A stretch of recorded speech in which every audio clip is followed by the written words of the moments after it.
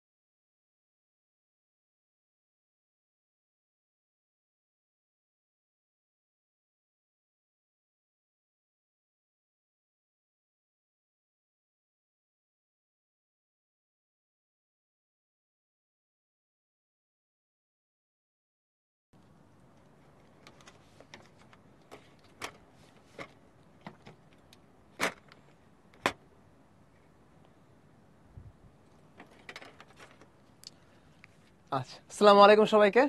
আশা করি সবাই ভালো আছো। অনেকেই চ্যাট বক্সে সালাম দিচ্ছ, সবাইকে ওয়ালাইকুম আসসালাম। ভাইয়া ভালো আছি, আশা করি তোমরাও ভালো আছো। অনেকদিন হয়তো যারা যারা আমাদের ফার্স্ট ইয়ার ক্লাসটাতে আমাকে অলরেডি চিনো, অনেকদিন পর দেখা হচ্ছে তোমাদের সাথে, সবাইকে দেখতে পেরে অনেক ভালো লাগতেছে। আর যারা নতুন আছো তোমার জন্য একটু বলে রাখি, আমি মোহাম্মদ ফাহিম ফয়সাল, পড়াশোনা করছি বুয়েট ট্রিপলিতে। আপাতত থার্ড ইয়ারে আসি সামনে পরীক্ষা আছে, দোয়া রেখো সবাই। সো থার্মোডাইনামিক্সের উপরে, অর্থাৎ তাপগতিবিদ্যার প্রথম লেকচারটা আজকে আমরা পড়ব। আমার ক্লাসের রুলস দুইটা, খুব বেশি না, মাত্র দুইটা। একটা হচ্ছে, আমার ক্লাসে কেউ শুয়ে শুয়ে ক্লাস করবা না। অর্থাৎ তোমাদের কাছে নিকটস্থ চেয়ার টেবিলে দ্রুত স্থানান্তর হয়ে যাও। কারণ তুমি যদি শুয়ে শুয়ে ক্লাস করো, তাহলে আসলে আমি যতই ভালো পড়াই, তোমার এবং ঘুমের মাঝখানে দুনিয়ার কোনো শক্তি আসতে পারবে না।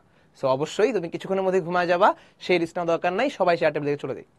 দুই নাম্বার হচ্ছে হাতের কাছে একটা ক্যালকুলেটার রাখবা। আমি চাই, আমি একটা অঙ্ক যখন করতেছি, আমার স্টুডেন্টরা আমার আগে চ্যাট বক্সে সেই অঙ্কের অ্যান্সার দিয়ে দিক। সো আমার সাথে তুমিও ক্যালকুলেট করবা, যাতে লাস্টে একটা কনফিডেন্স আসে যে অঙ্কটা আমি হাতে মিলাইছি। তো পরে যখন তুমি এই টাইপের একটা অঙ্ক দেখবা, তোমার যাতে একটা কনফিডেন্স ফিল হয় যে অঙ্কটা আমি ক্লাসে ভাইয়ের সাথে শেষ পর্যন্ত করছিলাম এবং মিলাইছিলাম। এই। আচ্ছা আর একটু বলে রাখি, যদি কোনো নতুন থাকো টিচার ইনবক্সে সকল প্রশ্ন করবা এবং চেষ্টা করবা ভাইয়া যখন একটা টপিক পড়ানো শেষ করছি, তখন প্রশ্নটা করতে। কারণ মাঝে প্রশ্নগুলো অনেক সময় হারা যেতে পারে, সেক্ষেত্রে হয়তো আমি প্রশ্ন দেখতে পাবো অনেক উপরে উঠে যাবে। সো যখন আমি টপিকটা শেষ করছি, জিজ্ঞেস করতেছি ক্লিয়ার কিনা, তখন প্রশ্নটা করবা, তোমার জন্য ভালো, আমার জন্য ভালো এবং পোলের আনসার পোলেই করবা। আমি একটা পোল দিয়ে দেখতে চাই না যে টিচার ইনবক্স ভরে গেছে যে ভাই এ এ এ, না, পোলের আনসার পোলেই করতে হবে। ওকে সো সে আমাদের আজকে ক্লাসটা শুরু করে দিই। প্রথমে আমাদের পি ওয়ান এবং পি ওয়ান লেকচারের শুরুতে আছে তাপমাত্রা ধারণা। সো তোমাদের প্রবাবলি শর্ট সিলেবাসে তাপ ছিল না। সো শর্ট সিলেবাসে তাপ ছিল না, একটু তাপ নিয়ে কিছু আলোচনা আমি শুরুতে করব। সো তাপ নিয়ে কিছু আলোচনা করতে গেলে শুরুতে আমি একটু বলি তাপ জিনিস আসলে কি? এইটা একটা শক্তি। এবং এই শক্তি তোমরা রিয়েল লাইফে তোমাদের আশেপাশে অনেক জায়গায় দেখো।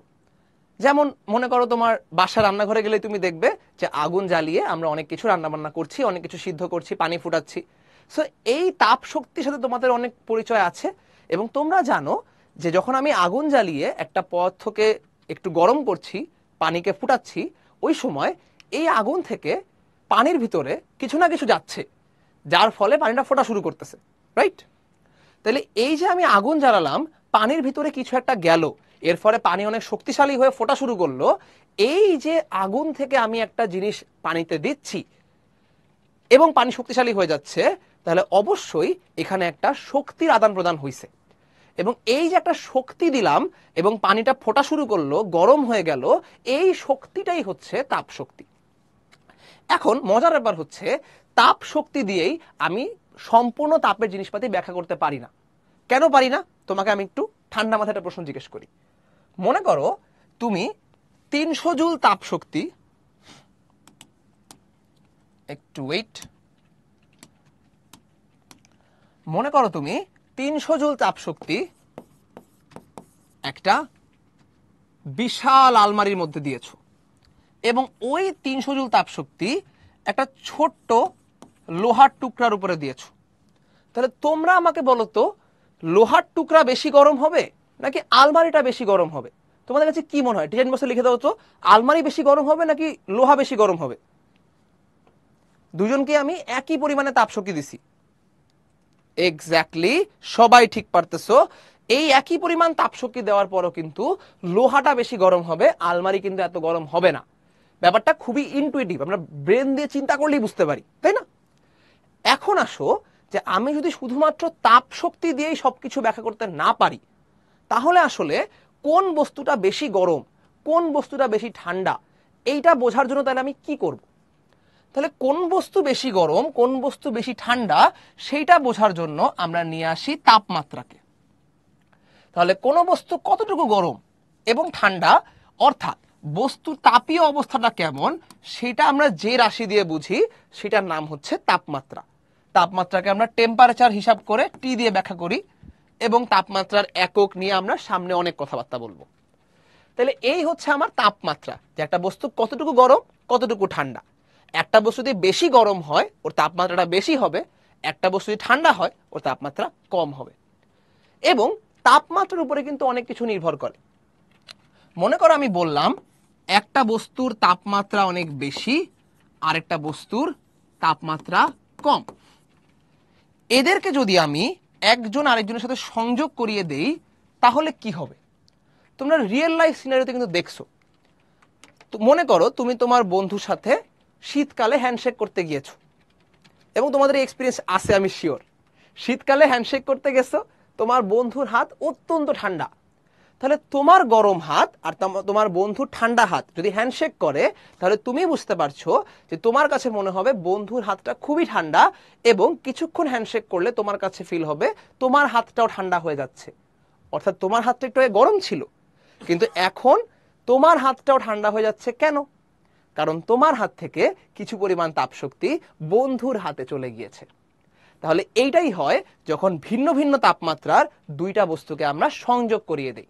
যার তাপমাত্রা বেশি, তার থেকে কম তাপমাত্রার বস্তুর দিকে তাপ প্রবাহিত হওয়া শুরু করে। তাহলে বেশি তাপমাত্রার বস্তুর থেকে কম তাপমাত্রার বস্তুর দিকে তাপ হওয়া শুরু করবে প্রবাহিত। এইবার আসো আমরা প্রবাহ লিখলে আসলে হয়, তাই না? প্রবাহের ডিরেকশনটা হচ্ছে এদিকে। এখন আসি যে এই যে তাপ প্রবাহটা হচ্ছে গরম থেকে ঠান্ডার দিকে, এটা আসলে কতক্ষণ হবে? সারা জীবন চলবে? না কিন্তু। যতক্ষণ এই দুইটা বস্তুর তাপমাত্রা সমান না হয়ে যাচ্ছে, ততক্ষণ এই তাপপ্রবাহটা চলবে। যদি এমন হয় যে তোমার হাত আর তোমার বন্ধুর হাত কিছুক্ষণ পরে সমান ঠান্ডা হয়ে গেছে তাহলে এরপরে আর তোমার হাত থেকে, তোমার বন্ধুর হাতে তাপ প্রবাহ হবে না। যতক্ষণ না তাপমাত্রা সমান হচ্ছে, ততক্ষণ এই তাপ প্রবাহ চলবে। ওকে ভেরি গুড তোমরা অনেকেই আগে আগে লিখে ফেলছো ভেরি গুড ওকে তাহলে আমরা যে একটা স্লাইড পড়লাম, কিছু তাপের বেসিক আলোচনা করলাম, তাপমাত্রাটা কেন লাগতেছে সেটা বুঝলাম, এবং তাপমাত্রা যে একটা রাশি, সেই রাশি যে আমাদের রিয়েল লাইফে অনেক কাজ করতেছে, এইটুকু বললাম। এইটুকু জিনিস কতজনের মাথায় ঢুকে গেছে, আমরা একটা ইয়েস নো পোলের মাধ্যমে ভাইকে জানাই দিই। তাহলে আমাকে একটু ইয়েস নো পোলের মাধ্যমে জানা হতো যে সবার কাছে এই প্রথম স্লাইডটা ক্লিয়ার কিনা। সো এরকমই ইয়েস নো পোল কিন্তু তোমাদের ক্লাসে অনেকগুলো ছাড়া হবে। যারা নতুন আমাদের সাথে আসে, তারা একটু এক্সপিরিয়েন্স করে নাও। ওকে সো সবার মাথায় ঢুকে গেছে, খুবই ভালো লাগল। নাইনটি সিক্স পার্সেন্ট মানুষের কাছে ক্লিয়ার আচ্ছা ডান চলো তাহলে আমরা একটু সামনের দিকে যাই। আমরা এইটুকু শিখলাম এই স্লাইডে যে তাপ একটা শক্তি, যেই শক্তির মাধ্যমে একটা বস্তু গরম হয়। তাপ বাড়িয়ে দিলে গরম হবে, তাপ কমায় দিলে ঠান্ডা হবে। কিন্তু আমরা এটাও বুঝলাম যে একই পরিমাণ তাপ দিলেও দুইটা বস্তু একই পরিমাণ গরম নাও হইতে পারে। সেক্ষেত্রে একটা বস্তু ঠিক কতটুকু গরম, সেটা বোঝার জন্য আমার লাগতেছে তাপমাত্রা। তাহলে তাপমাত্রা হচ্ছে এমন একটা রাশি যেটা দিয়ে আমি বুঝব যে একটা বস্তু ঠিক কতটুকু গরম বা ঠিক কতটুকু ঠান্ডা। যদি দুইটা ভিন্ন তাপমাত্রার বস্তুকে আমি সংযোগ করায় দেই, তাহলে যার তাপমাত্রা বেশি সে বেশি গরম, যার তাপমাত্রা কম সে কম গরম। তাহলে বেশি গরম বস্তু থেকে ঠান্ডা বস্তুর দিকে তাপের একটা প্রবাহ শুরু হবে এবং এই প্রবাহ চলবে যতক্ষণ না দুজনের তাপমাত্রা সমান হয়ে যায়। ওকে, চলো তাহলে আমরা সামনে যাই। তাপমাত্রা একটা রাশি কীভাবে ঠিক আছে, আমরা যখন সামনে তাপমাত্রাগুলো প্রকাশ করা শুরু করব, তখন বুঝতে পারবা যে তাপমাত্রা রাশিটা আসলে কীভাবে কাজ করে। এবং আমি শিওর ফার্স্ট ইয়ারে তুমি অনেক জায়গায় thirty kelvin fifty kelvin third degree Celsius degree Celsius লিখছো। সো ফার্স্ট ইয়ারে কিন্তু পুরাটা জুড়েই তুমি তাপমাত্রাকে অ্যাজ এ রাশি এক্সপ্রেস করে অভ্যস্ত। ক্যালভিন যেটা এসআই একক, তোমরা সেটা জানো। সো এতদিন পরে যদি বলো যে তাপমাত্রা কীভাবে রাশি, একটু আচ্ছা ঠিক আছে। তো চলো আমরা সামনে যাই। এখানে একটা সূত্র আছে। যেই সূত্রটা তোমরা পড়লে বলবা, এটাকে সূত্র বানানোর কি দরকার ছিল? এটা তো এমনিই বোঝা যায়। চলো, তাহলে আমরা এই- সহজ সূত্রটা পড়ে ফেলি। তাহলে তাপগতিবিদ্যার শূন্যতম সূত্র আমাকে বলতেছে যে, ভাই, দুইটা বস্তু যদি তৃতীয় কোনো বস্তুর সাথে তাপীয় সমতায় থাকে, একটু অন্য কিছু বোঝার আগে তাপীয় সমতাটা বুঝে নেই, যে কি? তাপীয় সমতা সিম্পল মানেটা হচ্ছে, দুইটা বস্তু তাপীয় সমতায় আছে মানে এই দুটা বস্তুর সংযোগ ঘটায় দিলে কেউ কারও থেকে তাপমাত্রা নিয়ে যাবে না, কেউ কারও থেকে তাপ নিয়ে যাবে না, কোনো তাপের প্রবাহ হবে না। তাহলে দুইটা বস্তুকে সংযোগ ঘটাইছি, কিন্তু তাপের প্রবাহ হচ্ছে না। তাহলে এখন বলো তো, কোন বস্তুর তাপমাত্রা বেশি? নাকি দুটোই সমান? আচ্ছা ভেরি গুড তোমরা সবাই জানো যে তাপীয় সমতা হচ্ছে মানে তাপের প্রবাহ যে হচ্ছে না, তার মানে দুইটা তাপমাত্রা সমান। তাহলে দুইটা বস্তু তাপীয় সমতায় আছে মানেই এদের দুইজনের তাপমাত্রা সমান। ওকে তাহলে এখন দেখি আমরা কি বলছে। আমরা বলছে দুইটা বস্তু, তিন নাম্বার কোন বস্তুর সাথে তাপীয় সমতায় আছে। তার মানে এখানে এ এবং সি পরস্পরের সাথে তাপীয় সমতায় আছে, তাপমাত্রা সমান।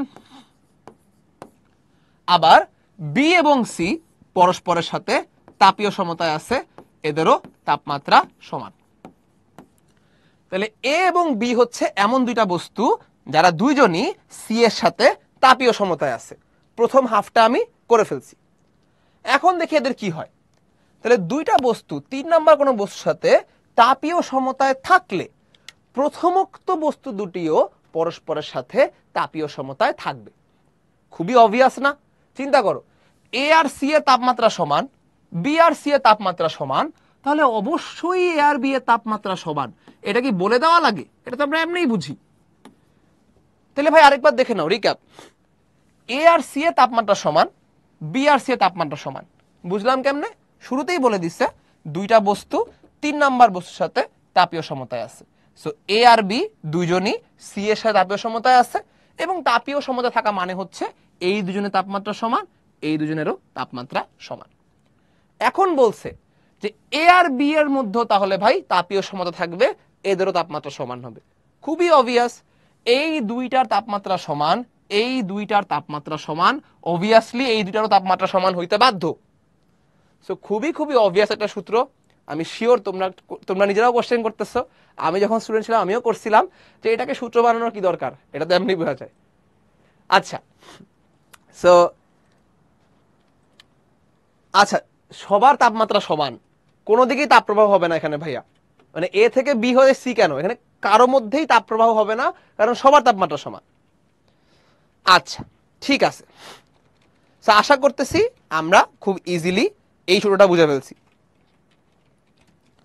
হ্যাঁ এই equal to B equal to C exactly তাতেও কোনো সমস্যা নাই, আসিফ। সংযোগ থাকলেই হয়েছে আচ্ছা ডান তাহলে আমরা এটা বুঝছি। খুবই অবভিয়াস আমি জিজ্ঞেস করলাম না তোমাদেরকে। এইবার আসো, ভাই, আপনি তাপমাত্রা নিয়ে এত কথা বলতেছেন। এই তাপমাত্রা মাপবো কীভাবে? তাপমাত্রা মাপার উপায় কি? তাহলে তাপমাত্রা মাপার মোটামুটি দুইটা উপায় আছে এবং এই দুইটা উপায়ের মধ্যে সবচেয়ে ইম্পর্টেন্ট যেটা, সেটা আমরা আগে পড়ব। দুই স্থির বিন্দু পদ্ধতি। প্রথমে আমি একটু বলে নেই যে তাপমাত্রা যখন আমি মাপি, তখন আমি সবসময় তাপমাত্রার সাথে সমানুপাতিকভাবে চেঞ্জ হয়। এমন কোনো একটা বৈশিষ্ট্য নিয়োগে মাপি। একটু সমানুপাতিক বলতে ভয় লাগতেছে, তাই না? আমি একটু ঠান্ডা করে ভাঙে বলি জিনিসটা। তাপমাত্রা বাড়লে এর সাথে সরল রৈখিক সম্পর্ক রেখে বাড়ে। এমন অনেকগুলা বৈশিষ্ট্য আমরা চিনি না অলরেডি যারা ফার্স্ট ইয়ারে আমার সাথে ছিলা, আমার সাথে যারা আদর্শ গ্যাস পড়ছো, তোমরা তো অলরেডি জানো যে তাপমাত্রা যখন বাড়ে, এই তাপমাত্রার সাথে সমানুপাতিক সম্পর্ক রেখে, সরল রৈখিক সম্পর্ক রেখে ভলিউম বাড়ে। আয়তন বাড়ে, সাথে সাথে চাপও বাড়ে। আদর্শ গ্যাস পড়ছি না আমরা, সবাই জানি। আবার সামনে যখন চলতরিত পড়ব, তখন আমরা দেখব তাপমাত্রার সাথে সমানুপাতিক সম্পর্ক রেখে রোধও বাড়ে। সো এরকম ভাবেই আবার ছোটবেলায় পড়ছো যে তাপমাত্রা বাড়লে একটা বস্তু দৈর্ঘ্য বাড়বে, তাই না? সমানুপাতিকভাবে বাড়ে। তাহলে তাপমাত্রার সাথে এরকম সরল রৈখিক সমানুপাতিক সম্পর্ক রেখে অনেকগুলা বৈশিষ্ট্যই বাড়ে এবং এই বৈশিষ্ট্যগুলা, যারা তাপমাত্রার সাথে সরল রৈখিক সম্পর্ক রাখে, তাদেরকে আমরা বলি তাপমাত্রিক বৈশিষ্ট্য। তাহলে তাপমাত্রার সাথে এদের যে কাউকে চাইলে তুলনা করা যায় এবং এই কাজটাই আমরা করব। চলো, প্রথমে আমি বললাম যে এই পদ্ধতিতে দুইটা স্থির বিন্দু থাকবে। তাহলে দুইটা পয়েন্টের তাপমাত্রাকে আমি স্থির ধরে নিয়ে বাকিগুলোর সাথে তুলনা করব। এই দুইটা পয়েন্ট কোনটা কোনটা? এক নাম্বার হচ্ছে আমাদের নিম্ন স্থির বিন্দু। এই নিম্ন স্থির বিন্দু আমি হবে লিখলাম, নিম্ন স্থির বিন্দু। তাহলে এই নিম্ন স্থির বিন্দু আমরা কোনটাকে ধরতেছি? আমরা নিম্ন স্থির বিন্দু ধরতেছি, যেই তাপমাত্রায় বরফ গোলে পানি হয়ে যায়। তাহলে আমি যদি একটু ইংলিশে লিখি, তাহলে আইসের মেল্টিং পয়েন্ট তাহলে যেই তাপমাত্রায় বরফ গলে পানি হয়ে যাচ্ছে, সেই তাপমাত্রাকে আমরা বলতেছি নিম্ন স্থির বিন্দু। আমরা কিন্তু ইতিমধ্যে অনেক স্মার্ট আমরা কলেজের সেকেন্ড ইয়ার উঠে গেছি, আমরা সবাই জানি সেলসিয়াস স্কেলে এই তাপমাত্রাটা শূন্য ডিগ্রি সেলসিয়াস তাই না? শূন্য ডিগ্রি সেলসিয়াস তাপমাত্রায় বরফ গলে পানি হয়ে যায়, এটা আমরা মোটামুটি সবাই জানি। আচ্ছা ঠিক আছে। এখন যদি আমি বলি আচ্ছা কে জানি লেগছে তাপমাত্রা বাড়লে তো চাপ কমে। তোমার জন্য আদর্শ গ্যাস ভাইয়া। ওকে সো এখানে আসি। আইস মেল্টিং পয়েন্ট সো বরফের যে গলনাঙ্ক, সেটা হচ্ছে আমাদের নিম্ন স্থির বিন্দু। তাহলে বরফের গলনাঙ্ক যদি নিম্ন স্থির বিন্দু হয়, তাহলে নিম্ন স্থির বিন্দুকে আমরা একটু ভালোবেসে লিখব থিটা আইস এবং এটা সেলসিয়াস স্কেলে শূন্য ডিগ্রি সেলসিয়াস আমরা সবাই জানি। এইবার আসো। উচ্চ স্থির বিন্দু লাগবে, ঊর্ধ্ব স্থির বিন্দু। তাহলে ঊর্ধ্ব স্থির বিন্দুকে, তাহলে আমরা কি বলতে পারি? আমরা ঊর্ধ্ব স্থির বিন্দুকে বলব পানির আচ্ছা ইংলিশে লিখছি আমি ইংলিশে লিখি, সমস্যা নেই। ওয়াটারের ওয়াটার বয়েলিং পয়েন্ট বা পানির স্ফুটনাঙ্ক। আমরা কিন্তু সবাই এটাও জানি যে ভাই, পানির যে স্ফুটনাঙ্ক, সেটা হচ্ছে একশো ডিগ্রি সেলসিয়াস সেলসিয়াস স্কেলে যেহেতু এটা পানির স্ফুটনাঙ্ক, পানি ফুটে বাষ্প হয়ে যাচ্ছে, তাই একে আমরা ভালোবেসে লিখব থিটা স্টিম। স্টিম মানে বাষ্প। তাই দেখতেই পাচ্ছ, খুব সুন্দর করে আমরা দুইটা বিন্দুকে স্থির ধরছি। একটা নিম্ন স্থির বিন্দু আর একটা ঊর্ধ্ব স্থির বিন্দু। নিম্ন স্থির বিন্দু হচ্ছে যেই তাপমাত্রায় বরফ গলে যায়, আর ঊর্ধ্ব স্থির বিন্দু হচ্ছে যেই তাপমাত্রায় পানি ফুটে বাষ্প হয়ে যায়। তাহলে এই দুইটা হচ্ছে আমাদের দুইটা স্থির বিন্দু। একটা বরফের সাথে সম্পর্কিত, তাই এটা থিটা আইস আর একটা বাষ্পের সাথে সম্পর্কিত, তাই এটা থিটা স্টিম এই গেল আমার স্থির বিন্দু। এইবার আসো, তুমি যদি কোনো একটা স্কেলের মধ্যে এই দুইটা পয়েন্টকে ফিক্স করে দাও, এইটা মনে করো এই জায়গায় আচ্ছা আমরা এখানে আসি, যে দুইটা পয়েন্টকে আমরা ফিক্স করতেছি। তাহলে থার্মোমিটার আমরা কি ব্যবহার করি? পারদ ব্যবহার করি?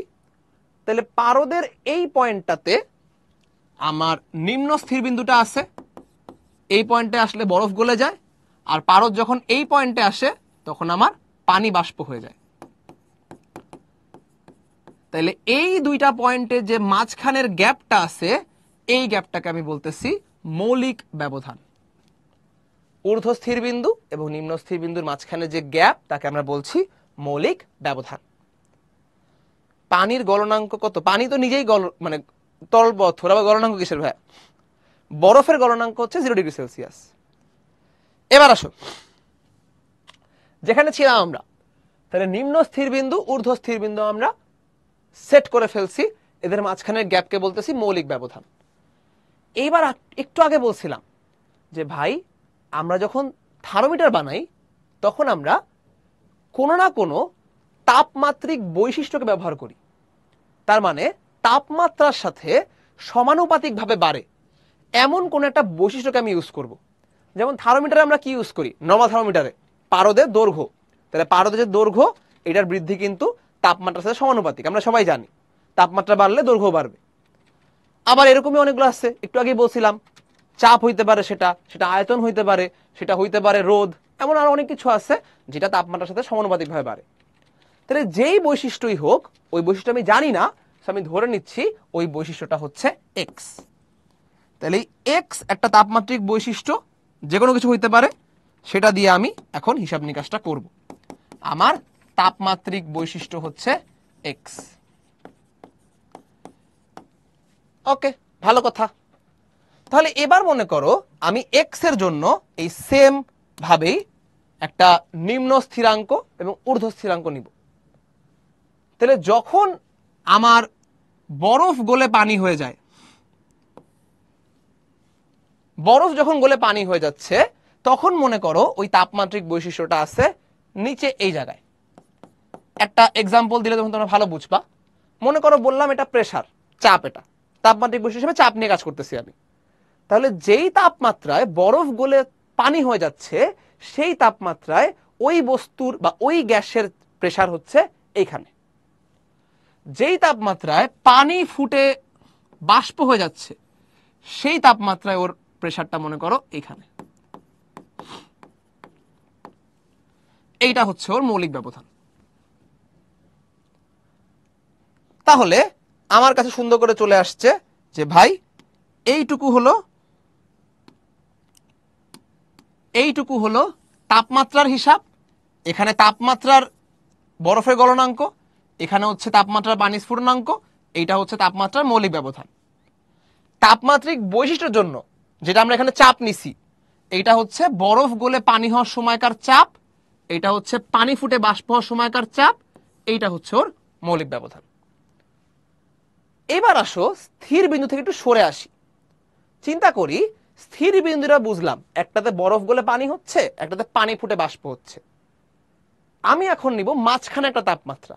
এবং আমি মাপতে চাই আজকের এই মুহূর্তের এই রুমে তাপমাত্রা কত। মনে করো এই এই রুমে তাপমাত্রা পঁয়ত্রিশ পঁয়ত্রিশ ডিগ্রি সেলসিয়াস। ধরো।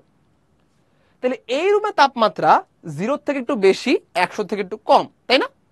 তাহলে এই রুমটা যদি একটু গরম, তাহলে এই রুমের গরমের জন্য তাপমাত্রা মনে করো এরকম কোনো জায়গায় থাকবে। তাহলে আমি বললাম, আজকের এই মুহূর্তে তাপমাত্রা আছে এই জায়গায়। এই জায়গায় আছে, মনে করো, আজকের এই মুহূর্তে তাপমাত্রা, এটাকে বললাম থিটা তাহলে বরফ যখন গলে পানি হয়, তখন চাপ থাকে এই জায়গায়। বরফ যখন, আবার পানি যখন ফুটে বাষ্প হয়, তো পানির বাষ্প হওয়ার সময় চাপ থাকে এই জায়গায়। তাহলে আজকের এই মুহূর্তে তাপমাত্রাতেও কোনো একটা জায়গার মধ্যে, মনে করো এরকম একটা জায়গার মধ্যে থাকবে আমাদের আজকের চাপ। তাহলে এইটুকু যদি আমরা বুঝি, তাহলে মোটামুটি আমাদের প্রাইমারি নলেজের কাজ শেষ। এইটা হচ্ছে নিম্ন স্থিরাঙ্ক, এইটা ঊর্ধ্ব স্থিরাঙ্ক এটা হচ্ছে আজকের তাপমাত্রা। এইটা হচ্ছে যখন বরফ গলে পানি হয় তখনকার চাপ এটা হচ্ছে পানি ফুটে বাষ্প সময়কার চাপ এটা আজকের বর্তমান চাপ। এইবার একটু ঠান্ডা মাথায় চিন্তা করো, আমরা শুরুতেই কি বলে নিছি? আমরা শুরুতেই বলে নিছি, তাপমাত্রিক বৈশিষ্ট্য হতে হলে ওই বৈশিষ্ট্যকে তাপমাত্রার সাথে সমানুপাতিক হতে হবে। তার মানে তাপমাত্রা যেভাবে বাড়তেছে, ওই বৈশিষ্ট্যকেও সমানুপাতিক হারে বাড়তে হবে। তাপ বাড়লে চাপ বাড়তে হবে, তাপ বাড়লে ভলিউম বাড়তে হবে, তাপ বাড়লে রোদ বাড়তে হবে।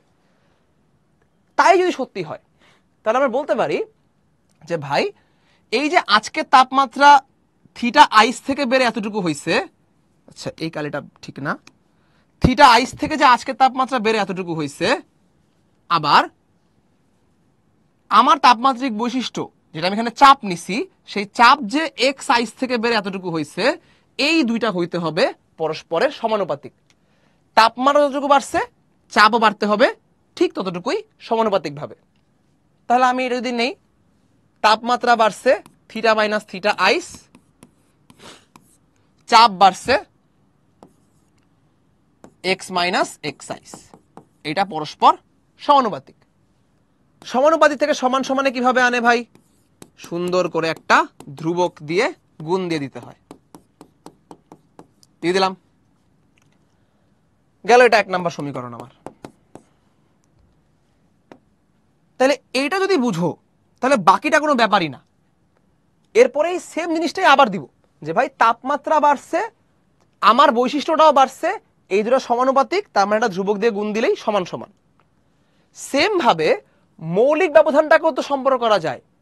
এই যে থিটা আইস থেকে থিটা স্টিম পর্যন্ত তাপমাত্রা বাড়ছে, আর এই যেখানে এক্স আইস থেকে শুরু করে এক্স স্টিম পর্যন্ত তাপমাত্রা বাড়ছে, এই বৃদ্ধিটাও তো সমানুপাতিক হওয়া উচিত। যে ভাই, বরফের গলনাঙ্ক থেকে পানির বাষ্পাঙ্ক পর্যন্ত স্ফুটনাঙ্ক পর্যন্ত, এই যে ব্যবধান, তাপমাত্রার, আর এই যে ব্যবধান বৈশিষ্ট্যর, এই দুটাও তো সমানুপাতিক হবে। তাহলে আমরা সেম লজিক আবার দিব, এবং সুন্দর করে এবার লিখে দিব যে ভাই থিটা স্টিম যে মৌলিক ব্যবধান আমার মাইনাস থিটা আইস, এইটাও আসলে বৈশিষ্ট্যের জন্য এক্স স্টিম মাইনাস এক্স আইসের সমানুপাতিক। এবং সমানুপাতিক হলে লেখা যায় একটা ধ্রুবকের গুণফল আকারে। বাস, সুন্দর করে কিন্তু সম্পর্ক রেডি একটু আমাকে ইয়েস নো বলে জানায় দাও এইটুকু পর্যন্ত সবার মাথায় হিসাব নিকাশ ঢুকছে কিনা? যে ভাই, আমার তাপমাত্রিক বৈশিষ্ট্য তাপমাত্রার সমানুপাতিক। তাহলে এই বৃদ্ধিটা এই বৃদ্ধি সমানুপাতিক, এই বৃদ্ধিটা এই বৃদ্ধি সমানুপাতিক। দুইটা সম্পর্ক লিখছি জাস্ট না, লেখা লাগবে না ভাইয়া প্রুফ তোমাদের পরীক্ষায় আসে না। আমি জাস্ট বুঝাচ্ছি যাতে সূত্রগুলা আসমানি কিতাবের মতো করে বিশ্বাস না করে নাও, ভাইয়ারা বুঝাচ্ছে কোত্থেকে আসলো, এটা যদি তুমি ঠিক মতো বুঝো। আচ্ছা একজন বলছে এক্সটা আবার বলেন। ট্রিপল পয়েন্ট কোত্থেকে আসলো ভাই? ট্রিপল পয়েন্ট তো আমরা সামনে পড়ব। আচ্ছা রেশোতে আমি যাচ্ছি। এই পর্যন্ত বুঝছি কিনা আগে নিশ্চিত করা দরকার। সো যারা যারা বলতেছো এক্সট্রা আবার বলেন, তারা আমার মাঝখানে হারায় গেছো। আমার ক্লাসে এই জিনিসটা খুব ভালো মতো খেয়াল করো ভাইয়া। তুমি যদি মাঝখানে হারায় যাও, তুমি কিন্তু এরপরে কিছু বুঝবা না। কারণ আমি মনে করো একটা বিশ মিনিটের কথা বলতেছি একটা স্লাইড নিয়ে। প্রত্যেকটা কথা পরেরটার সাথে লিঙ্কড সো তুমি যদি আমার কথা পাঁচ মিনিট বাদ দিয়ে ফেসবুকে চলে যাও বা পাঁচ মিনিট বাদ দিয়ে খাইতে চলে যাও, তাহলে কিন্তু আসলে এসে দেখবা কিছু বুঝতেছো না। সো আমার সাথে পুরো সময়টা থাকতে হবে। সো আমি যেটা বলছি এক্স হচ্ছে আমাদের তাপমাত্রিক বৈশিষ্ট্য। তাপমাত্রিক বৈশিষ্ট্য যে কোনো কিছু হইতে পারে। এটা হইতে পারে চাপ, হইতে পারে আয়তন, হইতে পারে রোধ, হইতে পারে দৈর্ঘ্য। বাট এমন কিছু হইতে হবে যেটা তাপমাত্রার সাথে সরল রৈখিক সম্পর্ক মেনটেন করে। সরল রৈখিক সম্পর্ক মানে কি? সরল রেখা সবাই পড়ছি। সরল রৈখিক হইতে হইলে হওয়া লাগে সমানুপাতিক।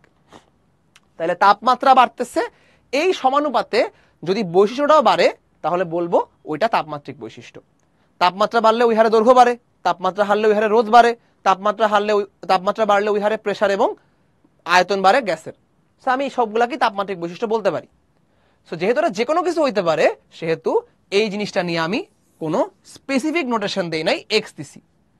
তাহলে এটা যেমন থিটা আইস তাহলে এটা হচ্ছে বরফের গলনাঙ্ক। তাপমাত্রা। তাহলে যখন বরফের গলনাঙ্ক আসে, তখন আমার বৈশিষ্ট্যের কি অবস্থা? এটা হচ্ছে এক্স আইস যদি চাপ হয়, তাহলে ওই শূন্য ডিগ্রি সেলসিয়াসে প্রেশারটা কত? সেটা হচ্ছে এক্স আইস একশো ডিগ্রি সেলসিয়াসে প্রেশারটা কত? এক্সট্রিম আজকের তাপমাত্রা থ্রি ডিগ্রি সেলসিয়াসের এক্সটা কত? সেটা হচ্ছে এক্স আশা করি যারা বুঝো নাই, এখন আমি একটু বুঝে গেছো। যেহেতু আমি সমানুপাতিক বুঝে গেছি, সেহেতু বলতে পারি এই তাপমাত্রার বৃদ্ধি এই চাপের বৃদ্ধি সমানুপাতিক, আবার এই তাপমাত্রার বৃদ্ধি এই চাপের বৃদ্ধির সমানুপাতিক। এটাই লিখছি আমরা এই দুইটা ইকুয়েশনে এখন জাস্ট এক এবং দুইকে পরস্পরের সাথে ভাগ দিয়ে দাও, তাহলে তোমার জন্য সূত্র রেডি এক এবং দুইকে পরস্পর দিয়ে দিব ভাগ। তাহলে আমি সূত্র হিসাবে পেয়ে যাব। Theta minus theta ice by theta steam minus theta ice is equal to X minus X ice by X steam minus X ice এবং এইটাই মোটামুটি আমাদের আজকের ক্লাসের বেশ ইম্পর্টেন্ট একটা সূত্র এবং এই পার্টটা বুঝলে বাকি আর কোনো জায়গায় কোনো আটকাবাই আটকাবাই না তুমি। সো বুঝতেই পারতেছো, এই দুটাকে জাস্ট ভাগ করে দিছি এবং ভাগ করার পর এটা চলে আসছে।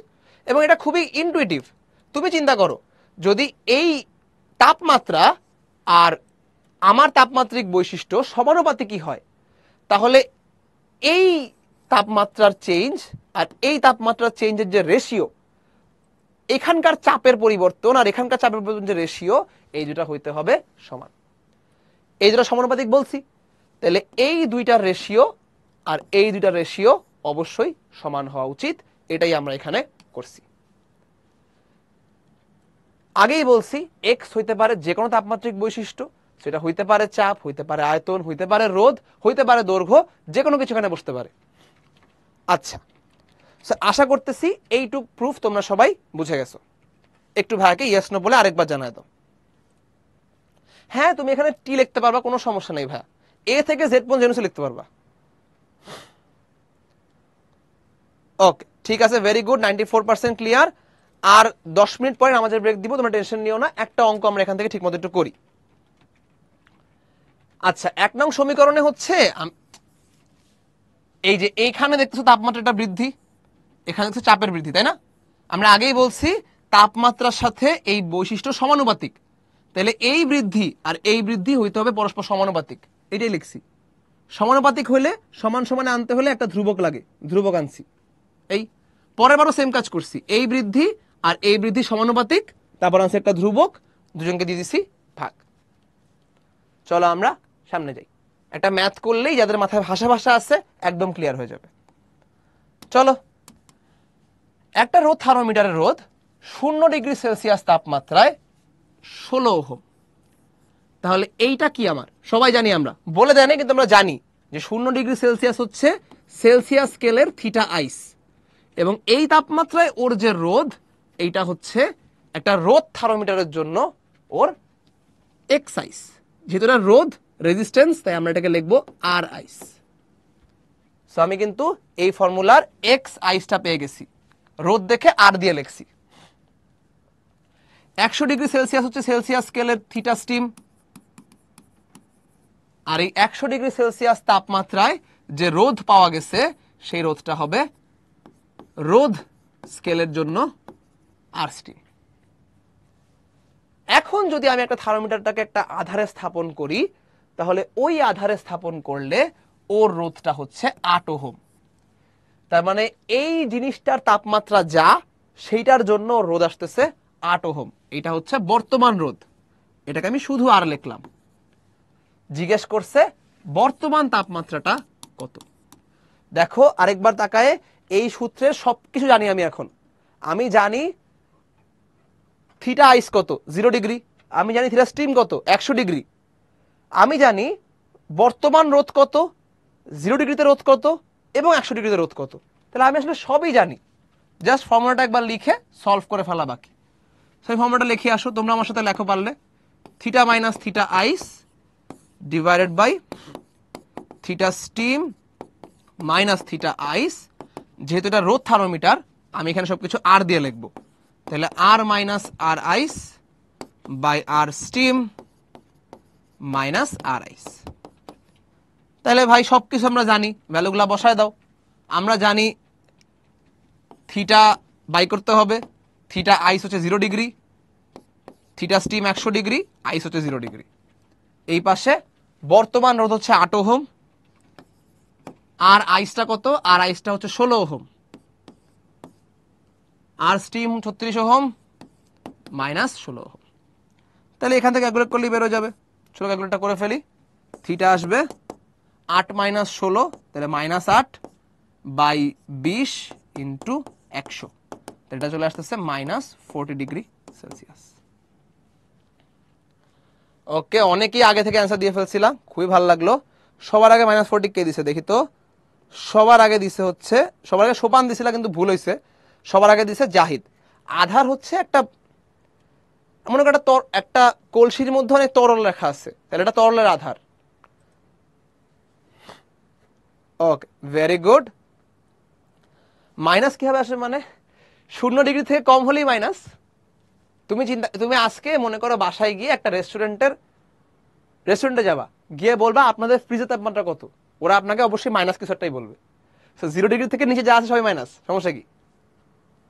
আচ্ছা ঠিক আছে। সো এই ম্যাথটা আমরা সবাই বুঝছি কিনা ভাগাটা ইয়েস নো বলতে জানাই যে ভাই, এই ম্যাথ সবার কাছে ক্লিয়ার কিনা? ওকে ভেরি গুড এক ক্লাসে নাইনটি ফোর পার্সেন্টের কাছে ক্লিয়ার আর আমি তেমন কোনো নতুন প্রশ্ন দেখতেছি না। সবাই মোটামুটি ভালোই বলছো। ঠিক আছে।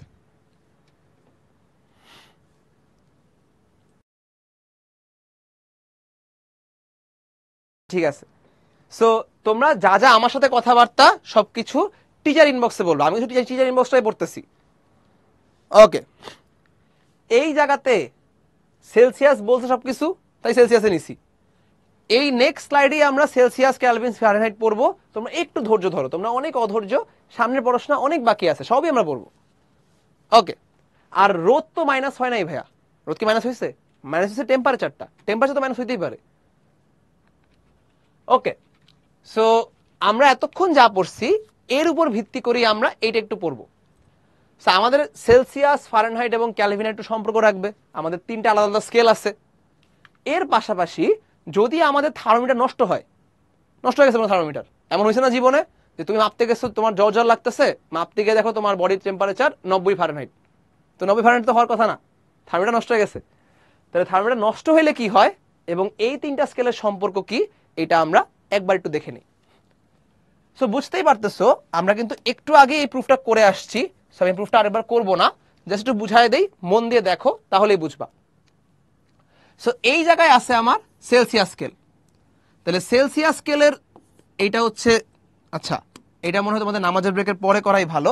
আমি জাস্ট একটু জেনারেল নলেজ দিয়ে নামাজের ব্রেকটা দিয়ে দিচ্ছি। সেলসিয়াস স্কেলের জন্য থিটা আইস বা বরফের গলনাঙ্ক হচ্ছে জিরো ডিগ্রি সেলসিয়াস। পানির স্ফুটনাঙ্ক হচ্ছে একশো ডিগ্রি সেলসিয়াস, এটা আমরা সবাই জানি, তাই না? একটু বাকিগুলোও জেনে নিই। ফারেনহাইট স্কেলের জন্য বরফের গলনাঙ্ক বত্রিশ ডিগ্রি ফারেনহাইট আর পানির স্ফুটনাঙ্ক দুইশো বারো ডিগ্রি ফারেনহাইট। ক্যালভিন স্কেলের জন্য বরফের গলনাঙ্ক দুইশো তিহাত্তর ক্যালভিন। পানির স্ফুটনাঙ্ক তিনশো তিয়াত্তর ক্যালভিন। সো এখন জিজ্ঞেস করলে হবে না আসলে কোত্থেকে আসলো? আমরা এভাবেই জিনিসটাকে সংজ্ঞায়ন করছি। সো যারা যারা ফারেনহাইট এবং ক্যালভিন জানতা না, ভাইয়ের কাছে এখন শিখে নিলা এবং একটু পরেই আমরা দেখবা এই ছবি মধ্যে সবগুলো বসানো আছে। সেলসিয়াস স্কেলে জিরো থেকে একশো ফারেনহাইটে বত্রিশ থেকে দুশো বারো সেল ক্যালভিনে দুশো তিয়াত্তর থেকে দুশো তিনশো তিয়াত্তর। সো একটু পরেই আমরা এই শুরুটা প্রুফ করব এবং এগুলা থেকে ম্যাথ করব। সো খুবই খুবই ইম্পর্টেন্ট সামনে জায়গা আসতেছে। কেউ লেট করবা না। লেট করলেই কিন্তু এইটার প্রুফ মাঝখান থেকে কিছু বুঝবা না। ঠিকঠাক টাইমে আসবা। এখন বাজে ছয়টা ছত্রিশ। তোমাদের সাথে আমার আবার দেখা হবে সাতটা ছত্রিশে।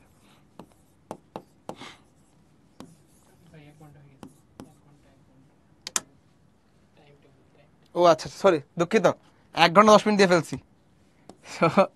ছয়টা, ছত্রিশ বাজে। তোমাদের সাথে আবার দেখা হবে ছটা ছেচল্লিশে। আচ্ছা পঞ্চাশে দিয়ে দিলাম, যাও। তোমরা যেহেতু রিকোয়েস্ট করতেছো, একটু বেশি সময় ধরে ব্রেক নাও। কিন্তু কেউ লেট করবা না। ঠিক ছটা পঞ্চাশ শুরু করে দেবো কিন্তু।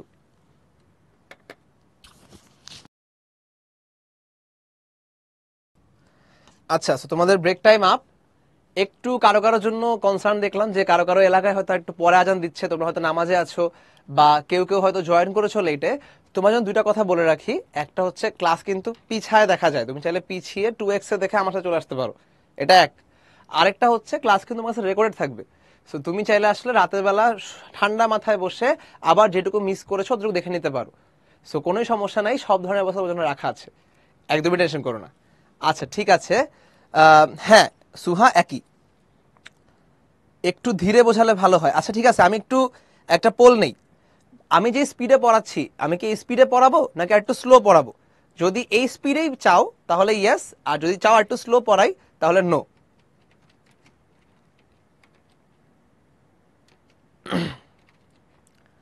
আচ্ছা ঠিক আছে। সো দেখা যাচ্ছে এগেইন ক্লাসের বেশি মানুষ আসলে এই স্পিডেই যাচ্ছ।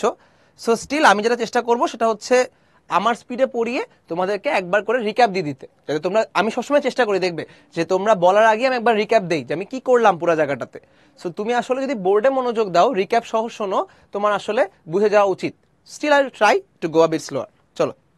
হ্যাঁ আচ্ছা কেউ কেউ বলতে পারলে আরও স্পিডে পড়ান। আচ্ছা ঠিক আছে, দেখা যাবে, সমস্যা নাই, চলো।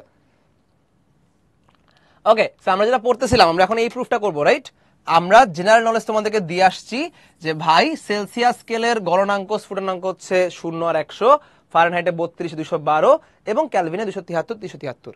তাহলে আমরা যদি সুন্দর করে একটু দেখি যে ভাই এইটা হচ্ছে আমাদের সেলসিয়াস স্কেলের গণনাঙ্ক বরফের এবং পানির স্ফুটনাঙ্ক। তাহলে এটা হচ্ছে আমার নিম্ন স্থিরাঙ্ক, এটা আমার ঊর্ধ্ব স্থিরাঙ্ক। ফারেনহাইটে এটা আমার নিম্ন স্থিরাঙ্ক, ঊর্ধ্ব স্থিরাঙ্ক। আবার মানে আমি যদি এভাবে লিখি এক জিনিসটাকে। এইটা হচ্ছে আমার নিম্ন স্থিরাঙ্ক সেলসিয়াসের জন্য, এইটা আমার ঊর্ধ্ব স্থিরাঙ্ক সেলসিয়াসের জন্য। এইটা আমার নিম্ন স্থিরাঙ্ক ফারেনহাইটের জন্য, এইটা আমার ঊর্ধ্ব স্থিরাঙ্ক ফারেনহাইটের জন্য। আবার এইটা হচ্ছে আমার নিম্ন স্থিরাঙ্ক ক্যালভিনের জন্য, এইটা হচ্ছে আমার ঊর্ধ্ব স্থিরাঙ্ক ক্যালভিনের জন্য। দেখো লেখা আছে সব। সেলসিয়াসে জিরো থেকে একশো, ফারেনহাইটে বত্রিশ থেকে দুইশো বারো, আবার ক্যালভিনে দুশো তেরো থেকে তিনশো তিয়াত্তর। এখন আমার যদি কোনো একটা নষ্ট থার্মোমিটার থাকে, নষ্ট হয়ে গেছে, তাহলে নষ্ট থার্মোমিটারে বরফ গলনাঙ্কের তাপমাত্রা কিন্তু আমি জানি না।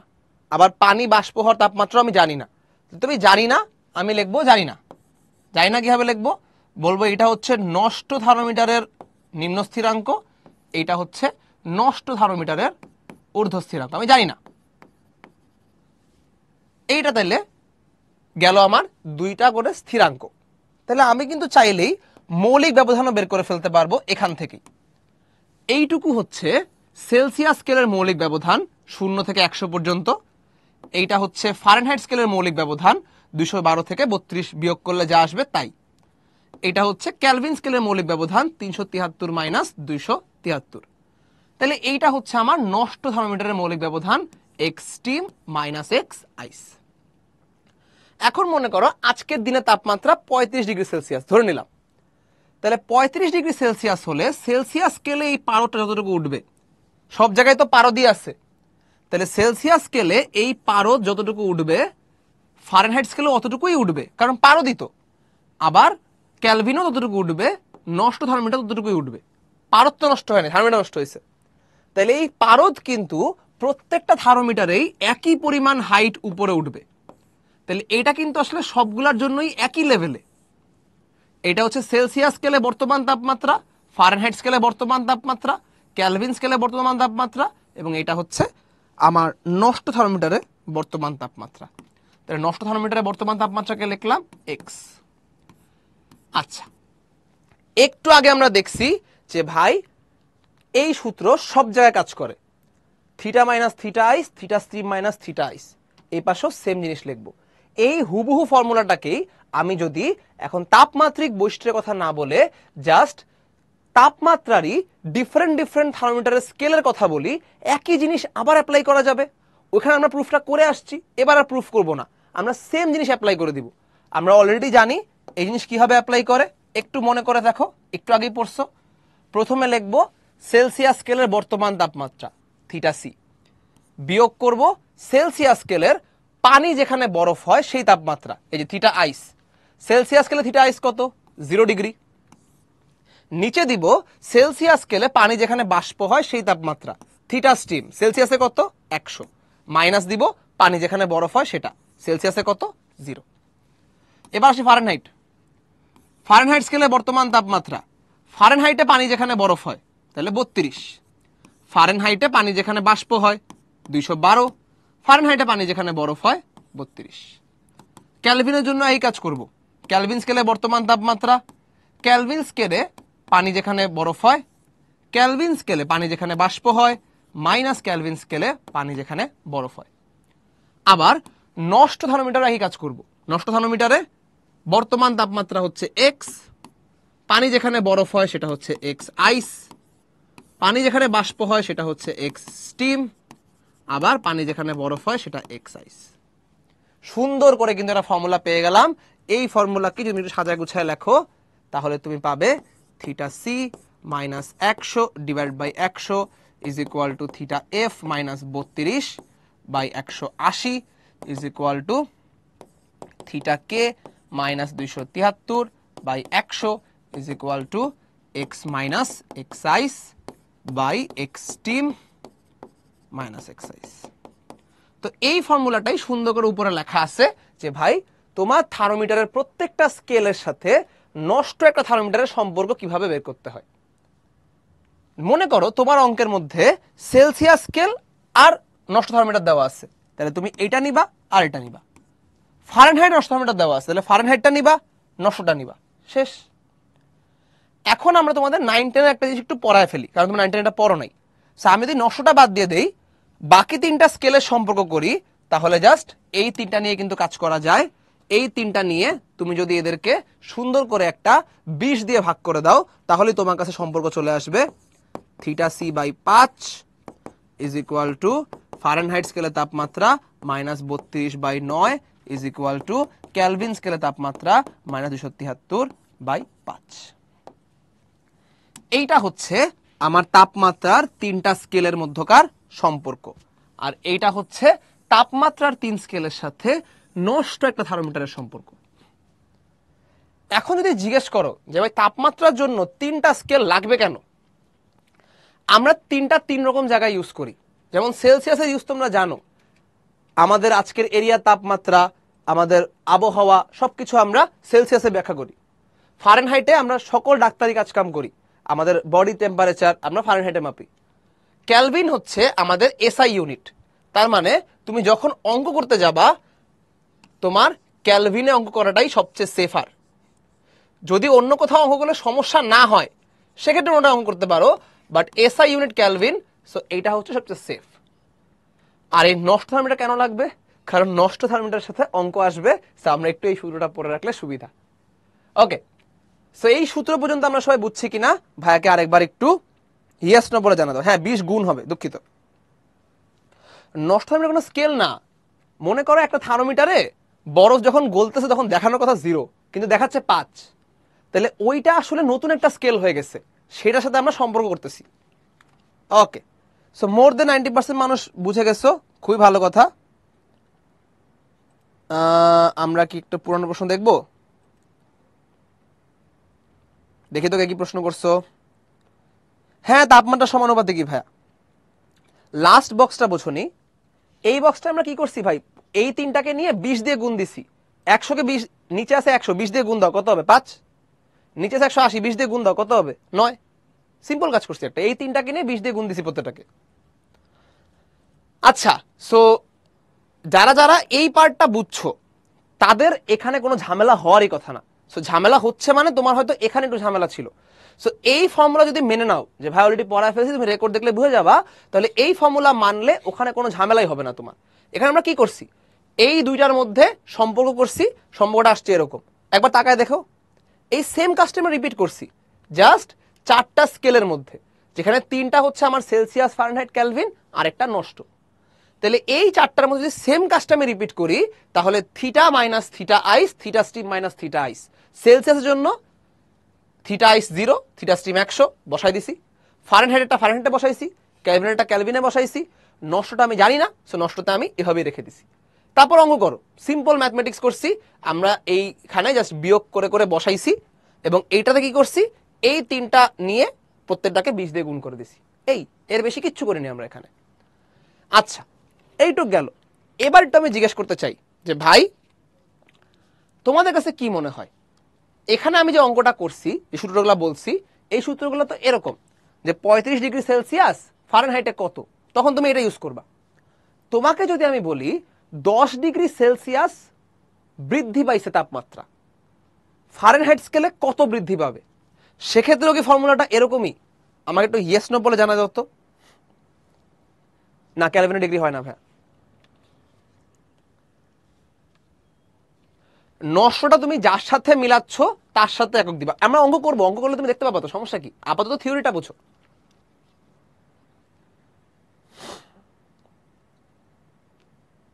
জিরো ডিগ্রি সেলসিয়াস খুবই মজার একটা তাপমাত্রা, একটু পরে গিয়ে দেখতে পাবা, ওইটাকে আমরা একটা নতুন নাম দিব। আচ্ছা তোমরা খুবই ডিভাইডেড হয়ে গেছো যে আসলেই যখন তাপমাত্রা চেঞ্জ হবে, তখন ফর্মুলাটা এটাই কিনা? ফর্মুলাটা এটা না। তুমি একটু চিন্তা করে দেখো, তাপমাত্রা বাড়তেছে। তাহলে মনে করো আমি তোমাকে বললাম, তাপমাত্রা এইটুকু বাড়ছে। এইটুকু তাপমাত্রা বৃদ্ধি পাইছে। এখানেও তো পারদটা অতটুকুই উঠবে, এখানেও অতটুকুই উঠবে। পারদটা প্রত্যেকটা থার্মোমিটারে একই পরিমাণে উঠল।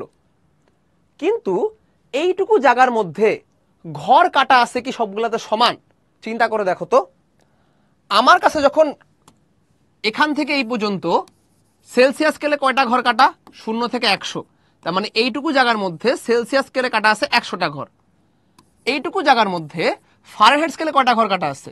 বত্রিশ থেকে দুইশো বারো, মোট একশো আশিটা ঘর কাটা আছে। ক্যালভিন স্কেলে এখান থেকে এখান পর্যন্ত কয়টা ঘর কাটা? দুইশো তিয়াত্তর থেকে দুশো তিনশো তিয়াত্তর মোট কাটা আছে একশোটা ঘর।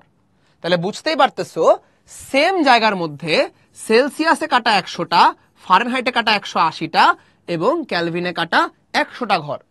তাহলে ফারেনহাইটের ঘরগুলা আর একটু চাপানো চাপানো সেলসিয়াস এবং ক্যালভিনের ঘরগুলার মাঝখানে দূরত্ব একই রকম। তাহলে সেলসিয়াসে বৃদ্ধি যা কথা ক্যালভিনে বৃদ্ধি একই কথা। কিন্তু ফারেনহাইটের ঘরগুলো একটু ছোট ফারেনহাইটে বেড়ে যাবে বেশি ডিগ্রি। এটা ম্যাথমেটিক্যাল প্রুফটা তাহলে কীরকম? ম্যাথমেটিক্যাল জিনিসটা এরকম যে ভাই, আমি বললাম সেলসিয়াস স্কেলের টেম্পারেচার বৃদ্ধি। এটা হচ্ছে ডেল থিটা সি ফারেনহাইটে টেম্পারেচার বৃদ্ধি ডেলথিটা এফ ক্যালভিনে টেম্পারেচার বৃদ্ধি ডেলথিটা কে এই প্রত্যেকটাকে আমরা ভাগ দিব, কয়টা করে ঘর কাটা আছে সেটা দিয়ে। সেলসিয়াসে ঘর কাটা ছিল কয়টা? শূন্য থেকে একশো পর্যন্ত, মোট একশোটা ঘর। তাহলে এটাকে একশো দিয়ে ভাগ দাও। ফারেনহাইটে কয়টা ঘর কাটা? বত্রিশ থেকে দুইশো বারো। বিয়োগ দাও কত হয়? একশো আশিটা ঘর। ক্যালভিনে আবার তিনশো তিয়াত্তর থেকে দুইশো তিয়াত্তর বিয়োগ দিতে হবে।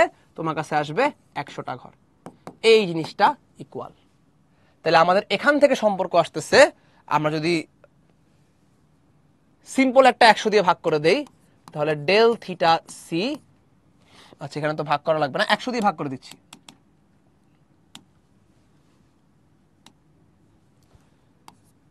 Del theta C is equal to del theta f by 1.8 is equal to del theta k. So এটাই বুঝতেছি যে সেলসিয়াস স্কেলে দশ ডিগ্রি সেলসিয়াস বৃদ্ধি যা কথা ক্যালভিনে দশ ক্যালভিন বৃদ্ধি একই কথা। কিন্তু ফারেনহাইটে একটু ঝামেলা হয়ে যাচ্ছে, কারণ ফারেনহাইট স্কেলের মৌলিক ব্যবধানটা একশো আশি, একশো না। সো এই জায়গায় ফারেনহাইট স্কেলের সময় তোমার একটু কষ্ট করতে হবে। সো এই ফর্মুলাটা মনে রাখবা, এই ফর্মুলাটা মনে রাখবা, আর সবচেয়ে মাদা ফর্মুলা হচ্ছে এইটা। এতেই আমাদের সবগুলো অঙ্ক খুব সুন্দর করে হয়ে যাবে। আচ্ছা আমি যথেষ্ট স্লোলি স্লোলি বুঝাইছি। এখন আমি আশা করতেছি যে এই ফর্মুলা তিনটা অ্যাটলিস্ট সবার মাথায় ঢুকে গেছে। যাদের মাথায় এখন একটু ভাষা ভাষা আছে, অঙ্ক করতে গিয়ে ক্লিয়ার হয়ে যাবা। চলো আমরা এখন দুইটা অঙ্ক করি। প্রথম অঙ্কে আমাদের কাছে আছে, কত তাপমাত্রায় ফারেনহাইট স্কেলের তাপমাত্রা সেলসিয়াস স্কেলের তাপমাত্রা সমান এবং বিপরীত চিহ্নযুক্ত হবে? চলো, করে ফেলি। তাহলে ফারেনহাইট স্কেলের তাপমাত্রা সেলসিয়াস স্কেলের তাপমাত্রা সমান, কিন্তু বিপরীত চিহ্ন। মানে কি? সিম্পল মানে ফারেনহাইট স্কেলের তাপমাত্রা বললাম থিটা এফ এটা হচ্ছে মাইনাস থিটা সি তার মানে দুটার মান সমান, কিন্তু একটা আরেকটার মাইনাস আমাদেরকে বলছে ফারেনহাইট আর সেলসিয়াস সম্পর্ক করতে। তাহলে ফারেনহাইট আর সেলসিয়াস সম্পর্ক কোথায় আছে ভাইয়া? এই দেখো সেলসিয়াস ফারেনহাইট তাহলে এই সূত্রটার মধ্যে ক্যালভিনের পার্টটা আমার লাগবে না। আমি জাস্ট এইটুক নিয়ে কাজ করব। ফারেনহাইট আর সেলসিয়াস চলো, বসায় দেই।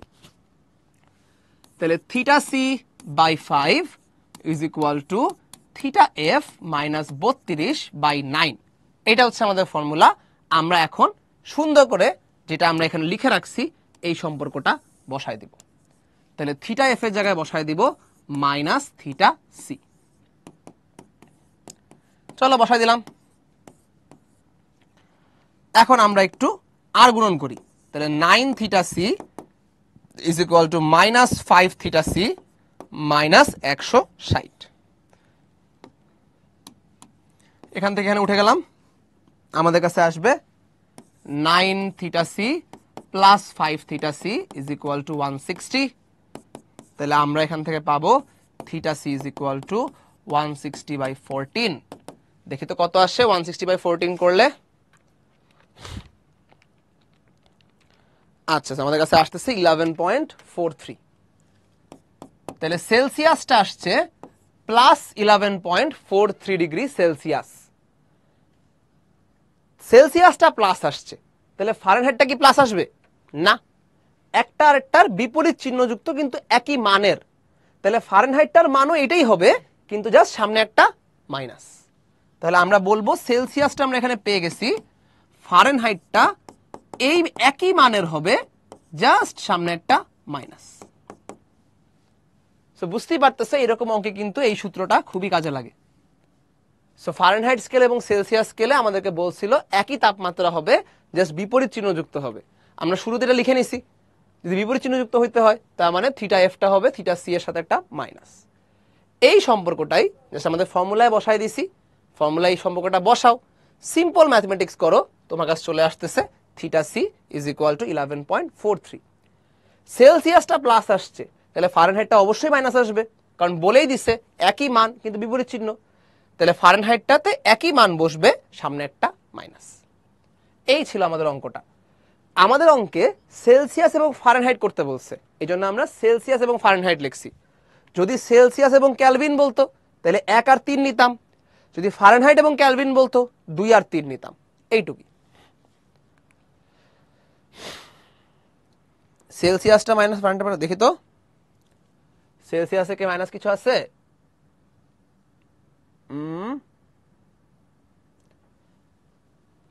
মাইনাস একশো ষাট। ও, তাই তো?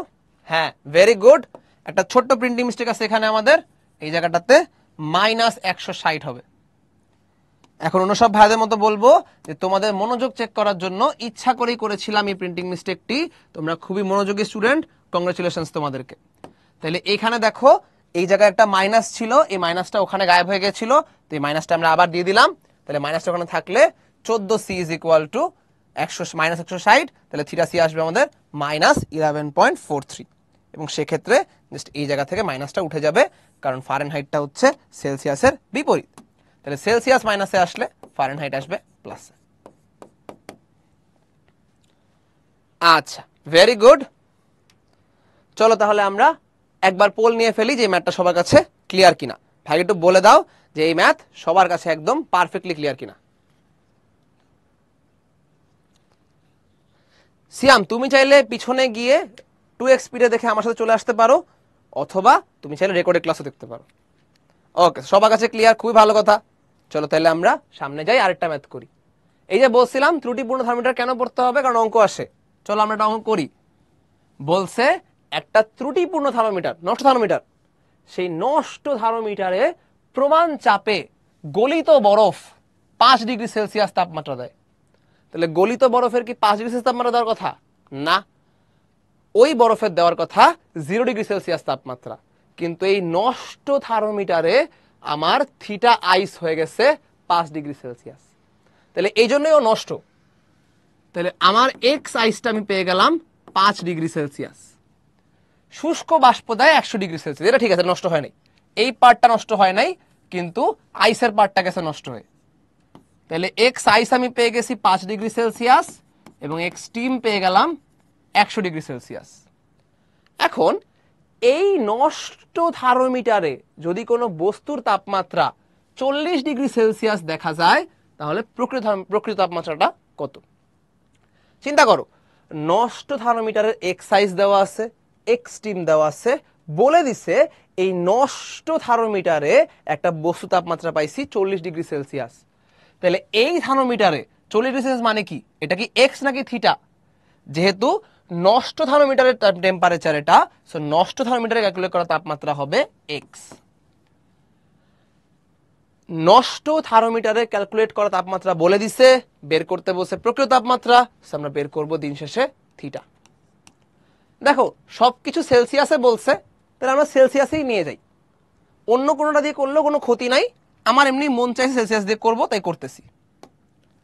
তাহলে আমি সেলসিয়াস দিয়ে যেটা করি, তাহলে আমাদের কাছে আসবে সেলসিয়াস স্কেলের বর্তমান তাপমাত্রা মাইনাস সেলসিয়াস স্কেলের থিটা আইস বাই সেলসিয়াস স্কেলের থিটা স্টিম মাইনাস সেলসিয়াস স্কেলের থিটা আইস।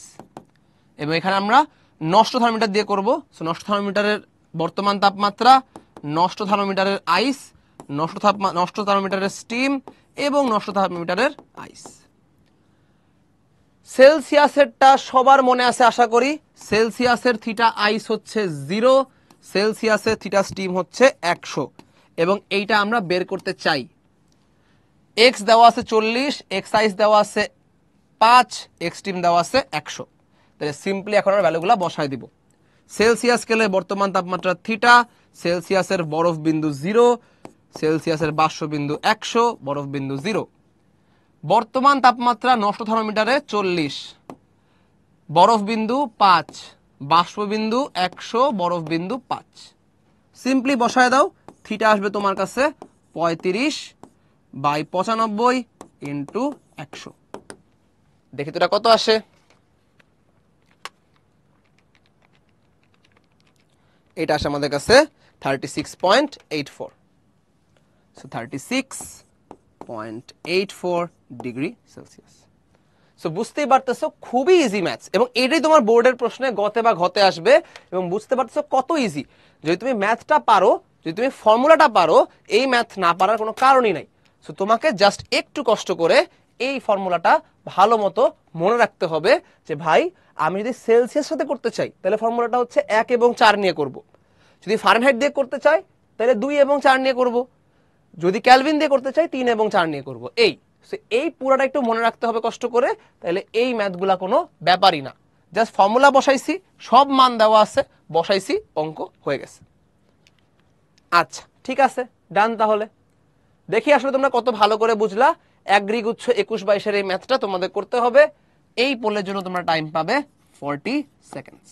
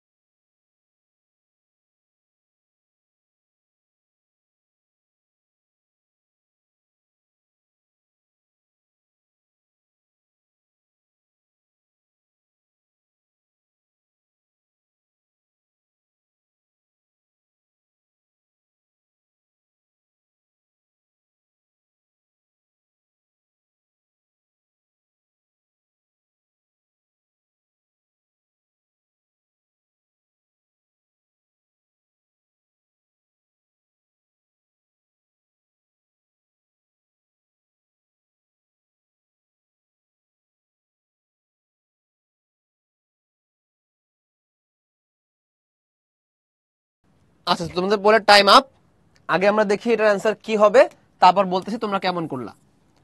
সো দেখো, এখানে কিন্তু তাপমাত্রার সাথে সরাসরি পরিবর্তন করতে বলে নাই। অ্যাগ্রিগুচ্ছ একুশ বাইশ আমাদেরকে বলছে তাপমাত্রার যে পরিবর্তন, তার তুলনা করতে। তাহলে সেলসিয়াস স্কেলে একশো ডিগ্রি সেলসিয়াস থেকে পঁয়ত্রিশ ডিগ্রি সেলসিয়াসে নামায় ফেলছি ফারেনহাইটের পরিবর্তনটা কত? এটা যদি সেলসিয়াস না হয়ে ক্যালভিনও হয়, তাতেও কিন্তু কোনো ক্ষতি নাই। আমরা জানি পরিবর্তনের ক্ষেত্রে সেলসিয়াস যেভাবে কাজ করে ক্যালভিন একইভাবে কাজ করে। আমরা যদি চিন্তা করি সেলসিয়াস স্কেলের পরিবর্তন একশো মাইনাস পঁয়ত্রিশ ডিগ্রি তাহলে এইটা হচ্ছে আমার কাছে পঁয়ষট্টি ডিগ্রি সেলসিয়াস পরিবর্তন। আমরা ইতিমধ্যেই ফর্মুলা পড়ে আসছি। আমি আশা করব সবার কাছে এটা মনে আছে সবার এই ফর্মুলাটা এই যে এখানে। সেলসিয়াস ফারেনহাইট আর ক্যালভিনের সম্পর্ক, পরিবর্তনের।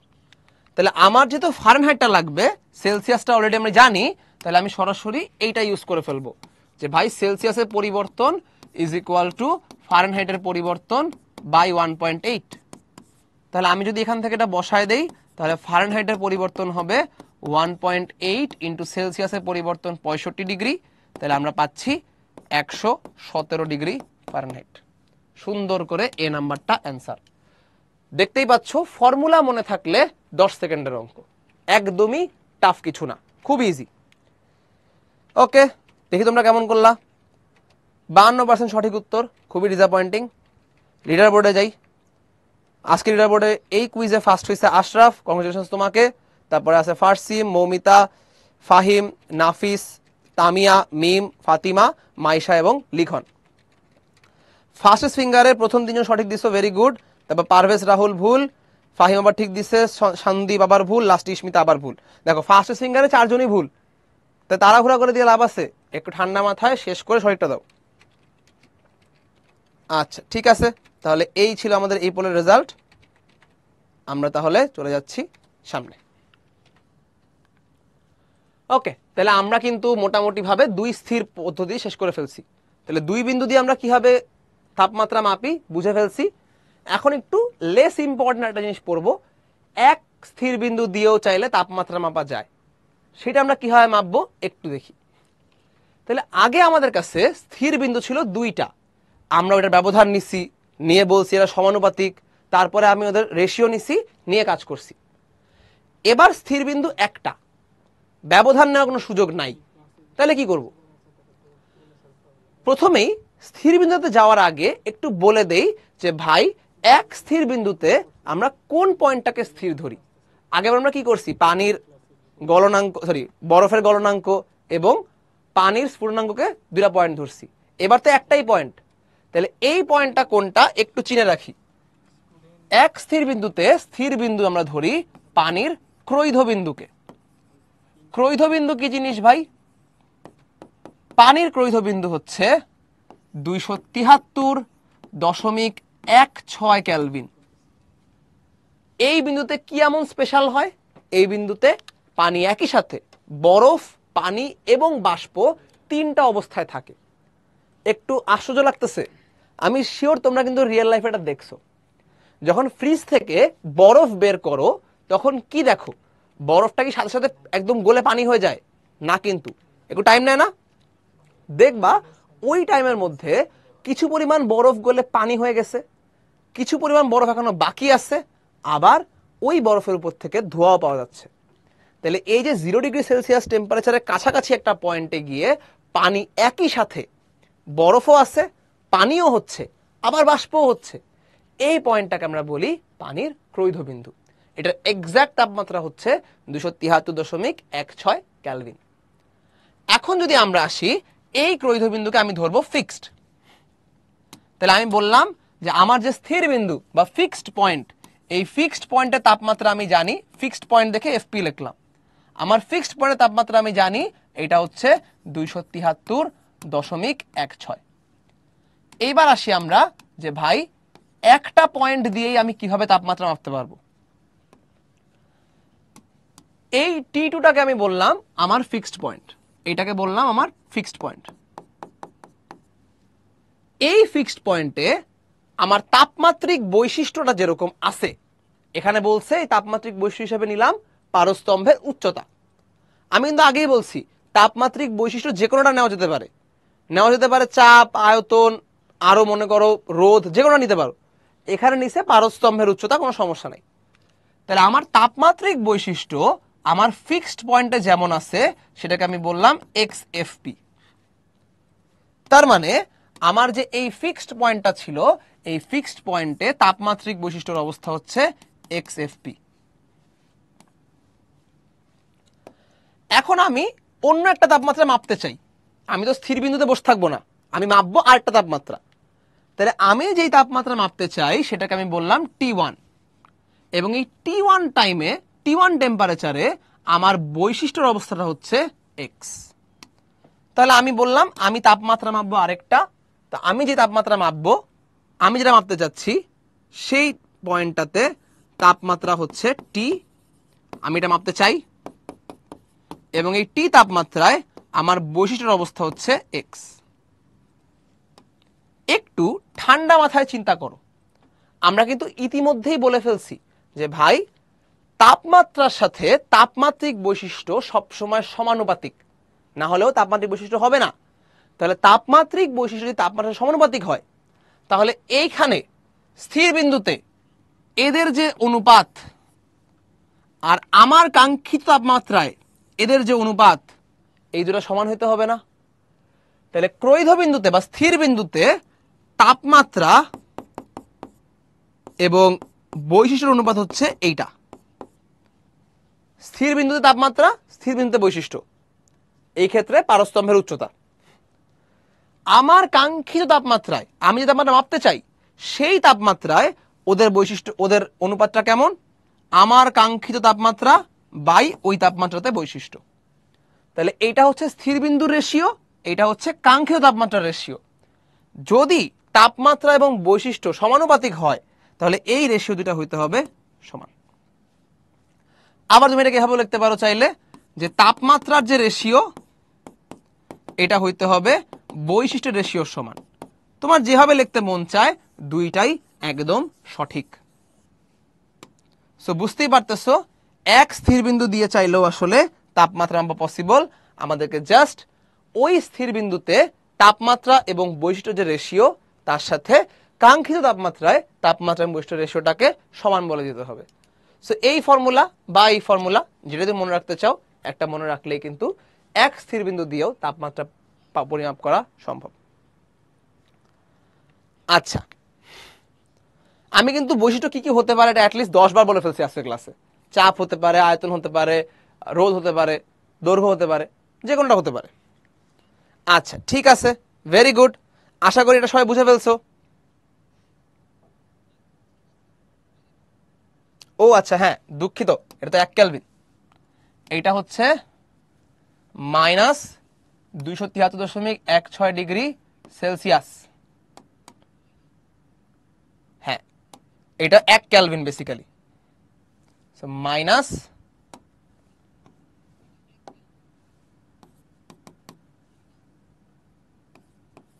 ডান আচ্ছা ঠিক আছে। চলো তাইলে আমরা যারা যারা একটু ঝামেলায় আসো এখনও যে, ভাই শুটোটা কেমনে আসলো, কি হইল? তাদের একটু রিক্যাপ দিয়ে দিই আমি, তারপর আমরা চলে যাব এখান থেকে অঙ্কে।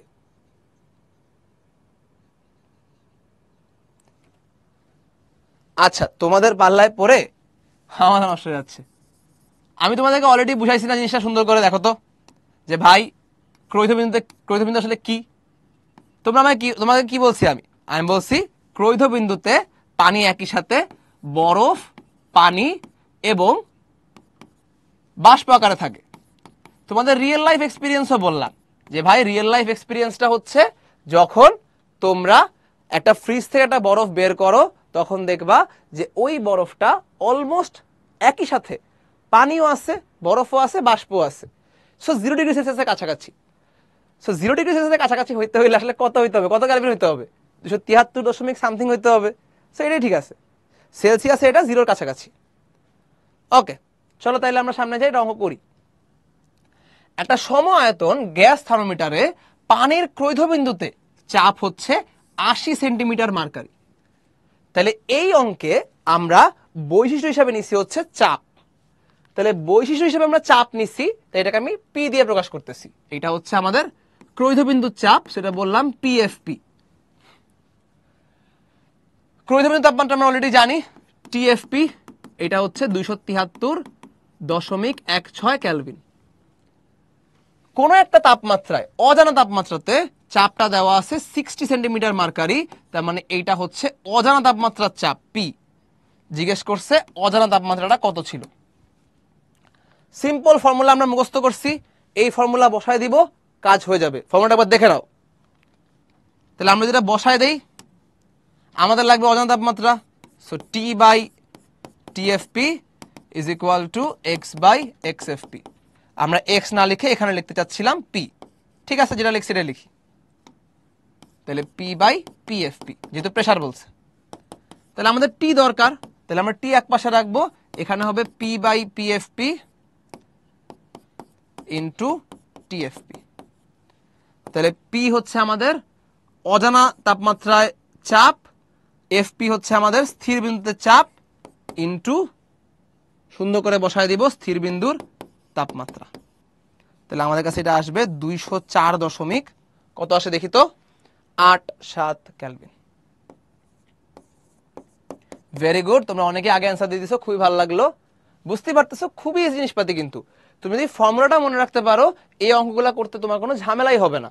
আমাদের স্থির বিন্দু যখন একটা যখন ফর্মুলা ছিল এইটা ফর্মুলাটা আমরা মনে রাখছি, বসায় দিছি, সুন্দর করে ভ্যালু বসায় দিলে অ্যান্সার চলে আসতেছে।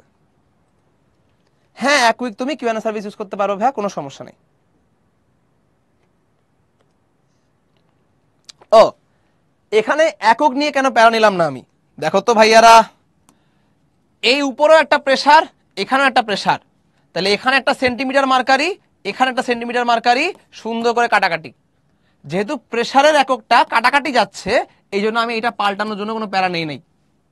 আশা করি সবাই বুঝে গেছো? আচ্ছা ঠিক আছে। তাহলে এই অঙ্কটা চলে গেল আমাদের কাছ থেকে। এখন আমরা যাব তাপগতীয় সিস্টেমে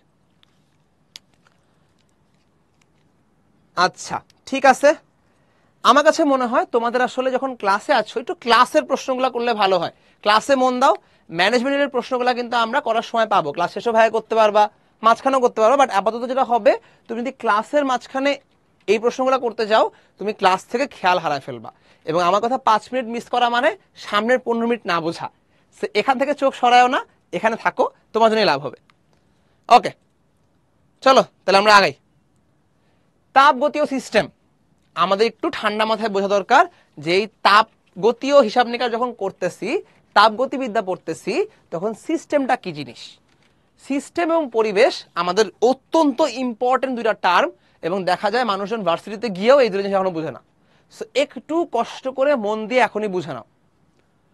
সো তাপগতিবিদ্যায় পদার্থের যতটুকু অংশের জন্য বিভিন্ন তাপগতীয় বৈশিষ্ট্য নিয়ে আমরা আলোচনা করতেছি, তাকে আমরা বলি তাপগতীয় সিস্টেম এর মানে কি?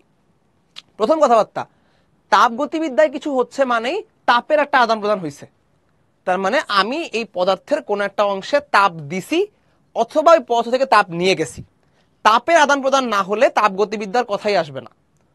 আমি মনে করো পদার্থের এই অবস্থা, এই জায়গাটার মধ্যে দিছি তাপ।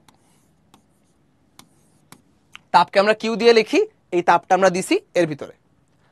এখন এই পদার্থে আমি তাপ দিলাম, এইটার কারণে এই ভিতরে যে গ্যাসগুলো আছে, এই গ্যাসগুলো তাপ পাইছে। তাপেও কিছু একটা করবে। আয়তন বাড়াবে প্রেশার বাড়াবে, যাই করবে করবে। এই যে গ্যাসগুলা, এই গ্যাসগুলা আছে কোথায়? এই পিস্টনের ভিতরে, সিলিন্ডারটার ভিতরে? তাহলে যত রকম জিনিস ঘটতেছে, আয়তন বাড়তেছে প্রেশার বাড়তেছে, কাজ হচ্ছে একটা, এই সব কিছু হচ্ছে এই সিলিন্ডারের ভিতরে। বাইরে কিছু হচ্ছে? না। তাহলে এই যে সিলিন্ডারের ভিতরে আমি তাপ দিচ্ছি এবং তাপগতীয় যতগুলো রাশি আছে, সবগুলা পাল্টাচ্ছে এর ভিতরে। চাপ বাড়তেছে, আয়তন আয়তন বাড়তেছে, কাজ হচ্ছে শক্তি বাড়তেছে, সবকিছু এর ভিতরে হচ্ছে। তাহলে যতটুকু অংশের জন্য এই আলোচনাটা আমি করতেছি, তাকে আমি বলছি সিস্টেম তাহলে এই অংশটা হচ্ছে আমার সিস্টেম সিস্টেম বাদে দুনিয়াতে যা যা আছে, সব হচ্ছে পরিবেশ। তার মানে এই সব কিছু সিস্টেমের বাইরে যা আছে, এই সব কিছু হচ্ছে পরিবেশ। খুব সিম্পল জিনিস। সিস্টেম হচ্ছে তুমি যেখানে তাপটা দিছো এবং যতটুকু জায়গার মধ্যে এই তাপের কারণে তাপগতীয় রাশিগুলো চেঞ্জ হচ্ছে, সেটা হচ্ছে সিস্টেম সিস্টেমের বাইরে যা আছে, সব পরিবেশ। আচ্ছা। আশা করি সিস্টেম আর পরিবেশ কি জিনিস তোমরা বুঝতে পারছ।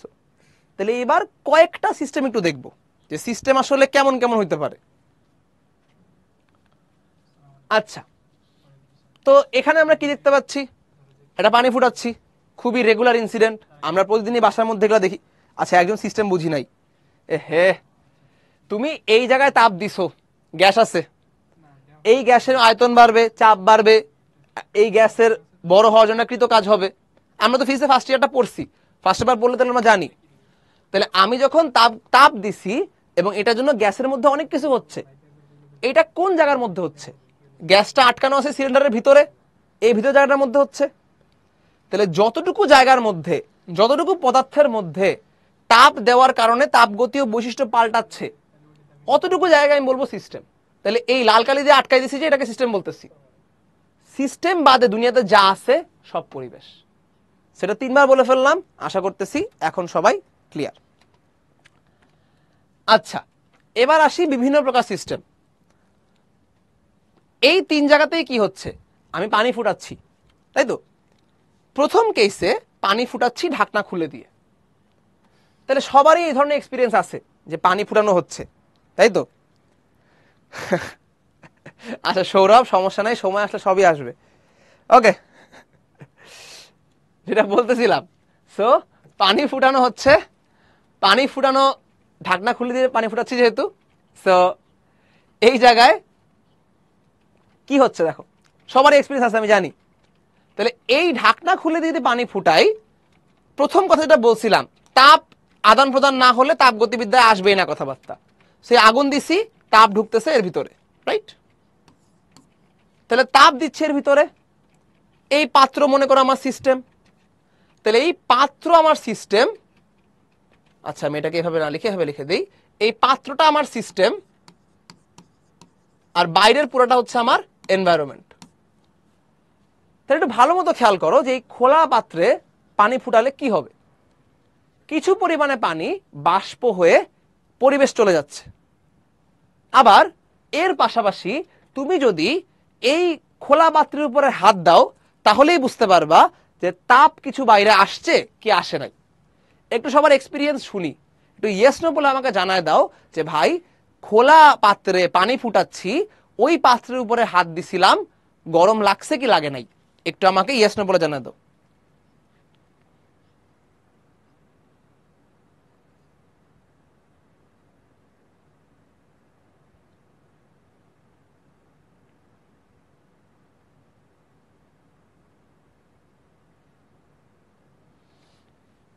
আচ্ছা সবারই মোটামুটি এরকম খোলা ঢাকনার উপরে হাত দিয়ে গরম লাগছে। কারও কারও হয়তো হাত পুড়ছেও। এই তো মুখে ভাব নিছে মানুষজন, বোঝা যাচ্ছে। ছেঁকাও হয়েছে একজন। ভালো কথা।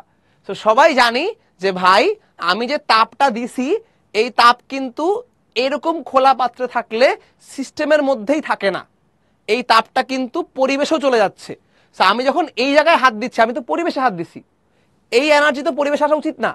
কিন্তু তাপ কিন্তু এই সিস্টেম পরিবেশের মধ্যেও কিছু পাঠিয়ে দিছে। তাহলে দুইটা জিনিস এই সিস্টেম পরিবেশকে দিছে। একটা হচ্ছে ওর কিছু পরিমাণে পানি আবার কিছু পরিমাণে শক্তি। তাহলে এরকম সিস্টেম পরিবেশের সাথে ভর আদান প্রদান করতে পারে। কারণ মনে করো এখানে তিন কেজি পানি আছে, ও দুই গ্রাম পানি উপরে পাঠিয়ে দিছে। তাহলে ভর আদান প্রদান করছে। আবার শক্তিও আদান প্রদান করতে পারে, কারণ তুমি এখানে দিছো দুইশো জুল তাপ, ও দশ জুল তাপ উপরে পাঠিয়ে দিছে। তাহলে এই সিস্টেমটা আমি দেখলাম পরিবেশের সাথে ভর এবং শক্তি দুইটাই আদান প্রদান করছে। এবার যদি আমি এই পাত্রের উপর ঢাকনা লাগাই দিই, তাহলে ঢাকনা লাগাই দিলে কি হবে? প্রথমত, যেই পানিগুলো বাইরে চলে যাচ্ছিল, ওই পানিগুলো এখন আর বাষ্প হয়ে বাইরে যেতে পারবে না। এই পানি গেছে সব আটকায়। তাহলে ঢাকনায় বাড়ি খেয়ে আবার ভিতরে ফেরত চলে আসতেছে। তাহলে এই সিস্টেম পরিবেশের সাথে ভর আদান প্রদান করতে পারতেছে না। পানি উপরে উঠতেছে, বাড়ি খেয়ে ফেরত চলে আসতেছে। সিস্টেমই থাকতেছে। পরিবেশের মধ্যে যাচ্ছে না। এবার তোমরা আমাকে বলো, এই যে বদ্ধ এই যে একটা ঢাকনা লাগায় দেওয়া পাত্র, এই ঢাকনা লাগায় দেওয়া পাত্রতেও উপরে হাত দিলে গরম লাগে কি লাগে না? তুমি ঢাকনা একটা হাত দিয়ে দেখবা, ঢাকনার উপরে হাত দিয়ে দেখবা গরম লাগে কি লাগে না। অবশ্যই অবশ্যই তোমার গরম লাগবে। তাইলে এই যে, এই সিস্টেমটার মতোই এইটা কিন্তু ঠিকই পরিবেশকে কিছু পরিমাণে তাপ দিচ্ছে, পরিবেশের সাথে শক্তি আদান প্রদান এখনও করতেছে।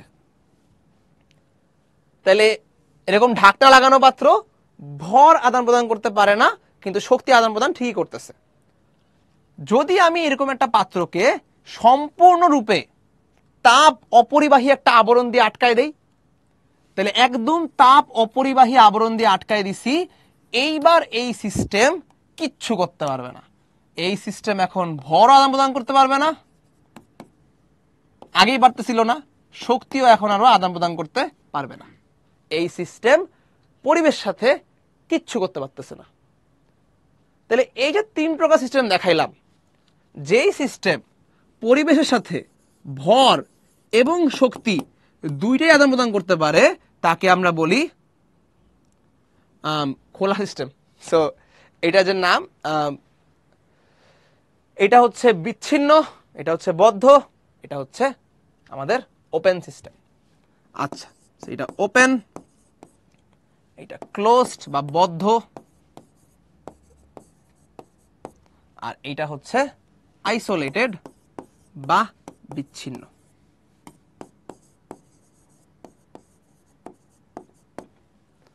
ওকে দেখি তোমরা অনেকে নিশ্চয়ই আমার আগে অ্যান্সার দিয়ে বসেছিলা। দেখি সবার আগে অ্যান্সার দিছে। আচ্ছা অনেকে অ্যান্সার দিছো ভেরি গুড হুম। আচ্ছা ঠিক আছে। না না, বই দেখে নেই সমস্যা নেই। উন্মুক্ত সিস্টেম ওপেন আমার ইংলিশটা মনে ছিল। ওকে ঠিক আছে। চলো, সামনে যাই। আশা করি এই পর্যন্ত সবাই বুঝে গেছো যে ভাই, তিন প্রকার সিস্টেম আছে। একটা ভর এবং শক্তি দূরে আদান প্রদান করতে পারে। এটা হচ্ছে আমাদের ওপেন সিস্টেম খোলা পাত্রে এই কাজ করতেছি। বাংলায় বললে উন্মুক্ত। একটা আমি ঢাকা লাগাই দিছি। তাহলে এবারও ভর আদান প্রদান করতে পারতেছে না বাট শক্তি ঠিকই আদান প্রদান করতেছে। এইটা হচ্ছে আমাদের ক্লোজ বা বদ্ধ সিস্টেম আরেকটায় একদম আটকায় দিছি তাপ অপরিবাহী আবরণ দিয়ে, এই সিস্টেম ভর শক্তি কিছুই আদান প্রদান করতে পারবে না। এইটা হচ্ছে আমাদের আইসোলেটেড বা বিচ্ছিন্ন সিস্টেম ওকে চলো তাহলে আমরা সামনে আগাই যাই। এতক্ষণ ধরে কিছু কিছু কথায় আমার মুখ দিয়ে হয়তো প্রক্রিয়াটা ওয়ার্ডটা বের হয়ে গেছে। তো তোমরা এখন শিখবা যে তাপগতীয় প্রক্রিয়াটা কি। এবং আমরা আজকের ক্লাসে দুটা প্রক্রিয়া পড়ব এবং তারপরে আগামী উইকে আমরা অনেকগুলো প্রক্রিয়া পড়ব। সো আমাদের মোটামুটি তাপগতিবিদ্যাটা বড় অংশ হচ্ছে তাপগতীয় প্রক্রিয়া নিয়ে, যেটা এখন শুরু হচ্ছে। সো খুবই ইম্পর্টেন্ট ব্রেনটা একটু ফ্রেশ করে বসো। তাপগতীয় প্রক্রিয়া হচ্ছে যে পরিবর্তনের কারণে কোনো সিস্টেমের তাপগতীয় চলরাশি পরিবর্তিত হয়, তাকে আমরা বলি তাপগতীয় প্রক্রিয়া। এ কথাটার অর্থ কি? একটু ভাষা ভাষা লাগতেছে, তাই না? কথাটার অর্থ হচ্ছে, আমার যতগুলা চলরাশি আছে, যেগুলা তাপের সাথে পাল্টায়, যেগুলো আমি এতক্ষণ ধরে বলতেছি, চাপ হইতে পারে, আয়তন হইতে পারে, কাজ হইতে পারে, শক্তি হইতে পারে, যতগুলা চলরাশি আমার কাছে আছে, এই চলরাশিগুলা যেই যেই রকম পরিবর্তন করলে পাল্টায় যাবে, তাকে আমরা বলব তাপগতীয় প্রক্রিয়া। আমি তাপ দিচ্ছি, তাপ নিচ্ছি, এটা হইতে পারে। এখন কীভাবে তাপ দিচ্ছি, কীভাবে তাপ নিচ্ছি, এই সবের উপরে কিন্তু অনেক কিছু ডিপেন্ড করবে। আমরা সামনে গিয়ে একটাটা করে সব পড়ব।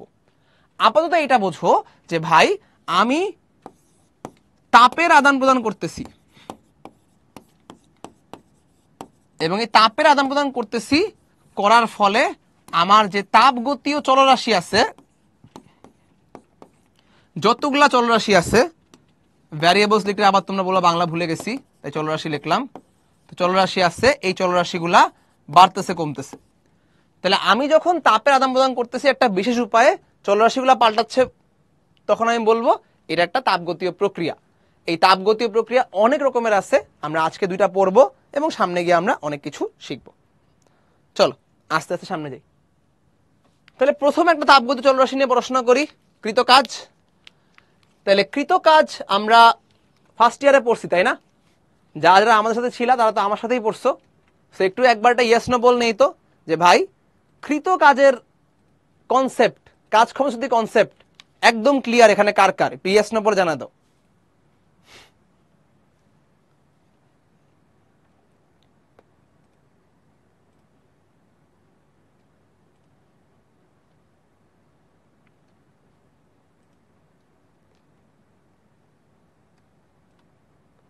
ওকে অনেকে দেখা যাচ্ছে কৃতকাজের কনসেপ্ট ক্লিয়ার না। ফার্স্ট ইয়ারে কি করেছেন আপনারা ভাইয়ারা?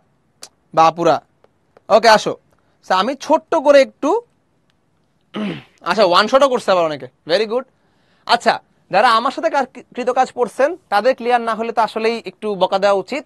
আর বাকিদের আর কি করব? চলেন, আমরা একটু হালকা করে পড়ে নেই, যেখানে কি হচ্ছে। সো আমরা ফার্স্ট ইয়ার থেকে জানি যে কৃতকাজ মানে হচ্ছে বল ইন্টু স্মরণ সো বল আর স্মরণের ডট গুণফল এইটাকেই আমরা যখন পরিবর্তনশীল বলের দিকে চলে যাই তখন একটু চেষ্টা করি ছোট্ট ছোট্ট ছোট্ট ছোট্ট কৃতকাজ আকারে ভাগ করে নিয়ে পড়তে এবং দিন শেষে আমাদের একটু ইন্টিগ্রেশন করা লাগছিল। এইটুক বেশি জানলেই এখানে কাজ উঠে যাবে। আপাতত আমরা একটু দেখি যে এখানে কি হচ্ছে। শুরুতেই কিন্তু বলে নিছি একটা কথা তাপ গতিবিদ্যার সবকিছুর মধ্যে তাপের আদান প্রদান থাকতে হবে। তাপের আদান প্রদান ছাড়া কোনো কাজ হবে না। So, আমরা এই পিস্টনের মধ্যে মনে করো তাপ দিছি অথবা নিয়ে নিছি। এখানে যে ছবিটা আছে, এটাতে আমি তাপ নিয়ে নিছি। তো মনে করো এই পিস্টনে আমি তাপ নিয়ে নিচ্ছি, বাইরে নিয়ে নিচ্ছি। তাহলে এই পিস্টনের কি হওয়া উচিত? ছোট হয়ে যাওয়া উচিত। তাপমাত্রা কমতেছে, ছোট হয়ে যাবে। আবার উল্টা ছবিও কিন্তু চাইলে আঁকা যায়। তো মনে করো আমি বললাম, এখানে আমার সেম পিস্টনটাই আছে।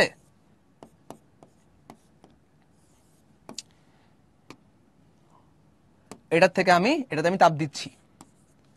বাইরে থেকে দিলাম তাপ। তাহলে তাপ দিলেই ভিতরের গ্যাসগুলো অনেক বেশি শক্তিশালী হয়ে যাবে এবং তাপ দেওয়ার কারণে এইটা আস্তে করে বড় হয়ে যাবে। তাহলে এটা যখন বড় হয়ে যায়, তাহলে জিনিসটা সিম্পলি এরকম হয়ে যাবে হয়তো এখন। আগের থেকে আরও বড় হয়ে গেল। তাইলে আগে ছিল এতটুকু? আগে ছিল এতটুকু? এখন আরও বড় হয়ে গেছে। তাহলে চিন্তা করো, তোমার এই পিস্টন আগে যতটুকু ছিল সেটা মুছে দিই। সুবিধা হবে জিনিসটা। আচ্ছা তাহলে এই পিস্টনটা আগে যতটুকু ছিল, এখন তার থেকে আর একটু বড় হয়ে গেছে। ঠিক যতটুকু অংশ বড় হয়েছে তার লেন্থটাকে আমি বললাম ডিএক্স একটা ক্ষুদ্র অংশ বড় হয়েছে একটু ঠান্ডা মাথায় চিন্তা করে দেখো।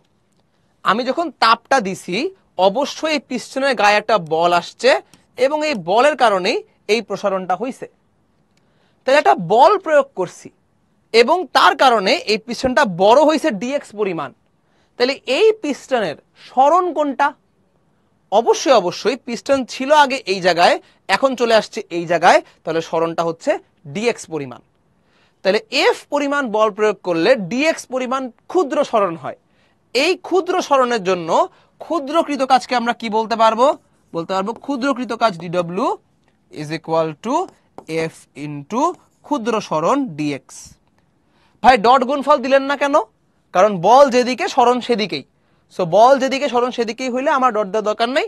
এমনি কস জিরো দিয়ে আমি নিয়ে আসছি এফ ডিএক্স আচ্ছা এইবার আসুন। এটা যদি সঠিক হয়, তাহলে আমরা একটা ছোট্ট কাজ করতে পারি। আমরা চাইলে যেটুকু অংশ এক্সট্রা বড় হয়েছে এটাকে আলাদা করে কেটে ফেলতে পারি। আগে ছিল এই জায়গায় এখন বড় হয়ে চলে আসছে এই জায়গায়। তাহলে বড় হয়েছে কতটুকু অংশ? এইটুকু অংশ। এটার কেটে ফেলো। আমি বললাম এইটুকু অংশ বড় হয়েছে।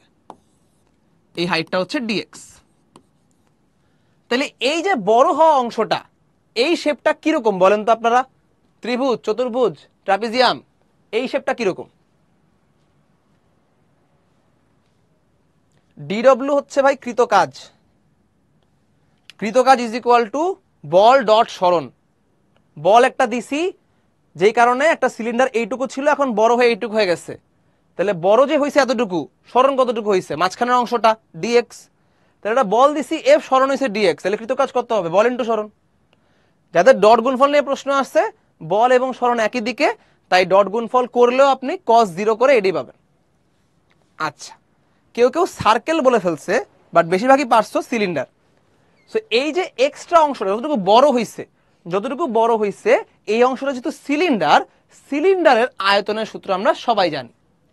তাহলে এই যে বড় হওয়া অংশ, এই বড় হওয়া অংশের উচ্চতাটা হচ্ছে ডিএক্স এবং এই গোল্লাটার ক্ষেত্রফল যদি আমি এ বলি, তাহলেই বলা যায় প্রস্থচ্ছেদের ক্ষেত্রফল এ এবং উচ্চতা ডিএক্স তাহলে এই সিলিন্ডারের যে আয়তন, সে আয়তনটা হবে, সেখানে না লিখি এই সিলিন্ডারের যে আয়তন, সে আয়তনটা হবে এ ইন্টু ডিএক্স একটু ভালো মতো শুইনো এই সিলিন্ডারটা কোন সিলিন্ডার? এইটা হচ্ছে আগে আমার সিলিন্ডার ছিল এতটুকু, এখন বড় হয়ে হয়েছে এতটুকু। তাহলে যেটুকু অংশ বাড়ছে যেটুকু অংশ বৃদ্ধি পাইছে, সেটাকে আমি আলাদা করছি। এই বৃদ্ধিপ্রাপ্ত অংশটাও তো একটা সিলিন্ডার। তার প্রস্তুতের ক্ষেত্রফল এ উচ্চতা ডিএক্স তাহলে বৃদ্ধিপ্রাপ্ত অংশের আয়তন হচ্ছে এ ইন্টু ডিএক্স আচ্ছা যেহেতু বৃদ্ধিপ্রাপ্ত অংশ, আমি এটাকে শুধু ভি লিখব না, এই বৃদ্ধিপ্রাপ্ত অংশকে আমি লিখব হচ্ছে ডিভি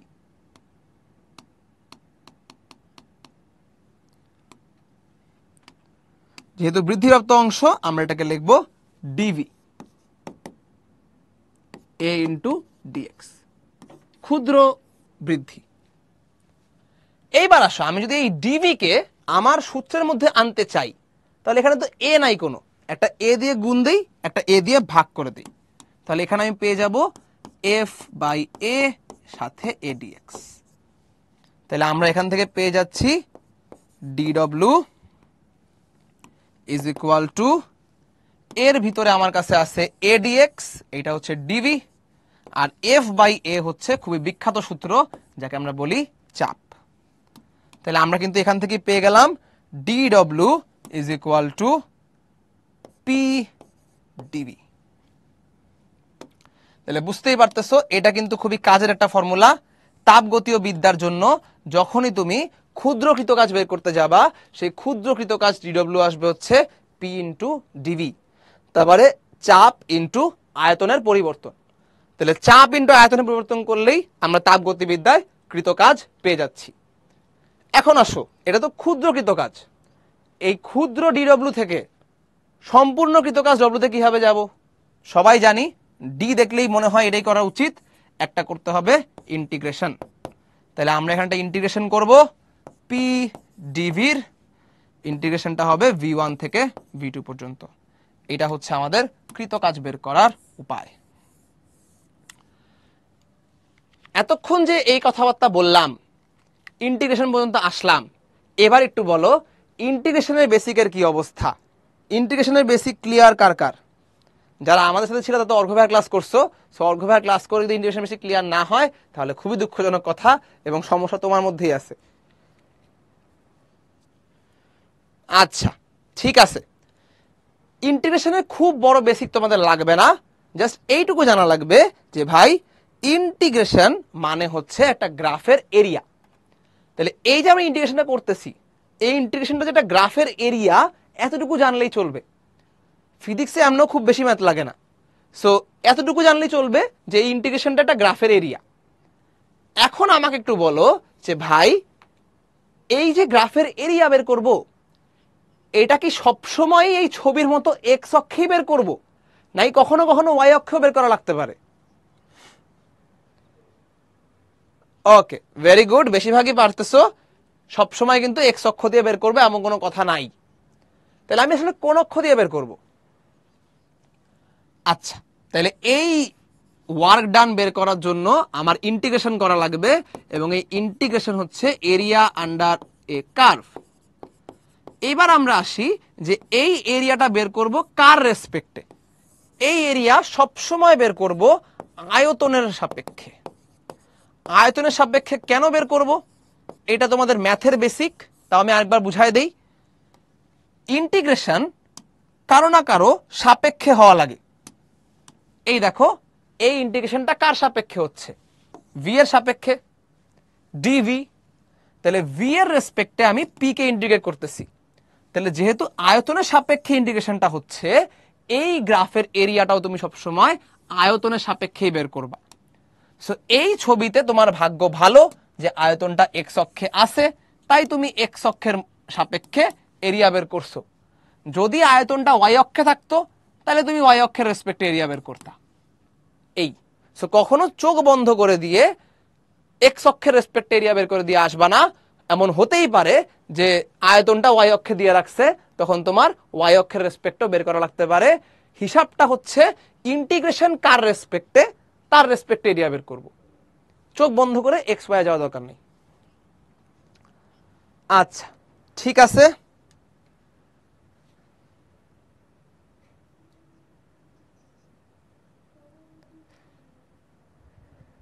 ওকে। তোমাদের প্রশ্নগুলো পড়লাম। এই যে এতক্ষণ ধরে কাজ নিয়ে কথা বলতেছি, এরিয়া আন্ডার দ্য গ্রাফ বললাম।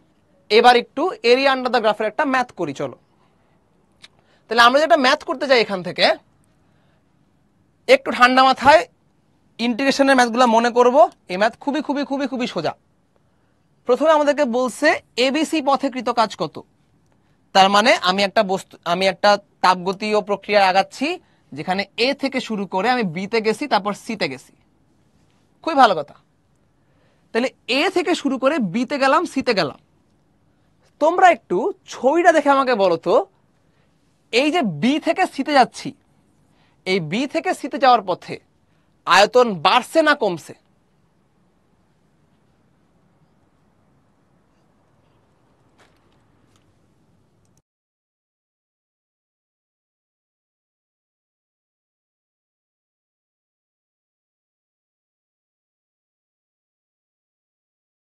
আচ্ছা সবাই মোটামুটি পারছ যে ভাই, এই পথে আসলে আয়তনটা বাড়তেছে। এই আয়তন বাড়লো না কমলো? এইটা একটু ইম্পর্টেন্ট কেন? কারণ তোমরা যখন এখানে হিসাবটা করছ, কি দেখছ? যে ভাই, কৃত কাজটা হচ্ছে পি ইন্টু ডিভি তাহলে যখন আয়তন বাড়তেছে, তখন আমার আয়তনের যে পরিবর্তন, এই পরিবর্তনটা পজিটিভ তাহলে যখন আয়তন বাড়তেছে আয়তনের পরিবর্তনটা পজিটিভ এবং আয়তনের পরিবর্তন যদি পজিটিভ হয়, তখন কিন্তু আমার কৃত কাজটাও হবে পজিটিভ সিমিলারলি যদি আয়তনটা কমে, তাহলে আয়তনের পরিবর্তনটা নেগেটিভ তখন কিন্তু ভাই কৃত কাজটাও এসে পড়বে নেগেটিভ এইটা একটু বুঝো, যে আয়তন বাড়তেছে না কমতেছে, এইটাও কৃতকাজের ক্ষেত্রে খুবই ইম্পর্টেন্ট আয়তন বাড়লে কৃতকাজ পজিটিভ আয়তন কমলে কৃতকাজ নেগেটিভ তো আমরা এখানে অলরেডি বলে ফেলছি যে, ভাই, আয়তনটা বাড়তেছে। ভেরি গুড সবাই পারলা। তা আমি যদি এখান থেকে বলি এ থেকে বিতে গিয়ে সিতে গেছি এবং আয়তনটা বাড়তেছে, তাহলে কৃত কাজটা অবশ্যই পজিটিভ হবে। নিজের মনে মনে বুঝে রাখলাম। এবার এখান থেকে এরিয়া বের করি, চলো। তাহলে বললাম, এই স্টার্টিং পয়েন্টটাকে ভি এর অ্যাক্সিসের সাথে মিলাই দিলাম। ভি আছে এক্স অ্যাক্সিসে তাই এক্স অ্যাক্সিসে মিলাইছি। লাস্ট পয়েন্টটাকেও ভি এর সাথে মিলাই দিলাম। এবার আমরা এই এরিয়াটা বের করে ফেলব। তাহলে এটা একটা আয়তক্ষেত্র। তাহলে আয়তক্ষেত্রের এরিয়া কি হয় ভাই? তাহলে এবিসি পথে কৃত কাজ হচ্ছে আয়তক্ষেত্রের এরিয়া এবং আয়তক্ষেত্রের এরিয়া হচ্ছে দৈর্ঘ্য ইন্টু প্রস্থ। তাহলে আমরা এটা লিখব, দৈর্ঘ্য ইন্টু প্রস্থ। তাহলে দৈর্ঘ্যটা কত, প্রস্থটা কত, চলো বের করি। এইখানে আমার দৈর্ঘ্য হচ্ছে দুই থেকে তিন। দুই আর তিনের মাঝখানে দৈর্ঘ্য হয়ে যাবে আমার তিন মাইনাস দুই, এক। প্রস্থ হচ্ছে তিন থেকে, এই জিরো থেকে সি পর্যন্ত, শূন্য থেকে সাড়ে এগারো। তাহলে এই পোষণটা হয়ে গেল সাড়ে এগারো। সুন্দর করে গুণ দিয়ে দাও, কাজ শেষ হয়ে যাবে তোমার। দৈর্ঘ্য ইন্টু প্রস্থ করতেছি যেহেতু, দৈর্ঘ্যটা হচ্ছে এক, প্রস্থটা হচ্ছে সাড়ে এগারো। তাহলে এটা হয়ে গেল আমার কাছে সাড়ে এগারো জুল। ইজি জাস্ট একটা আয়তক্ষেত্রের ক্ষেত্রফল বাই করলাম। এরপরে বলছে এসি পথে গ্যাস কর্তৃকৃত কাজ। তাহলে আমরা যাচ্ছি এবার এ থেকে সি এর দিকে।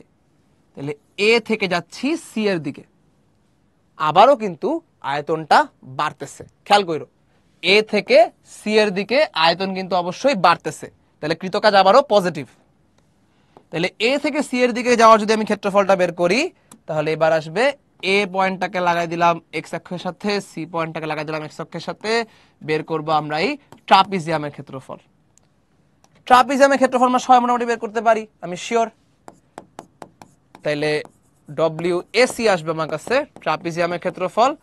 ট্রাপিজিয়ামের ক্ষেত্রফলের সূত্র হচ্ছে half into A plus B into H তাহলে দুইটা বাহুর দৈর্ঘ্য লাগবে এবং বাহু দুটার মধ্যে দূরত্বটা লাগবে। তাহলে আমরা আমরা অলরেডি একটা বাহু জানি সাড়ে এগারো, আরেকটা বাহু হচ্ছে এতটুকু। তাহলে শূন্য থেকে সাড়ে দশ, এটা হচ্ছে আমাদের কাছে সাড়ে দশ। আর এদের মধ্যে দূরত্ব হচ্ছে এক। সুন্দর করে বসায় দাও, তোমার কাজ অলমোস্ট ডান তাহলে এখানে হাফ এ হচ্ছে সাড়ে দশ বি হচ্ছে সাড়ে এগারো ইন্টু এইচ হচ্ছে আমার কাছে তিন মাইনাস দুই, এক। তাহলে হাফ ইন্টু সাড়ে দশ প্লাস সাড়ে এগারো আসবে হচ্ছে আমাদের কাছে এগারো। ডান দুটো হয়ে গেছে। এখন লাস্ট একটা বাই করব। এ বি সি এ পথে এ বিন্দু থেকে পুনরায় এ বিন্দুতেই ফিরে আসলে মোট কৃত কাজ কত? এটা তুমি দুইভাবে বুঝতে পারো। একটা হচ্ছে, ভাই, এখান থেকে শুরু করছি বি সি হয়ে আবার এতেই ফেরত আসছি। তাহলে এই পুরা রাস্তাটার মাঝখানে কত ক্ষেত্রফল আছে? এইটা। তাহলে এই ত্রিভুজের ক্ষেত্রফল বাই করতে পারো তুমি চাইলে সেই ক্ষেত্রে কৃতকাজ পেয়ে যাবা। আর একটু বুঝে বুঝে করতে গেলে তোমাকে একটু চিন্তা করতে হবে, আয়তন কোথায় বাড়তেছে, কোথায় কমতেছে। তুমি যখন এ থেকে সিতে যাচ্ছ, তখন আয়তনটা বাড়তেছে। কৃতকাজটা পজিটিভ আবার তুমি যখন সি থেকে এতে ফিরতেছো, এবার আয়তনটা কমতেছে, তার মানে কৃতকাজটা নেগেটিভ এই জিনিস একটু বুঝে করলেও কিন্তু মেয়েটা করতে পারো। সেটা এক নাম্বার ওয়ে আমি বলে দিলাম যে, ভাই W A B C A হচ্ছে ত্রিভুজ এ বি সি এর ক্ষেত্রফল। এটা তুমি করতে পারো। হাফ ইন্টু কি বলে এটাকে? লম্ব ইন্টু ভূমি। এটা করে করতে পারো। এটা তো রেজাল্ট হাফ আসবে। আরেকটা তুমি করতে পারো, সেটা হচ্ছে এ থেকে সি পর্যন্ত যাওয়ার যে কাজ, আর সি থেকে এতে ফেরত আসার যে কাজ এই দুটাকে তুমি যোগ করে দিতে পারো। সেক্ষেত্রে এবিসি এর কৃতকাজটা আসে পজিটিভ এটা আমরা অলরেডি বের করে রাখছি। এবিসি এর কৃতকাজ হচ্ছে সাড়ে এগারো, এবং এটা পজিটিভ আসবে আমরা জানি। আর সি এ, যেহেতু সি থেকে এতে ফিরতেছি, আয়তনটা কমতেছে, এইটা আসবে নেগেটিভ এইটা আমরা বের করে রাখছি এগারো। তাহলে এটা যদি নেগেটিভ আসবে, আমরা বুঝেই গেছি আগে থেকে আমরা নেগেটিভ এগারো দিয়ে দিব। তাহলে এক্ষেত্রে তোমার কাছে হাফ জুলি আসবে। তোমার ব্যাপার, তুমি কোনভাবে অঙ্কটা করবা? একটু তোমাদের থেকে প্রশ্ন নিব, দেখি কি অবস্থা। ইয়েস নো বলে বলে ফেলো, এই ম্যাথটা ক্লিয়ার কিনা। জাস্ট গ্রাফ বের করা ইন্টিগ্রেশনের সিম্পল ম্যাথ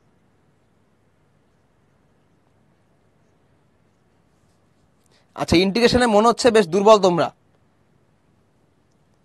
হ্যাঁ এখানে ক্ষেত্রফল কৃতকাজ সেম কারণ হচ্ছে আমি আনসি কৃতকাজটা একটা ইন্টিগ্রেশন করে।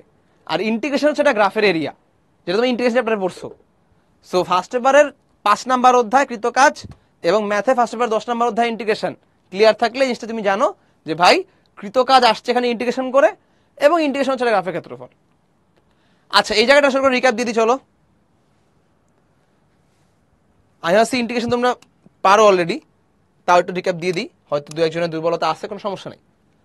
এবিসি পথে কৃতকাজ তাহলে এ থেকে শুরু করছি বি হয়ে সিতে গেছি। তাহলে আমার এই জায়গাটার নিচে যে ক্ষেত্রফলটা আছে, এটা বের করা লাগবে।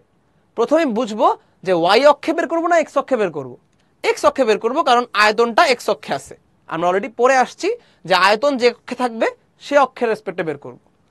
তাহলে শুরুর পয়েন্টটাকে তুমি এক্স অক্ষে লাগাই দাও লাস্ট পয়েন্টটাকে এক্স অক্ষে লাগাই দাও, তাহলে এই এবিসি এর আন্ডারে তোমার কাছে আসতেছে এই আয়তটার ক্ষেত্রফল। তাহলে এই আয়তটার ক্ষেত্রফল বের করো, দৈর্ঘ্য ইন্টু প্রস্থ দৈর্ঘ্যটা হচ্ছে দুই থেকে তিন, তাহলে এক, আর প্রস্থ হচ্ছে শূন্য থেকে সাড়ে এগারো, তাহলে সাড়ে এগারো। গুণ দিলাম, চলে আসলো। এরপরে বলছে এসি পথে কৃত কাজ তাহলে এ থেকে শুরু করব সিতে যাব। আবারও খেয়াল করো, আয়তন বাড়তেছে সুকৃত কাজ পজিটিভ তাহলে এ পয়েন্টটাকে লাগাই দিলাম ভলিউমের সাথে, সি পয়েন্টটাকে লাগাই দিলাম ভলিউমের সাথে। এই এসির নিচে আছে আমার এই ট্রাপিজিয়ামটা, নীল কালার ট্রাপিজিয়ামটা। তাহলে নীল কালারের ট্রাপিজিয়ামটা কি? নীল কালার ট্রাপিজিয়ামটা ক্ষেত্রফল বের করতে গেলে আমার লাগবে এক বাহুর দৈর্ঘ্য সাড়ে দশ, আরেক বাহুর দৈর্ঘ্য সাড়ে এগারো, মাঝখানের দূরত্ব এক। সুন্দর করে বসাই দিলাম, চলে আসলো এসির কৃতকাজ। লাস্টলি বলছে এ বি সি এ পথে ফিরে আসলে কৃতকাজ কত? তাহলে এ বি সি এ এই পথে ফেরত আসছি।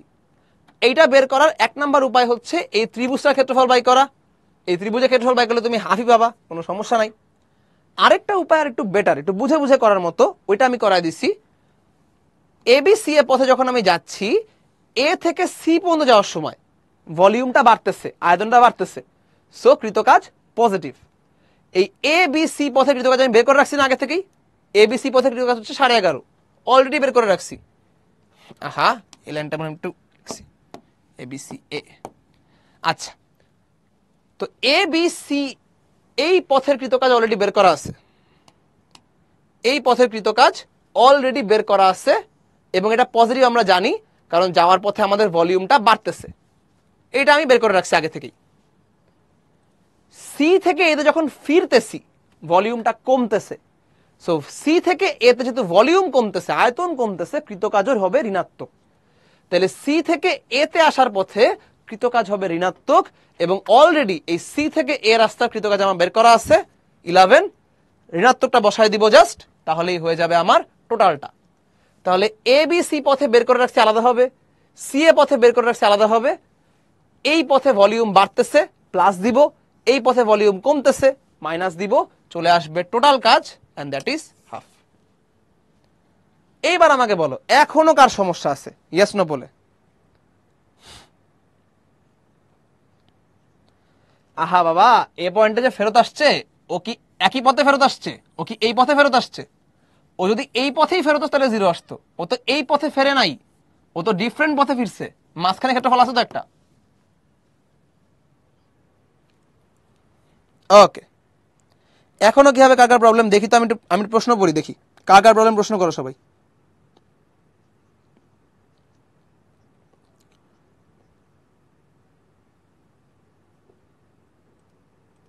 ওকে ঠিক আছে। হ্যাঁ ফার্স্ট টাইপে কোনো সময় অ্যান্সার আসবে, কোনো সমস্যা নেই। ওকে ঠিক আছে। আমি এখন নতুন কোনো প্রবলেম দেখতে পাচ্ছি না, সব একই সিমিলার প্রশ্ন অ্যান্সার করা হয়ে গেছে। কয়েকজন বলছে ইন্ডিকেশন পারি না। ইন্ডিকেশন এটার জন্য পারা লাগবে না। তুমি একটা সিম্পল আয়তক্ষেত্রের ক্ষেত্রফল বাই করতেছো। তুমি যদি বলো আমাকে দৈর্ঘ্য ইন্টু প্রস্থ যে হয় কেন সেটা তুমি জানো না, তাতে সমস্যা। সেটা কিন্তু ইন্ডিকেশন পারা লাগতেছে না। আমরা জাস্ট বলতেছি যে আয়তক্ষেত্রের ক্ষেত্রফল বাই করতে হবে, এখানে ট্রাপিজিয়ামটা ক্ষেত্রফল বাই করতে হবে এখানে ত্রিভুজটা ক্ষেত্রফল বাই করতে হবে এগুলো তো পারো। এমন হইতে পারে যে ক্ষেত্রফল বের করলে কেন ইন্ডিকেশন রেজাল্ট আসছে তুমি জানো না। সমস্যা নেই। তুমি ক্ষেত্রফলের সাথে ইন্ডিকেশন সম্পর্ক নাই জানতে পারো। ওটাতে তো ফিজিক্সের কোনো সমস্যা হবে না। আপাতত ভাইকে বিশ্বাস করে নাও যে ক্ষেত্রফল করলে ইন্টিগ্রেশন রেজাল্ট আসে। এবার আসলে ক্ষেত্রফল করতে পারো কিনা, তাইলেই হয়ে যাবে। ওকে, ঠিক আছে। চলো, সামনে যাই। এবার দেখি এতক্ষণ যে কথাবার্তা বললাম, কে কদ্দূর বুঝছ? এই কুইজটা দেওয়ার আগে একটু বলে দিই। আমরা কিন্তু ইতিমধ্যেই পড়ছি যে W is equal to P del V তাই না? তাহলে ডব্লিউ ইজ ইকুয়াল টু যদি পি ডেল ভি হয় বা পি ডিভি হয় পি ডিভিকেই আমি পি ডেল ভি আকারে লিখছি আর কি। আমরা কিন্তু আদর্শ গ্যাস চ্যাপ্টারে পড়ছি যে PV is equal to NRT যেহেতু এন এবং আর ধ্রুব, সেহেতু এইটা লেখা যায় যে P del V is equal to N R del T এবং এইটাই আমার কৃতকাজ। সো তুমি যেরকম পি ডেল ভি বসাইতে পারো, ঠিক সেরকম তুমি এন আর ডেল বসাইতে পারো। এই পি ডেল ভি মানে হচ্ছে P common V two minus V one আয়তনের পরিবর্তন, এবং এন আর ডেল মানে হচ্ছে N R common T two minus T one so এই সূত্র আমি লিখে দিলাম। এবার দেখি বুয়ের দশ এগারোর প্রশ্নটা তোমরা পারো কি পারো না। সেই পোলটা লঞ্চ করে দিচ্ছি। টাইম পাবে মাত্র চল্লিশ সেকেন্ড। চল্লিশ দেওয়া উচিত না তিরিশ দিই। খুবই সোজা একটা প্রশ্ন।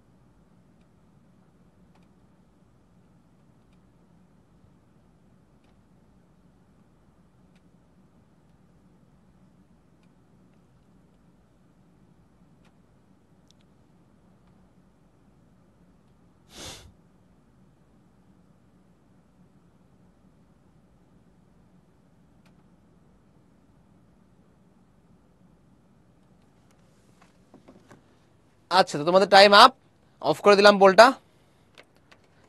আগে একটা আমি সলভ করে দিই, তারপর বলতেছি তোমরা কেমন করলা। সো যেটা বলছিলাম, খুবই ইজি বল এবং আমি সূত্রটা লিখেও দিছি যেটা দিয়ে করবা। তারপরে কারও আটকানো উচিত না আসলে। কারণ W is equal to N R del T আমি লিখে দিছি। সেখানে কি দেওয়া আছে দেখো?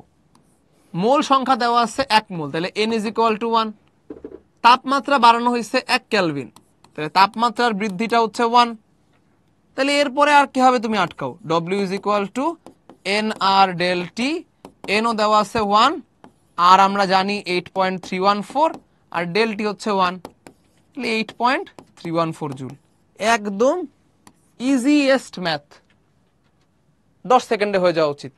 দেখি কি অবস্থা, কি করলা তোমরা? ছাপ্পান্ন পার্সেন্ট মানুষ পারছ, খুবই হতাশাজনক। লিডার বোর্ডে কারা আছে দেখি? সবার আগে আছে তামিয়া কংগ্রেচুলেশনস তারপর আছে লামিয়া, সাদিয়া, রিচি, সন্দীপ, নাফিস, সম্প্রীতি, বাপ্পি, ফাইরুজ এবং জাওয়াত। তোমাদের সবাইকে কংগ্রেচুলেশনস ফার্স্টেস্ট ফিঙ্গারে প্রথম সাতজনই সঠিক দিছে, তারপর শৈলী ভুল করছে, তারপর বাপ্পি এবং ফাইরুজ। ওকে ডান তোমাদের সেকেন্ড কুইজ এবার তাহলে চলো আমরা সামনে আগে যাই। ওকে একটা ইয়েস নো ছোট করে ছাড়ো তো। এখন পর্যন্ত যা যা পড়াইছি শুধুমাত্র ইন্টিগ্রেশন যারা পারো না মানে ম্যাথে সমস্যা, সেটা বাদে ফিজিক্সে কোনো সমস্যা পাইছো কিনা? নাকি পুরা ক্লাসে এখন পর্যন্ত ক্লিয়ার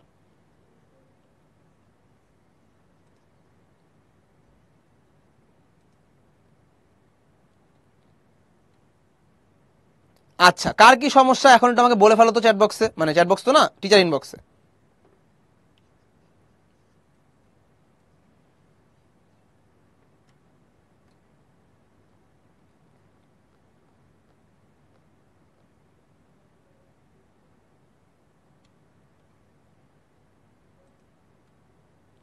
আর বুঝো নাই। আচ্ছা ঠিক আছে।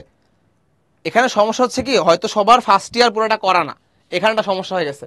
সো তোমরা যদি এখানে ফার্স্ট ইয়ার চ্যাপ্টার টেন করে থাকো, তুমি জানো যে আর হচ্ছে মোলার গ্যাস ধ্রুবক এবং এই আর এর ফর্ম আর এর মান হচ্ছে eight point three one four এবং তার মানে তুমি এটাও জানো না যে পিভি ইজিক্যাল টু এনআরটি এইটা কিন্তু চ্যাপ্টার টেনের ফর্মুলা যে ভাই, আদর্শ gas formula PV is equal to NRT okay ঠিক আছে। চলো তাহলে সামনে আগাই। যেহেতু সেকেন্ড ইয়ারের কোর্স ফার্স্ট পেপারটা আসলে করে আসছো, ধরে নেওয়া বুঝছ? এই জন্য সমস্যা হয়ে যাচ্ছে। ওকে সমস্যা নাই। আমরা যখন যতটুকু লাগবে রিক্যাপ দিয়ে দিব, এবং আমাদের ফার্স্ট ইয়ারের এক্সপিরিয়েন্স তো আছে আমাদের পড়ে এমন না যে আমরা রিক্যাপ দিতে পারব না। উই ক্যান ইজিলি ডু যেমন দিয়ে দিলাম যে পি ফিজিক্যাল টু এনআরটি হচ্ছে আদর্শ গ্যাস ফর্মুলা আবার আর হচ্ছে eight point three one four so তুমি এতটুকু জানলেই এই চ্যাপ্টারটা করতে পারবা। আচ্ছা নেক্সট আমাদের কাছে আছে অভ্যন্তরীণ শক্তি। ওকে স্যার নেক্সট আমাদের কাছে অভ্যন্তরীণ শক্তি। আচ্ছা এগেন আমরা দেখি ইন্টিগ্রেশন নিয়ে মানুষজন কানতে কানতে শেষ করে ফেলতেছে একদম। আবারও, আজকে আমরা যা যা করছি, একটা কিছুতেও ইন্টিগ্রেশন পারা লাগে না। জাস্ট ভাইয়ের কথাটা বিশ্বাস করো যে, ভাই ইন্টিগ্রেশন যা কথা, গ্রাফের ক্ষেত্রফল বের করা তাই কথা। এইটুকু বিশ্বাস করলে তো কোনো ঝামেলা হওয়ার কথা না। তুমি যদি এইটা থেকে এইটা কীভাবে আসছে, এটা জানতে না চাও, তাহলে তোমার সমস্যাই নেই কোনো। ইন্টিগ্রেশন যা কথা, গ্রাফের ক্ষেত্রফল বের করা, তাই করা। এরপরে আমরা কি করছি? আমরা একটা ট্রাপিজিয়ামে ক্ষেত্রফল বাই করছি। সেটা পারো? নাইন টেনে পড়াশোনা, আশা করি পারো। একটা ত্রিভুজের ক্ষেত্রফল বাই করছি, আরও আগের পড়াশোনা, আশা করি পারো। একটা আয়ত আয়তক্ষেত্রে ক্ষেত্রফল বাই করছি, আরও আগের পড়াশোনা, আশা করি পারো। সেখানে কোনো ঝামেলাই নাই। ইন্টিগ্রেশন করছি কোথায় আমরা? ফিজিক্স ইন্টিগ্রেশন করিই নেই। আমরা করছি গ্রাফের ক্ষেত্রফল বাই করা। এটা তো পারো। তাহলে কেন কানতেছো ওকে চলো, সামনে যাই। এবার আমরা করব অভ্যন্তরীণ শক্তি। এখনই ফর্মুলা দিকে তাকে পাগল হয়ে যাবে না, এখানে আমি আসতেছি। প্রথমে আসি যে অভ্যন্তরীণ শক্তি জিনিসটা কি। তুমি যখন এগেইন তাপগতিবিদ্যায় আসি সো অবশ্যই আমরা কাউকে না কাউকে তাপ দিব। তা আমি যখন কাউকে তাপ দিচ্ছি, তাপ আদান প্রদান করতেছি, তখন অবশ্যই অবশ্যই এই জায়গায় একটা শক্তি ঢুকতেছে, অথবা একটা শক্তি আমি বাই করে নিয়ে যাচ্ছি। তাহলে যখন আমি একটা বস্তুকে তাপ দিচ্ছি মনে করো সেই পানির ফুটানোর উদাহরণটাতেই যাই। তাহলে পানি ফুটাচ্ছি। তাহলে পানি যখন আমি আগুন দিয়ে ফুটাচ্ছি, সেই আগুন থেকে পানির মধ্যে ঢুকতেছে তাপ। তাহলে এই যে আমি তাপটা দিলাম, পানির কণাগুলো একটু শক্তিশালী হইল, এরপরে পানির কণাগুলা কি করবে? এই শক্তি নিয়ে এই পানির কণাগুলা একদম সোজা দৌড় দিবে, অথবা ঘুরবে, অথবা কম্পিত হবে। এগেইন যদি ফার্স্ট বারে চ্যাপ্টার টেন পড়া থাকে বা আমাদের সাথে থাকলে তো আমার সাথেই করছ, তাহলে তোমরা অলরেডি জানো যে ভাই, এই যে পানির কণাগুলা দৌড় দেয় এবং ঘোরে, এই দুইটার কিন্তু আমরা শক্তি বের করি। আমরা স্বাধীনতা মাত্রা করছি, আমরা গ্যাসের অভ্যন্তরীণ শক্তি বের করছি নিজে হাতে বের করছি আমরা, আমার সাথেই করছ তোমরা। সো এইগুলো আমরা জানি, এবং ভাইব্রেশনাল এনার্জি যে আমাদের সিলেবাসে নাই, সেটাও আমি বলে রাখছিলাম যে একটা শক্তি আছে বাট সিলেবাসে নাই। সো এই তিনটারই কিন্তু ছবি দেওয়া আছে এখানে, যে একটা কণা সোজা সোজা দৌড় মারছে, রৈখিক গতিশক্তি, ঘুরতেছে কৌণিক গতিশক্তি এবং ভাইব্রেট করতেছে।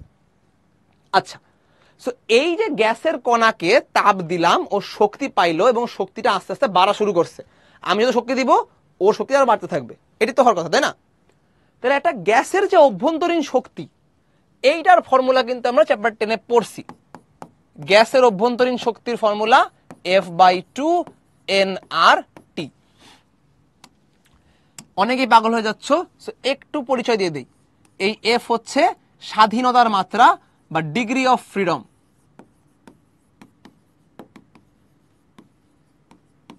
এই এন হচ্ছে মোল সংখ্যা আর হচ্ছে মোলার গ্যাস ধ্রুবক eight point three one four আর টি তো তাপমাত্রা।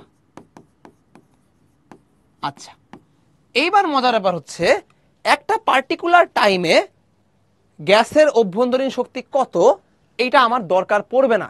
এই ক্ষেত্রে। কারণ আমি তাপ গতিবিদ্যায় কি চাচ্ছি? তাপ গতিবিদ্যায় আমি চাচ্ছি, আমি যে তাপটা দিলাম বা আমি যে তাপটা নিলাম, এর ইফেক্টটা কি? আমি মনে করো তোমাকে দুইশো জুল তাপ দিছি। আমি জানতে চাই যে আমি দুইশো জুল তাপ দেওয়াতে তোমার নতুন করে কি হলো? সো তোমার আগে কত ছিল এটা আমার দরকারই নাই। সো আমি যেটা হিসাব করব সেটা হচ্ছে আমি তোমাকে নতুন করে তাপ দিছি, সেই নতুন করে তাপ দেওয়ার কারণে তোমার টেম্পারেচার পাল্টাইছে। তাহলে নতুন করে তাপ দেওয়ার কারণে তোমার টেম্পারেচার পাল্টাইছে এবং টেম্পারেচার যখন পাল্টাইছে, তখন তোমার অভ্যন্তরীণ শক্তিটাও পাল্টাইছে। কতটুকু পাল্টাইছে এটা আমি চাই।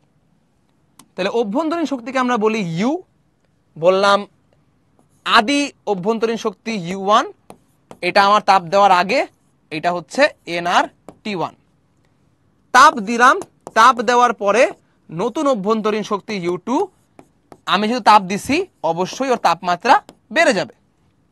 তাপমাত্রা বেড়ে হয়ে গেল টি টু এখন যদি আমি জানতে চাই যে অভ্যন্তরীণ শক্তির পরিবর্তন কত, তাহলে আমি সিম্পলি বলতে পারব যে অভ্যন্তরীণ শক্তির পরিবর্তন is equal to U two minus U one তাহলে আমার কাছে চলে আসবে F by two N R T two minus T one এটাকে আমি চাইলে লিখতে পারব F by two N R del এইটা হচ্ছে আমাদের অভ্যন্তরীণ শক্তির সূত্র।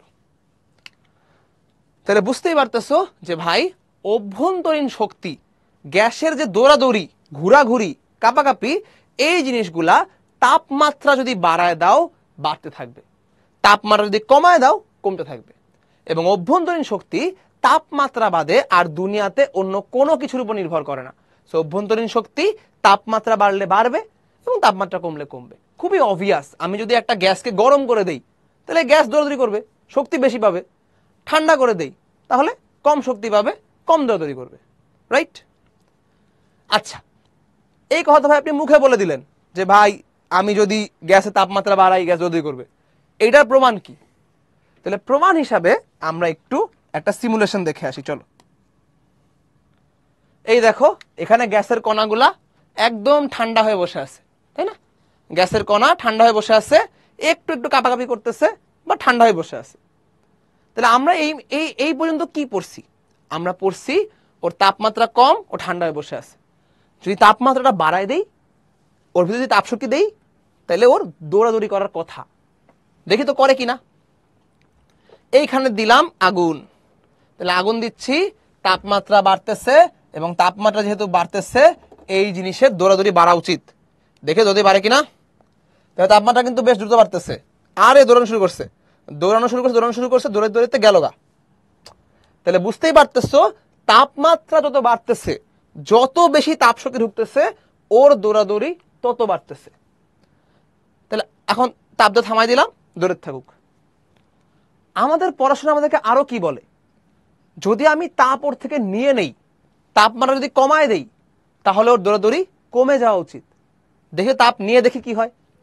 তাহলে এবার আগুনের জায়গায় দিব বরফ। ওর থেকে আমি তাপ নিয়ে যাচ্ছি, তাপমাত্রা আস্তে আস্তে কমতেছে। তাপমাত্রা কমতেছে কমতেছে কমতেছে, এই দেখো আস্তে আস্তে কিন্তু ওর দৌড়াদৌড়িও থেমে যাচ্ছে। আস্তে আস্তে ও আরও ঠান্ডা হয়ে যাচ্ছে এবং ঠান্ডা হইতে হইতে হইতে হইতে দৌড়াদৌড়ি কমাইতে কমাইতে কমাইতে কমাইতে আবার আগের জায়গায় এসে শান্ত হয়ে বসে পড়ল। তাহলে বুঝতেই পারতেছো, যখন তাপমাত্রা বাড়াচ্ছি, ও বেশি দৌড়াচ্ছে, অভ্যন্তরীণ শক্তি বাড়তেছে। যখন তাপমাত্রা কমাচ্ছি অভ্যন্তরীণ শক্তি কমতেছে, ওর দৌড়াদৌড়ি আরও কমে যাচ্ছে। আরেকবার দেখি চলো। দিলাম তাপ, তাপমাত্রা বাড়তেছে উপরে, আর এখানে দৌড়াদৌড়ি করতে করতে আকাশে উঠে যাচ্ছে। এই দৌড়ি দৌড়াদৌড়ি করছে আরও দৌড়াদৌড়ি করতেছে, একদম ছুটে গেল গা। তাপমাত্রা কমাই দেই। দৌড়াদৌড়ি কমাই দিচ্ছে কমাই দিচ্ছে, এই তো আস্তে কমাই দিচ্ছে। শান্ত হয়ে যাচ্ছে, শান্ত হয়ে আবার সুন্দর করে আগের জায়গায় এসে বসে পড়তেছে, দৌড়াদৌড়ি অফ আচ্ছা। এবার একটা ইয়েস নো বল নেই। যে ভাইয়ারা, আপুরা, অভ্যন্তরীণ শক্তি তাপমাত্রার উপর নির্ভর করে। তাপমাত্রা বাড়লে অভ্যন্তরীণ শক্তি বাড়ে, দৌড়াদৌড়ি বাড়ে। আবার তাপমাত্রা কমায় দিলে অভ্যন্তরীণ শক্তি কমে, দৌড়াদৌড়ি কমে। এই জিনিসটা সিমুলেশন দেখে একদম চোখের সামনে ভেসে উঠছে কিনা আমাকে একটু ইয়েস নো বলতে জানাই দিবেন। ভাইকে একটু ইয়েসনো বলে অ্যান্সার করে দেন।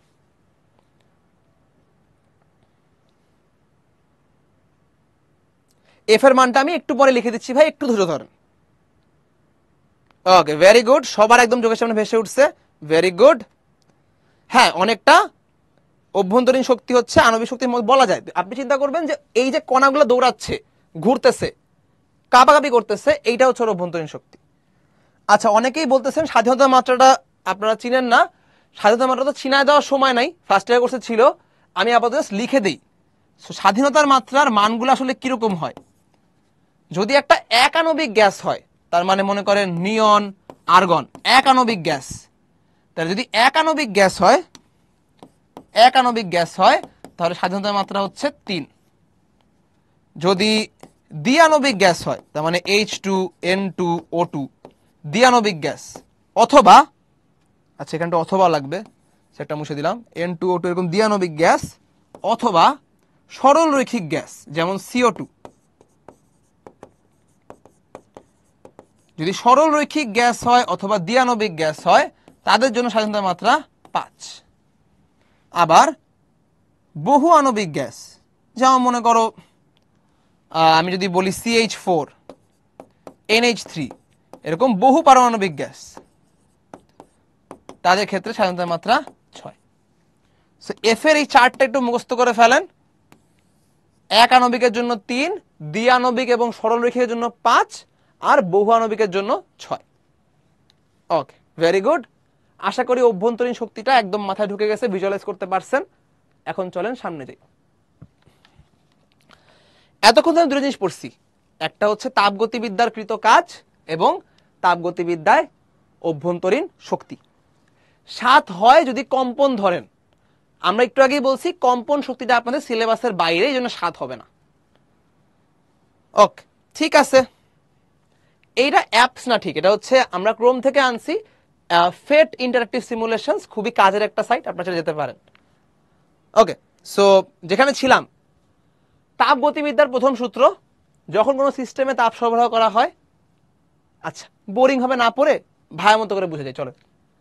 একটা বস্তু আছে, এরকম সিলিন্ডারের মতোই, ভিতরে আছে অনেক গ্যাস। এটা মনে করেন ওই যে পিস্টনটার মতো করে রাখছি এটার ভিতরে অনেকগুলা গ্যাস। তাহলে আমরা এই গ্যাসগুলাকে এখন দিব তাপ। দিলাম বাইরে থেকে ওকে তাপ, এই যে দিছে আগুন ধরায়। তাহলে তাপ ঢুকতেছে ওর ভিতর। তাহলে আমরা কি জানি ভাইয়ারা? যখনই একটা বস্তুকে আমরা এরকম তাপ দেই, তখন এই বস্তুর অভ্যন্তরীণ শক্তি বাড়া শুরু করে। একটু আগে পড়ছি, তাই না? তাপ দিলাম, তাপমাত্রা বাড়লো, অভ্যন্তরীণ শক্তি বাড়তেছে, এই কণাগুলো এখন উসাইন বোল্টের মতো দৌড়াচ্ছে। তাহলে এই তাপটা ইউজ করে ওর অভ্যন্তরীণ শক্তি বাড়ছে। এই যে অভ্যন্তরীণ শক্তি বাড়লো, এটাই কি এই তাপের একমাত্র ব্যবহার? না, আমরা একটু আগেই পড়ছি, যখন আপনি বাইরে থেকে তাপ দিচ্ছেন, তখন এই পিস্টনটা আগের থেকে আরও বড় হয়ে যাচ্ছে। এবং এই যে বড় হচ্ছে, এই বড় হওয়ার জন্য ওর করা লাগতেছে একটা কৃত কাজ তাহলে আপনি ওকে সাপ্লাই দিছেন তাপ। এই তাপটাকে ব্যবহার করে দুটো জিনিস করছে। ওর অভ্যন্তরীণ শক্তি বাড়াইছে এবং পাশাপাশি একটা কৃত কাজ করছে। ছোটবেলা থেকে আমরা কি পড়তেছি? শক্তি সর্বদাই সংরক্ষণশীল। তাহলে আপনি যেই পরিমাণ শক্তি ওকে দিছেন আর যেই পরিমাণ শক্তিও ব্যবহার করছে, এই দুইটা অবশ্যই অবশ্যই সমান হইতে হবে। কেন? কারণ ব্যবহৃত শক্তি যদি দেওয়ার থেকে বেশি হয়ে যায়, তার মানে ওকে শক্তি তৈরি করতে হয়েছে যদি ব্যবহৃত শক্তি দেওয়া শক্তি থেকে কম হয় তার মানেও শক্তি ধ্বংস করতে হয়েছে শক্তির কোনো সৃষ্টি ধ্বংস নাই, শক্তির কেবল রূপান্তর আছে। আপনি ওকে দিছেন কিউ ও ব্যবহার করছে, অভ্যন্তরীণ শক্তি বাড়াচ্ছে এবং কৃতকাজ করতেছে। এই দুটা ওর ব্যবহার। যা পাইছে, তাই ব্যবহার করবে। এর থেকে একটু কমও না, একটু বেশিও না। সো যেই পরিমাণ শক্তি আপনি সাপ্লাই দিছেন, সেই পরিমাণ শক্তিও ইউজ করবে। ততটুকু শক্তি কিছু অংশ অভ্যন্তরীণ শক্তিতে কাজে লাগাবে, কিছু অংশ দিয়েও কৃতকাজ করবে। এইটাই এটাই হচ্ছে আমাদের তাপগতিবিদ্যার প্রথম শক্তি, সূত্র। আচ্ছা এই জায়গাটাতে উল্টা সাইডটা একটু দেখায় দেই। যদি এমন হতো যে আমি শক্তি ওকে দেই নাই, ওর থেকে শক্তি নিয়ে গেছি, তখন কি হতো? সেম কাজটা আমরা শক্তি দিব না ওকে, ওর থেকে নিয়ে যাব।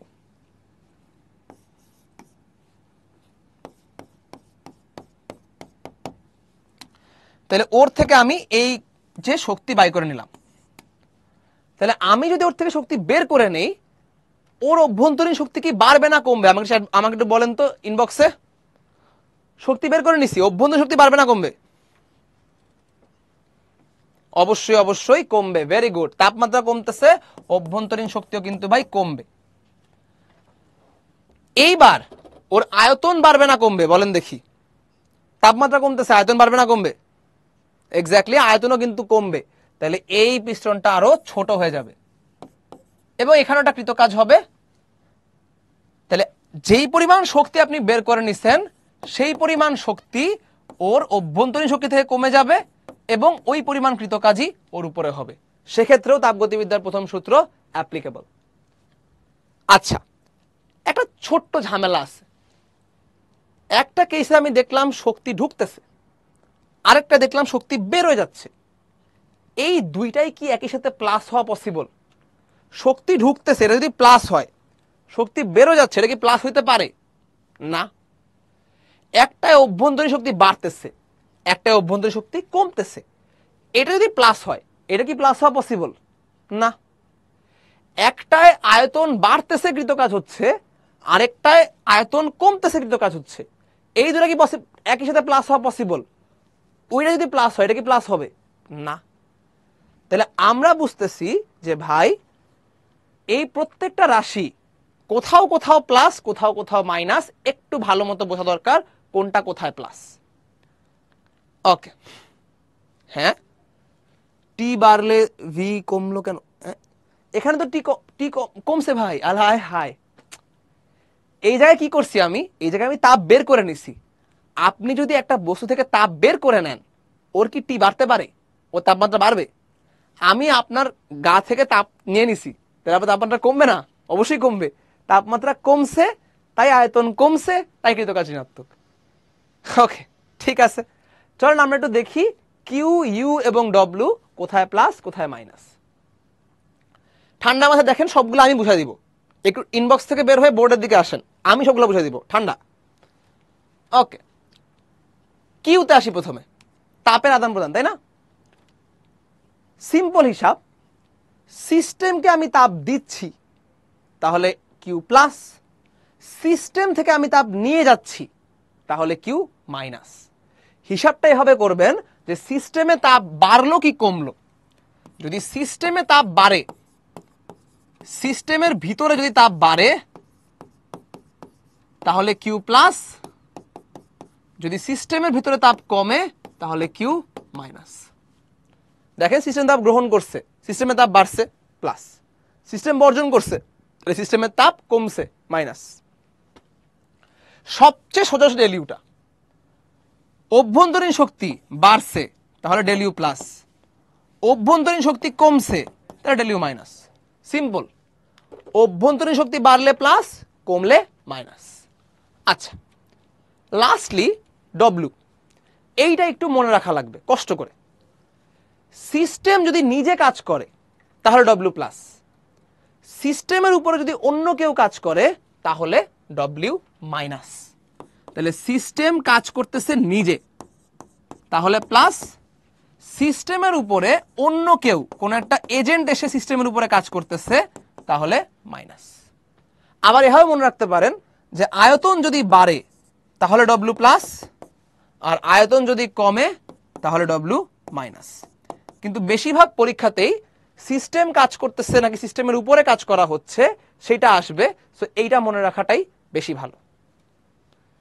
আহা এটাতে এক্সাম্পলের কি আছে? আপনি এভাবে এটাতে চিন্তা করেন না। এটা তো দিয়ে দিছিলাম এক্সাম্পল এখানে কি হয়েছে আয়তনটা বাড়ছে। তার মানে কি? ভিতরে যে সিস্টেমটা আছে, যে গ্যাসের সিস্টেমটা এই গ্যাসগুলা এনার্জাইজড হয়েছে শক্তি পাইছে, এরা ধাক্কায় পিস্টনকে উপর উঠাই দিছে। তাহলে যে পিস্টনটাকে উপর উঠাই দেওয়া হয়েছে আয়তনটা যে বাড়ছে, এই কাজটা কে করছে? এই গ্যাসগুলা করছে, সিস্টেম নিজে করছে, কারণ সিস্টেম তো এইটুক। এর বাইরে তো সিস্টেম না। তাহলে সিস্টেমের অংশ হচ্ছে এই গ্যাসগুলা। তাহলে এই গ্যাসগুলা ধাক্কায় উপর উঠাই দিছে। তাহলে সিস্টেম নিজে হাতে এই কাজটা করল। যখন ওর আয়তন কমতেছে, তখন আয়তনটা কমতেছে কেমনে? এই গ্যাস কি ওর আয়তন কমাচ্ছে? না। আমি যখন ওর থেকে তাপ নিয়ে যাচ্ছি অ্যাজ এন এজেন্ট তখন আমি এই এই পিস্টনের আয়তনটা কমায় ফেলছি। তাহলে বাইরে থেকে আমি কাজটা করলাম, এই গ্যাসগুলা কোনো কাজ করে নাই। তাহলে যখন আমি কাজ করতেছি, তখন কৃত কাজটা নেগেটিভ সিস্টেম নিজে কাজ করে নাই, তার উপর অন্য কেউ কাজ করছে। আর যখন সিস্টেম নিজে কাজ করতেছে, তখন কৃত কাজটা পজিটিভ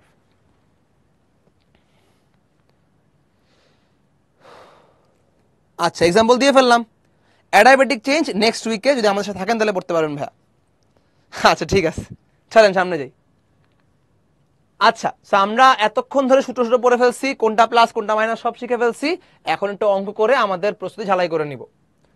একটা সিলিন্ডারের মধ্যে রাখা কিছু পরিমাণে গ্যাস পরিবেশের উপরে আড়াইশো জুল কাজ করতেছে। ঠান্ডা মাথায় দেখেন প্লাস মাইনাস এখনই ক্লিয়ার হয়ে যাবে। গ্যাস পরিবেশের উপর আড়াইশো জুল কাজ করছে। কাজ কে করছে? গ্যাস নিজে। সিস্টেম নিজে কাজ করছে মানে W is equal to plus আড়াইশো জুল। পরিবেশ থেকে পাঁচশো জুল তাপ শক্তি শোষণ করছি। সিস্টেমে তাপ বাড়ছে না কমছে? চ্যাট বক্সে লিখে দেন ভাইকে পরিবেশ থেকে পাঁচশো জুল তাপ শক্তি সিস্টেম শোষণ করছে। সিস্টেমে তাপ বাড়ছে না কমছে? বাড়ছে। সিস্টেমের তাপ বাড়ছে মানেই Q is equal to plus পাঁচশো। এখানে কি হবে? প্লাস যদি কেউ না বুঝে থাকেন, তাহলে আমি বুঝব আমার তিনটা কথা একটাও শোনেন নাই। সিলিন্ডারের মধ্যে রাখা গ্যাস। সিস্টেম কে? সিস্টেম হচ্ছে আমি যেখানে তাপ দেই। সেই সিলিন্ডারের মধ্যে গ্যাসটাই আমার সিস্টেম। তাহলে সিস্টেম পরিবেশের উপর কাজ করছে। তাহলে কাজটা করল কে? সিস্টেম। সিস্টেম কাজ করলে প্লাস না মাইনাস প্লাস এবার জিজ্ঞেস করছে অন্তস্থ শক্তির পরিবর্তনটা কত? প্রথম সূত্র সুন্দর করে বসায় দিব। তাপ গতিবিদ্যার প্রথম সূত্র Q is equal to del U plus W তাহলে এখান থেকে আমাদের ডেল ইউ হচ্ছে কিউ মাইনাস ডব্লিউ তাহলে কিউ হচ্ছে পাঁচশো ডব্লিউ হচ্ছে আড়াইশো, সুন্দর করে পেয়ে যাব আড়াইশো চুল একদম পানি ভাত, যদি আপনি সুন্দর মতো এটা বুঝতে পারেন। আচ্ছা আশা করি এটা সবাই কাছে ক্লিয়ার একদম পানি ভাত একটা ম্যাথ সূত্র বসাইছি প্লাস মাইনাস ঠিক মতো বসাইছি, হয়ে গেছে। আচ্ছা দেখি কত ভালো বুঝতে পারলেন। আপনাদের কাছে এখন একটা পোল, এবং অনেকক্ষণ ধরেই অনেকে ব্রেক চাচ্ছিলেন। আমার ক্লাসে শেষ করতে আরও বিশ পঁচিশ মিনিটের মতো লাগবে। সো আমি ছোট্ট করে একটা তিন মিনিটের ব্রেক দিচ্ছি আপনাদেরকে, একটু ফ্রেশ হয়ে আসতে পারেন। সো এই কুইজটার টাইম থাকবে আমাদের কাছে এখন বাজে আটটা, আটাশ। তো এই কুইজে টাইম থাকবে আটটা বত্রিশ পর্যন্ত। কুইজটা অ্যান্সার করতে থাকেন, একটু ফ্রেশ হয়ে আসেন, তারপর আবার ক্লাস শুরু হবে। নটার মধ্যে আপনাদের ক্লাস আমি ছেড়ে দিব।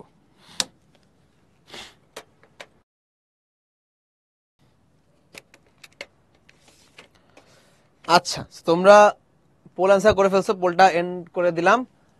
এখন আসি, আমরা আগে সলভ করি এটা, তারপর দেখি যে তোমরা কেমন করলা। সো কোনো ব্যবস্থা পরিবেশ থেকে পণ্য জুল তাপ শোষণ করছে।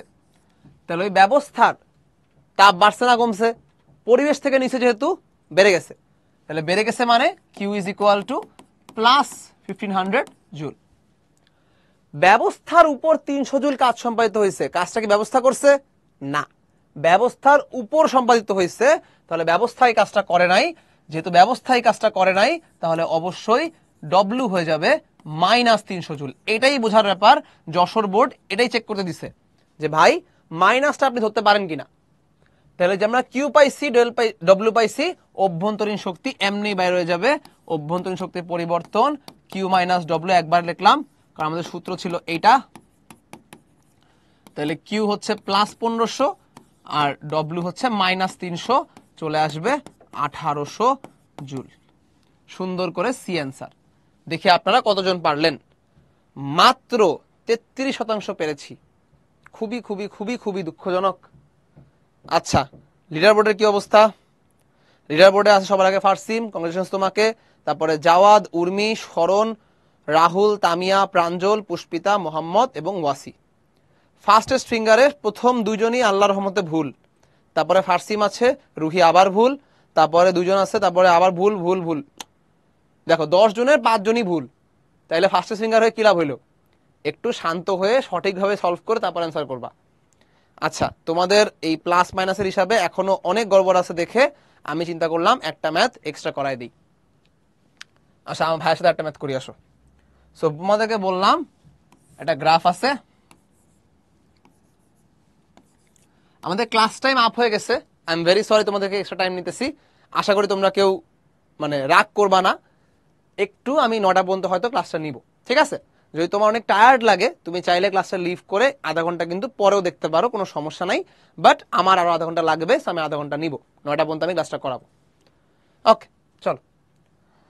সো বললাম এই পাশে হচ্ছে ভি আর এই পাশে হচ্ছে পি তো আমাদের কাছে এরকম একটা গ্রাফ আছে এই এটা হচ্ছে এ পয়েন্ট এটা বি পয়েন্ট আমি গেছি এ থেকে বিতে তোমাকে বললাম, পরিবেশ থেকে তাপ নিছে দুই হাজার জুল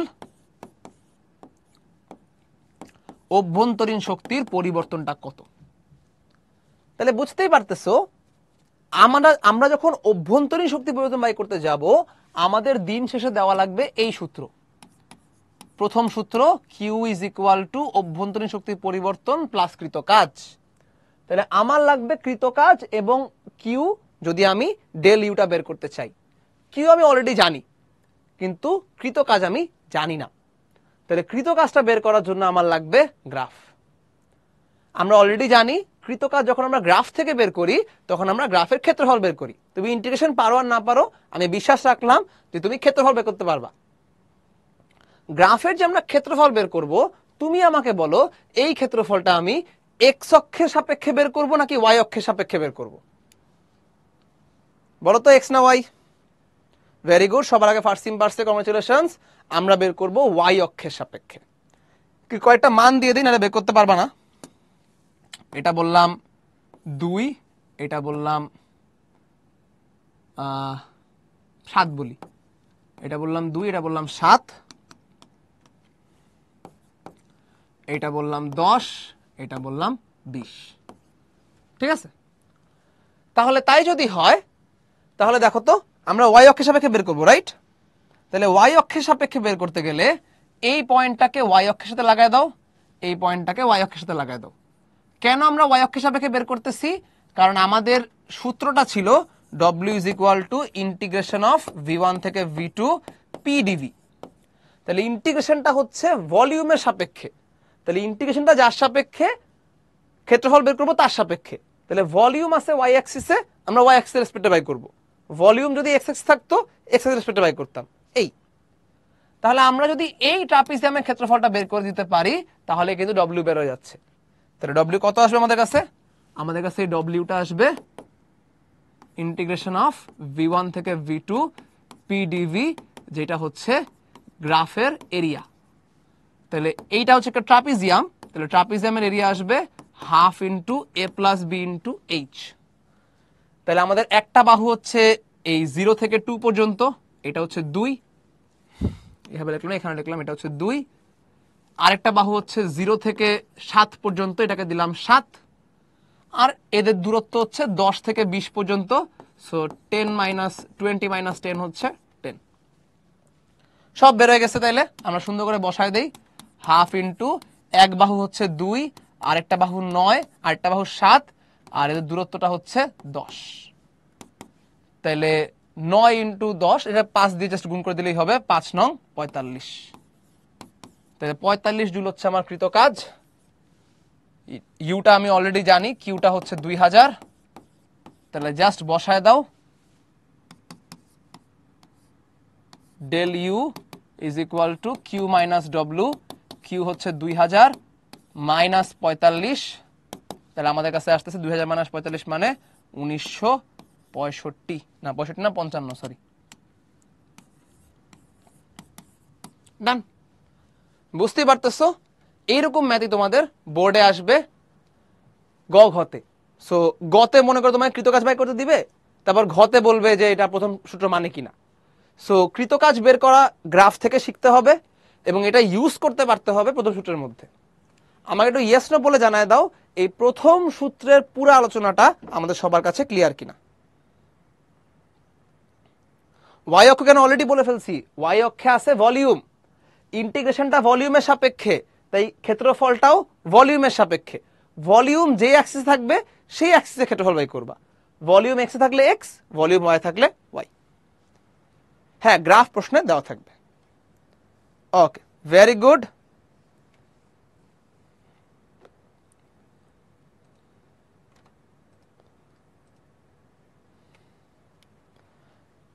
মাইনাস হবে যখন ভলিউমটা কমতেছে। এখানে কেন মাইনাস হইল না রবলুটা খেয়াল করো তো। আমি আসছি এই জায়গা থেকে এই জায়গায়। এই ভলিউমটা বাড়ছে না কমছে? এই জায়গায় যে ভলিউম আর এই জায়গায় যে ভলিউম এই দুই আয়তনের মধ্যে কোনটা বড়? উপরেরটা?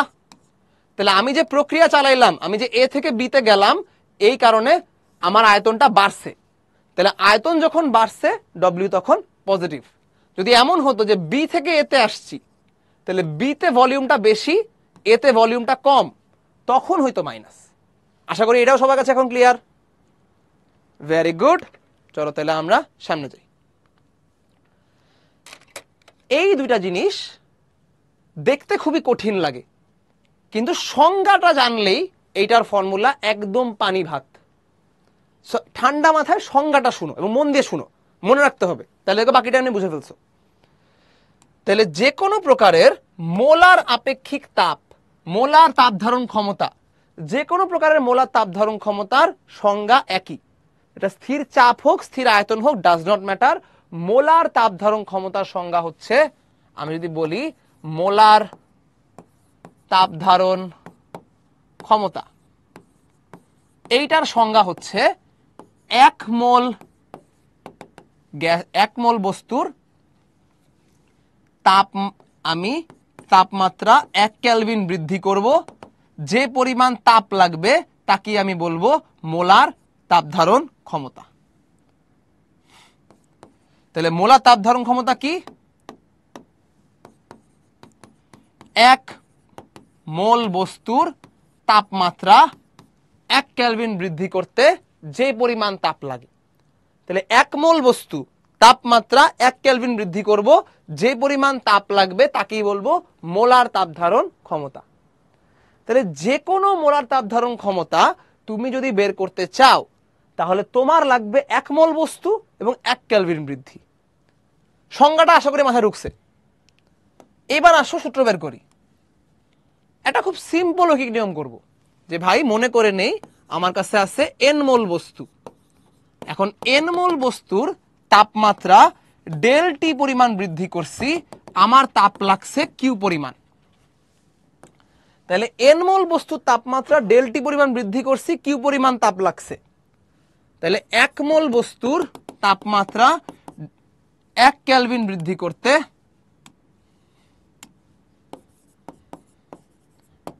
কি পরিমাণ তাপ লাগবে? এক এন মোল থেকে এক মোলে আনছি।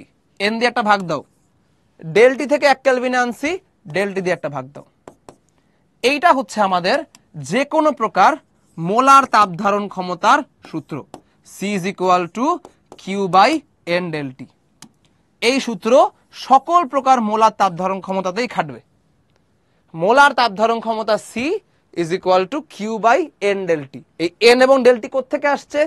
এন হচ্ছে এন মোল থেকে আসছে ডেলটি আসছে তাপমাত্রা বৃদ্ধি থেকে কিউ হচ্ছে যে পরিমাণ তাপ লাগে। তো তোমাকে মনে করো প্রশ্নে বলছে, পাঁচ মোল বস্তুর তাপমাত্রা দশ ক্যালভিন বৃদ্ধি করতে বারোশো জুল তাপ লাগে। তাহলে তুমি এখান থেকে তাপ ধারণ ক্ষমতা কীভাবে আসবা? মোল সংখ্যা এবং বৃদ্ধিটা দিয়ে ভাগ করে দিবা, চলে যাবা তাপ ধারণ ক্ষমতায়। যেটা বলছিলাম সংজ্ঞাটা মনে থাকলে সূত্র একদম ইজি এক মোল লাগবে, তাই মোল দিয়ে ভাগ। এক ক্যালভিন লাগবে, তাই তাপমাত্রা পরিবর্তন দিয়ে ভাগ। সিম্পল সবাই সূত্রটা বুঝছি? এইবার আসি স্থির চাপ আর স্থির আয়তনে। এটা যদি যে কোনোটার জন্যই সত্যি হয়, তাহলে যখন তুমি চাপটাকে স্থির রাখছো, তখন কি হবে? যেহেতু চাপটা স্থির, তাই যখন তুমি স্থির চাপে আসো তখন আমরা বলব স্থির চাপের জন্য স্পেশাল কেস স্থির চাপে প্রেশারটা ফিক্সড তাই আমরা সি এর নিচে দিয়ে দিব একটা ছোট্ট করে পি পি কেন দিলাম?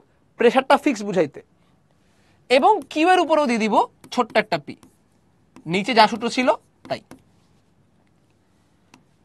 সিমিলারলি তুমি যখন স্থির আয়তনে আসো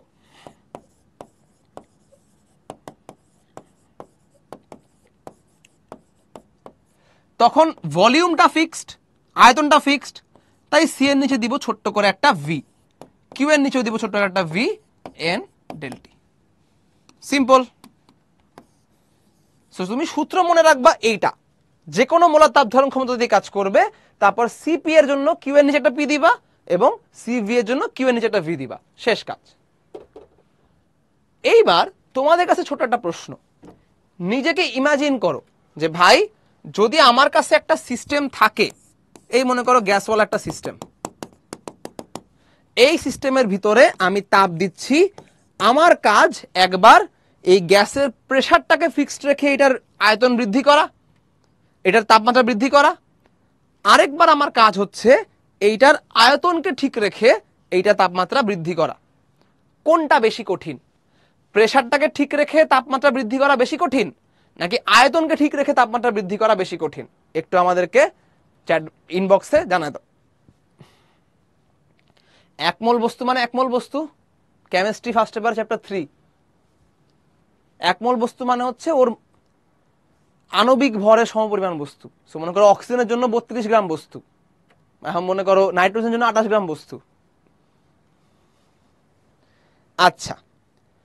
একটা সিস্টেমের প্রেসারকে ঠিক রেখে প্রেসারকে কনস্ট্যান্ট রেখে তাপমাত্রা বৃদ্ধি করা অনেক বেশি কষ্ট দেন আয়তনকে ঠিক রেখে তাপমাত্রা বৃদ্ধি করা। তুমি আয়তনকে ঠিক রাখতে যাচ্ছ, তুমি ওর উপর ঢাকনা দিয়ে দাও এবং এটাকে সরাইতে দিবা না। দেখবা ওর তাপমাত্রা একদম দাও দাও করে বেড়ে উঠবে।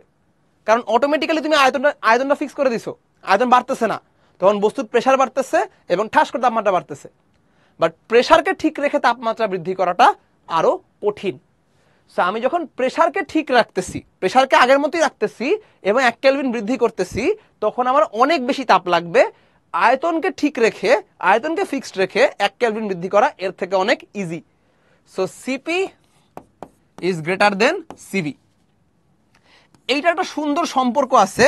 সম্পর্কটা একটা বিশাল লম্বা প্রুফ আমি এখন প্রুফ দেখাতে চাচ্ছি না। আমি জাস্ট লিখে দেই সম্পর্কটা। সিপি এবং সিবি সম্পর্ক হচ্ছে CP minus CV is equal to আর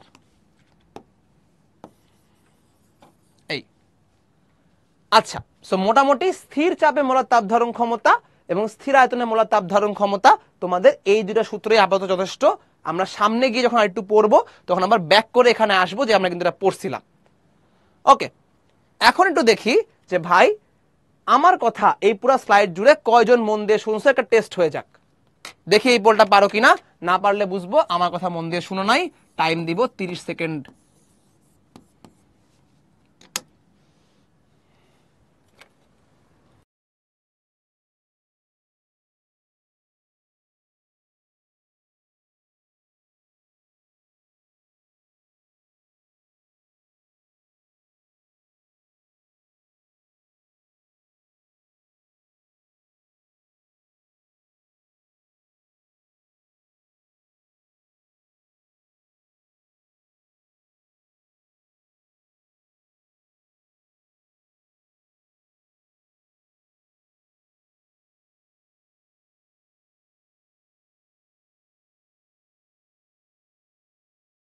আচ্ছা তোমাদের টাইম আপ হ্যাঁ ভাইয়া, আপুরা, আর হচ্ছে মোলার গ্যাস কনস্ট্যান্ট সো এটা তো সলভ করা কিছু না একটু আগেই বলছি ভাই, দেখেন। এই যে একটু আগে বলছি, তাও মানুষ যদি না পারে। এই যে, লেখা সিপি গ্রেটার দেন সিবি মাত্র বলছি। আর এই আটটা হচ্ছে molar gas constant three eight point three one four হ্যাঁ হ্যাঁ molar gas constant eight point three one four ওইটাই। ওকে, সেটা তো বলেই দিছি CP is greater than CV আচ্ছা এই সিপি সিপি কেন পড়ালেন ভাই? একটু ঠান্ডা মাথায় দেখো তো।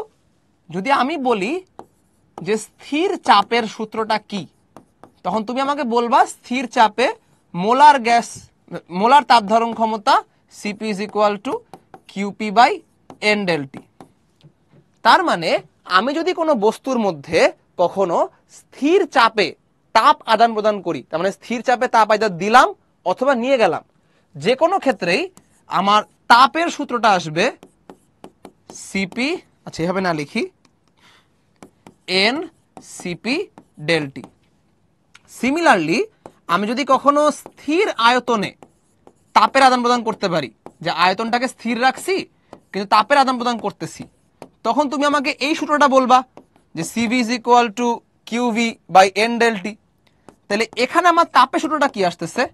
এইটা আসতেছে এন সিভি ডেলটি সো একটু পরেই এই দুইটাই আমাদের কাজে লাগবে। So, আমরা এখানে আবার ফেরত আসব। আপাতত জাস্ট দেখে রাখো যে ভাই আমরা এটা যে পড়লাম এটা পড়ে লাভ কি? আমি দুই প্রকার তাপের সমীকরণ পাইছি। একটাতে স্থির চাপে তাপ দেওয়া হচ্ছে তাপের সূত্র এইটা। আরটাতে স্থির আয়তনে তাপ দেওয়া হচ্ছে তাপের সূত্র এইটা। ওকে সো আমরা লিডার বোর্ড একটু দেখে সবাই যাচ্ছে ঠিক আছে? আটাত্তর পার্সেন্ট পারছ। তাও আসলে বাকি বাইশ পার্সেন্ট কি করতেছিল ক্লাসে আমি জানি না। লিডার বোর্ডে সবার আগে আছে প্রাঞ্জল, তারপর দেবস্মিতা, ফারসিম ফাইরুজ সরভি, মৌমিতা, খুশবু জাওয়াত তাসিন মিষ্টি। সবাই কংগ্রেচুলেশনস প্রাঞ্জলকে বেশি কংগ্রেচুলেশনস ফার্স্টেস্ট ফিঙ্গারও এবার একজন ভুল আছে। এত কনফিডেন্ট নিয়ে, এত জলদি জলদি ভুল কীভাবে দেখো তোমরা? সো একজন ভুল আছে নাইম, বাকি সবাই সঠিক। কংগ্রেচুলেশনস চলো তাহলে আমরা ক্লাসে ফেরত যাই। ওকে সো বলছিলাম আজকে দুইটা প্রক্রিয়া পড়ব। তার মধ্যে একটা হচ্ছে সমচাপ প্রক্রিয়া। নাম দেখেই বুঝতে পারতেছো, এই প্রক্রিয়াতে চাপটা কনস্ট্যান্ট প্রেশারটা পাল্টাচ্ছে না। চাপ কনস্ট্যান্ট মানে কি? প্রথম মানেটা হচ্ছে, তুমি যদি এই প্রক্রিয়ার গ্রাফ আঁকো পি ভার্সেস ভি গ্রাফ আঁকো, তাহলে সেই গ্রাফে দেখবা প্রেশারটা একটা ফিক্সড পয়েন্টে আছে। এই প্রেশার এখান থেকে নড়তেছে না, কিন্তু আয়তনটা পাল্টাচ্ছে। এটা ভি মনে করো, এটা ভি টু আয়তনটা পাল্টাচ্ছে, কিন্তু প্রেশারটা ফিক্সড প্রেশারটা পাল্টাচ্ছে না। তুমি যদি কখনো গ্রাফে দেখো যে একটা গ্রাফ আছে যে গ্রাফের প্রক্রিয়ার লাইনটা হচ্ছে আয়তনের এক্সের সাথে একদম সমান্তরাল প্রেশারটা পাল্টাচ্ছে না আয়তনটা এখানেই পাল্টাচ্ছে, তাহলে বুঝবা এটা সমচাপ প্রক্রিয়া। ওকে একটু আগেই পড়ে আসছি আমরা। সমচাপের ক্ষেত্রে কি হচ্ছে? যখন চাপ পাল্টাচ্ছে না তখন তাপের সূত্রটা হচ্ছে এনসিপি ডেলটি। মাত্র পড়ছি, কেউ বলবা না যে কীভাবে হয়েছে। কিউপি হচ্ছে, স্থির চাপে তাপ দেওয়া হচ্ছে, এবং এটা সূত্র হচ্ছে এনসিপি ডেলটি। তাহলে আমরা যদি প্রথম সূত্র এখানে দিয়ে দেই Q is equal to del U plus W তাহলে কিন্তু এখানেই লেখা যাচ্ছে n CP del T is equal to del U plus W আবার যদি ডব্লুটার কথা একটু চিন্তা করো তাহলে কিন্তু ডব্লুর কথা আমরা বলতে পারি যে ভাই ডব্লু হচ্ছে পি ডেল ভি আমরা কিন্তু একটু আগেই শিখছি। কৃত কাজ W is equal to P del V তাহলে এখানে ওই ছবি অনুযায়ী P into V two minus V one আর কি। থাকল। তাহলে তুমি চাইলে ডব্লু কে ভাবে লিখতে পারো, আর তুমি চাইলে কিউ কে লিখতে পারো এইভাবে। এটাই আমরা স্থির চাপের ক্ষেত্রে দেখতেছি। এই ফর্মুলাটাই সুন্দর করে আবার এখানে লেখা আছে। সিপি আর সিবির প্রুফ কোথাও লাগে না। এবং তোমাদের প্রশ্নে সিপি এবং সিবির মানও দিয়ে দিবে। টেনশন নিও না। আগে আমাকে বলো, এই যে স্থির চাপের ক্ষেত্রে যে আমরা এই ফর্মুলাটা লিখলাম, এই ফর্মুলাটা সবাই বুঝছি কিনা? ভাগাটা ইয়েস নো বলে জানায় দাও। এই ফর্মুলাটা সবাই বুঝছি কিনা? যে এটা কোত্থেকে আসলো? ওকে ভেরি গুড যাদের সমস্যা আছে তারা একটু প্রশ্ন করি, তাহলে একটু বুঝতে হবে যে প্রশ্ন আছে কিছু।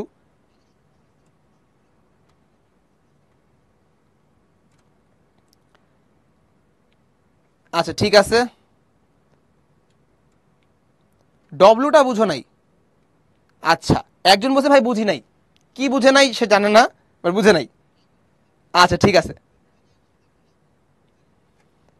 ডব্লুটা কীভাবে আসলো? আচ্ছা এই ডব্লু এর প্রুভের সময় তুমি কোথায় ছিলে? এই ডব্লু আমি করাইছি আরও এক ঘণ্টা আগে।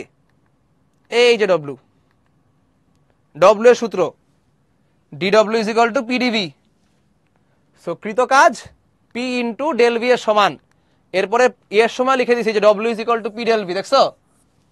করাইছি যে প্রমাণ দেখাইলাম। তখন তুমি কোথায় ছিলে ভাইরা সো ডব্লিউকে আমরা পি ডেল ভি আকারে লিখে আসছি আগেও। সো ডব্লিউ যে কোনো জায়গায়, যে কোনো সময় তাপগতিবিদ্যার মধ্যে তুমি ডব্লিউকে লিখতে পারবে পিডিভি বা পি ডেল ভি এটা এখানে বসাই দিছি আমরা। যে তোমার যদি প্রয়োজন পড়ে, তুমি এটা ইউজ করবা। আর সমচাপ প্রক্রিয়ার ক্ষেত্রে Q is equal to nCP del T মাত্র পড়ছি আমরা। এবার করি সবাই ক্লিয়ার কিউ এর মান বুঝো নাই? আয়, হায়। এই লাস্ট স্লাইডেই দেখানো। তখন তুমি কইছিলা, এই যে CP is equal to Q by n del T আমরা আগে সেটা প্রুফ করে আসছি। তাহলে আর গ্রহণ করো। Q is equal to n CP del T যখন চাপটা স্থির। তাহলে সমচাপ প্রক্রিয়ায় চাপটা স্থির, তাই এটা আমরা ইউজ করতে পারব। এটাই আমরা এখানে ইউজ করে দিলাম। সিভিয়ার ওয়ার্ক আছে কিনা এটা একটু ওয়েট করো। না ওয়ার্ক থাকলে কি এমনি শিখাইছি?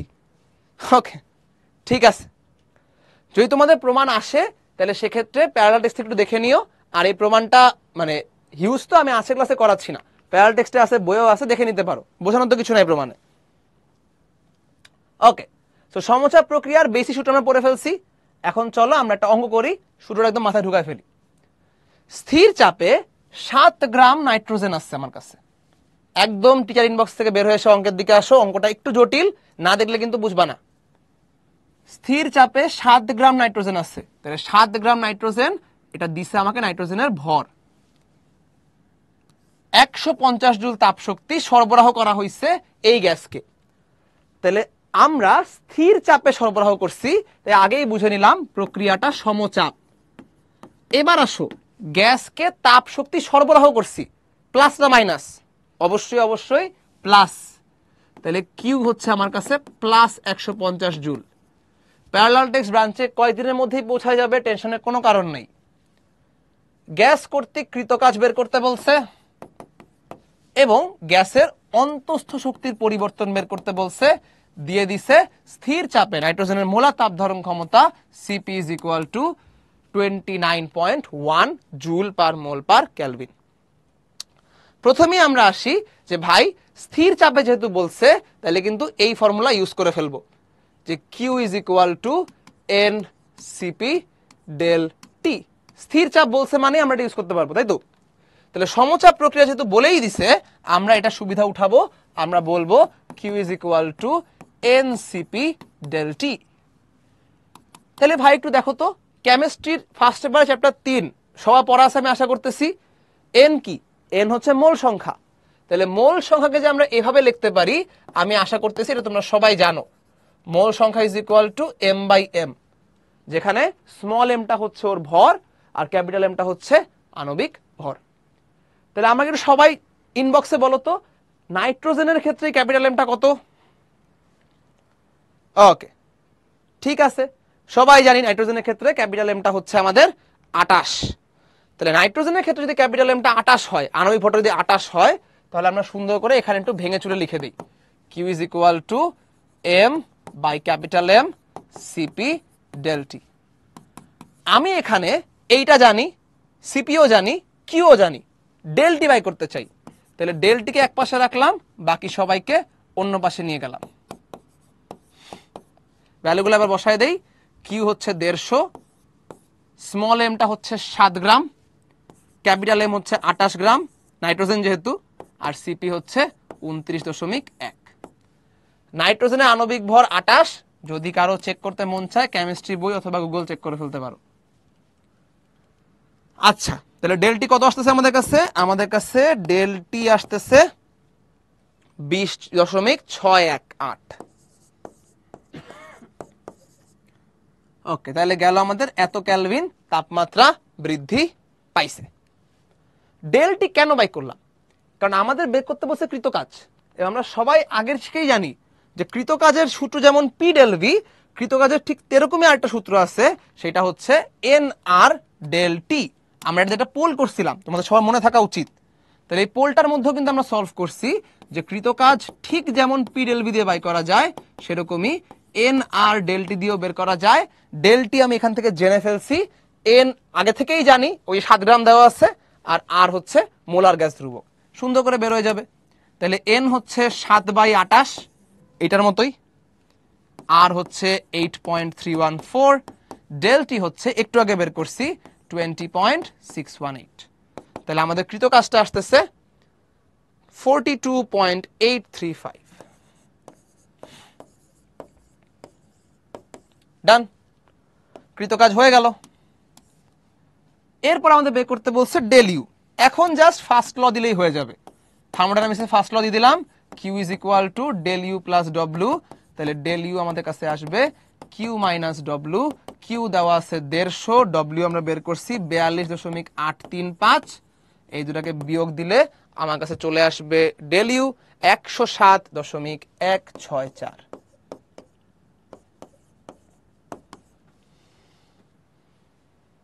ওকে ডান তাইলে আমাদের কাছে। ছোট করে রিক্যাপ দিদি বেশ বড় একটা অঙ্ক ছিল। সো আমাদের কাছে প্রথম বলছে নাইট্রোজেনের ভর। আমরা ভর জানি, আণবিক ভর অলরেডি জানি আটাশ।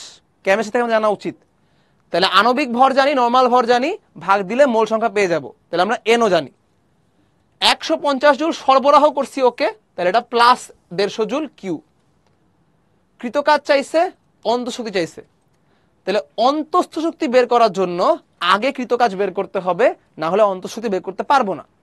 তাহলে আমি যদি কৃতকাজ বের করতে চাই, তাহলে আমার দরকার ডেল টি। কারণ এন আমি অলরেডি জানি, আরও আমি জানি, ডেল টি আমি জানি না। তাহলে যেহেতু স্থির চাপের প্রক্রিয়া, সমচাপের এই সূত্রটা আমরা ব্যবহার করে ফেলব, এবং সমচাপের এই সূত্রতে কিউ জানি এন জানি সিপি জানি, শুধু ডেলটি আমি জানি না। তাহলে এখান থেকে ডেলটি বের করব, সূত্রটাকে সাজায় গুছিয়ে নিলাম, মান বসাইলাম ডেলটি বের হয়ে গেছে।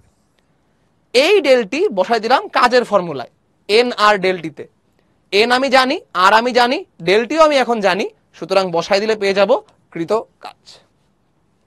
কৃত কাজ জেনে ফেললেই ডেল ইউ বাই করার আর কোনো বাধা নাই। থার্মোডাইনামিক্সের প্রথম ফর্মুলা দিলাম। Q is equal to del U plus W Q জানি ডব্লিউ জানি ডেল ইউ অটোমেটিক্যালি বের হয়ে যাবে। একটা ইয়েস নো বল দাও তো, সবাই বুঝছে কিনা এটা? আচ্ছা ঠিক আছে, সবাই বুঝে ফেলছি ভেরি গুড লাস্ট প্রক্রিয়া, আর দুটা সাইড আছে, তারপরে ছেড়ে দিব। সো আমাদের কাছে আমাদের কাছে সম আয়তন প্রক্রিয়া আছে। নাম দেখেই বুঝতে পারতেছো যে, ভাই, এই প্রক্রিয়াতে আয়তনটা ফিক্স থাকবে। তাহলে আয়তন ফিক্স থাকা মানে আমি জাস্ট এবার ইউজ করতে পারব অন্য ফর্মুলাটা সো যেমন আমরা ইউজ করে আসছিলাম না, দেখছিলা? এই যে, আয়তন ফিক্স থাকলে Q is equal to n সিবিডিটি এটাই এবার আমরা ইউজ করব। তাহলে আয়তন যেহেতু ফিক্সড তাহলে আমাদের কিউ এর সূত্র এবার হবে এন সিভি ডেলটি কেন? কারণ আয়তনটা ফিক্সড আয়তন ফিক্স থাকলে আরেকটা লাভ আছে। একটু আগে দেখে আসছিলাম না ডব্লিউ এর একটা সূত্র।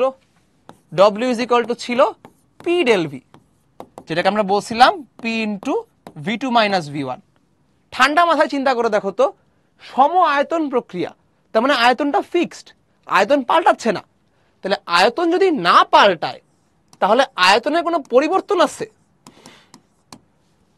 আয়তন যদি নাই পাল্টায়, তাহলে আয়তন আবার পরিবর্তন কিসের? তো সুন্দর করে বলতে পারব, আয়তন না পাল্টানোর মানে আয়তনের পরিবর্তন জিরো তাহলে আয়তনের পরিবর্তন যদি জিরো হয়, তাহলে এখানে হয়ে যাবে এটা পি ইন্টু জিরো তার মানে স্থির আয়তন বা সম আয়তন প্রক্রিয়াতে ডব্লু বলে কিছু নাই, কোনো ওয়ার্ক ডান সম্ভবই না। আশা করি বুঝে ফেলছো, আয়তন যখন স্থির সম আয়তন প্রক্রিয়ায় আসি তখন আয়তনের কোনো পরিবর্তন নাই, এবং আয়তনের পরিবর্তন নাই মানে কৃতকাজটা শূন্য। কৃতকাজ শূন্য, এবং কিউ এর সূত্র আমি পেয়ে গেছি, তাহলে বাকিটা আর কোনো ব্যাপার। আমরা সুন্দর করে বলে দিতে পারব, ফার্স্ট ল দিয়ে দাও, কিউ ইজ ইকুয়াল টু অভ্যন্তরীণ শক্তির পরিবর্তন প্লাস কৃতকাজ।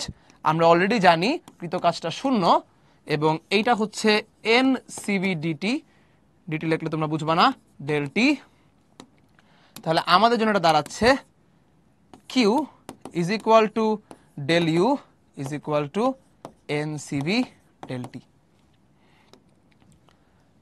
so আশা করি বুঝে ফেলছো যে আমাদের ডব্লু যেহেতু জিরো হয়ে গেছে, সেহেতু কিউ যা কথা, অভ্যন্তর শক্তি পরিবর্তন তাই কথা, এবং এন সিবি ডেলটি হচ্ছে তার সূত্র। এবং গ্রাফটাও খুবই পরিষ্কার, এই গ্রাফের ক্ষেত্রে কখনোই আয়তনটা পাল্টাবে না, আয়তনটাই ফিক্স জায়গাতেই থাকবে, শুধু প্রেসারটাই উঠানামা করতেছে। আচ্ছা তো সম আয়তন প্রক্রিয়ার সূত্র, সবাই আশা করি বুঝছি। এখন যদি একটা ঠান্ডা মাথায় কথা বলি, এই যে অভ্যন্তরীণ শক্তি একটা ফর্মুলা বের করলাম, দেখতে পাচ্ছ এখানে একটা অভ্যন্তরীণ শক্তি ফর্মুলা আছে। আমি যখন অভ্যন্তরীণ শক্তি পড়াইছিলাম, তখন তোমাদের একটা কথা বলছিলাম যে, ভাই, অভ্যন্তরীণ শক্তি কিসের উপর নির্ভর করে? অভ্যন্তরীণ শক্তি একটাই জিনিসের উপর নির্ভর করে, আর কারোর উপর নির্ভর করে না। এই জিনিসটার নাম কি ছিল? ওকে ভেরি গুড তোমরা অলরেডি পেরে গেছো। অভ্যন্তরীণ শক্তির নির্ভরতা ছিল শুধুমাত্র তাপমাত্রার উপরে। তাপমাত্রা বাদে আর কারও উপরে অভ্যন্তরীণ শক্তি নির্ভর করেই না। তাহলে অভ্যন্তরীণ শক্তি আর কারোর উপর নির্ভর না করে, তাহলে আমি বলতে পারি যে প্রেশার স্থির থাকুক, না থাকুক, আয়তন স্থির থাকুক, না থাকুক তাপমাত্রা বাদে অভ্যন্তরীণ শক্তিকে আর কেউ পরিবর্তন করতে পারবে না। সো অভ্যন্তরীণ শক্তির যে সূত্রটা আমি এখানে পাইছি, এটা সব জায়গায় অ্যাপ্লিকেবল তো অভ্যন্তরীণ শক্তির সূত্র আমরা এখানে পেয়েছি এন সিবি ডেলটি এই সূত্র সব জায়গায় অ্যাপ্লিকেবল যেখানে মন চায় আমি এটা ইউজ করতে পারব। সো আমি যদি এখানে এসে ওই সূত্রটা বসায় দেই, তাতেও কোনো সমস্যা নাই। অভ্যন্তরীণ শক্তির পরিবর্তনের সূত্র সকল জায়গায় এন সিভি ডেল টি আমি চাইলে এখানে চাইলে লিখতে পারতাম কৃতকাজের মধ্যে এটা বসায় দেই কৃতকাজের মধ্যে এটা বসায় দেই, অভ্যন্তরীণ শক্তির মধ্যে এটা বসায় দেই, আর কিউ এর মধ্যে এইটা বসায় দেই। তাহলে আমার সমচাপ প্রক্রিয়ার সূত্রটা একটু সুন্দর হয়ে যাবে। এটা হবে n CP del T is equal to n CV del T plus P del V যদি কখনো প্রয়োজন পড়ে অ্যাডমিশনের সময় বেশি করে এটা প্রয়োজন পড়বে, তখন তুমি চাইলে এই সূত্রটাও ব্যবহার করতে পারবে। আচ্ছা।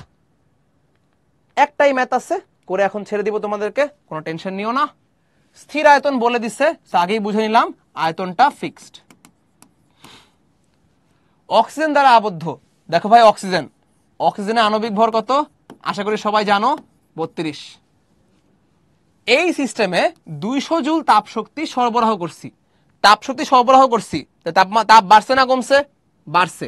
তাহলে এই কিউটা হচ্ছে প্লাস দুইশো। সিস্টেমের তাপমাত্রা পনেরো ডিগ্রি সেলসিয়াস বৃদ্ধি পেল।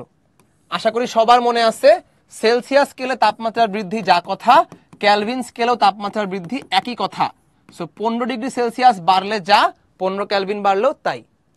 জিজ্ঞেস করছে অক্সিজেনের ভর কত? এমটা জিজ্ঞেস করছে। এবং বলে দিছে CV is equal to twenty point seven eight এই ম্যাথ একদম সোজা।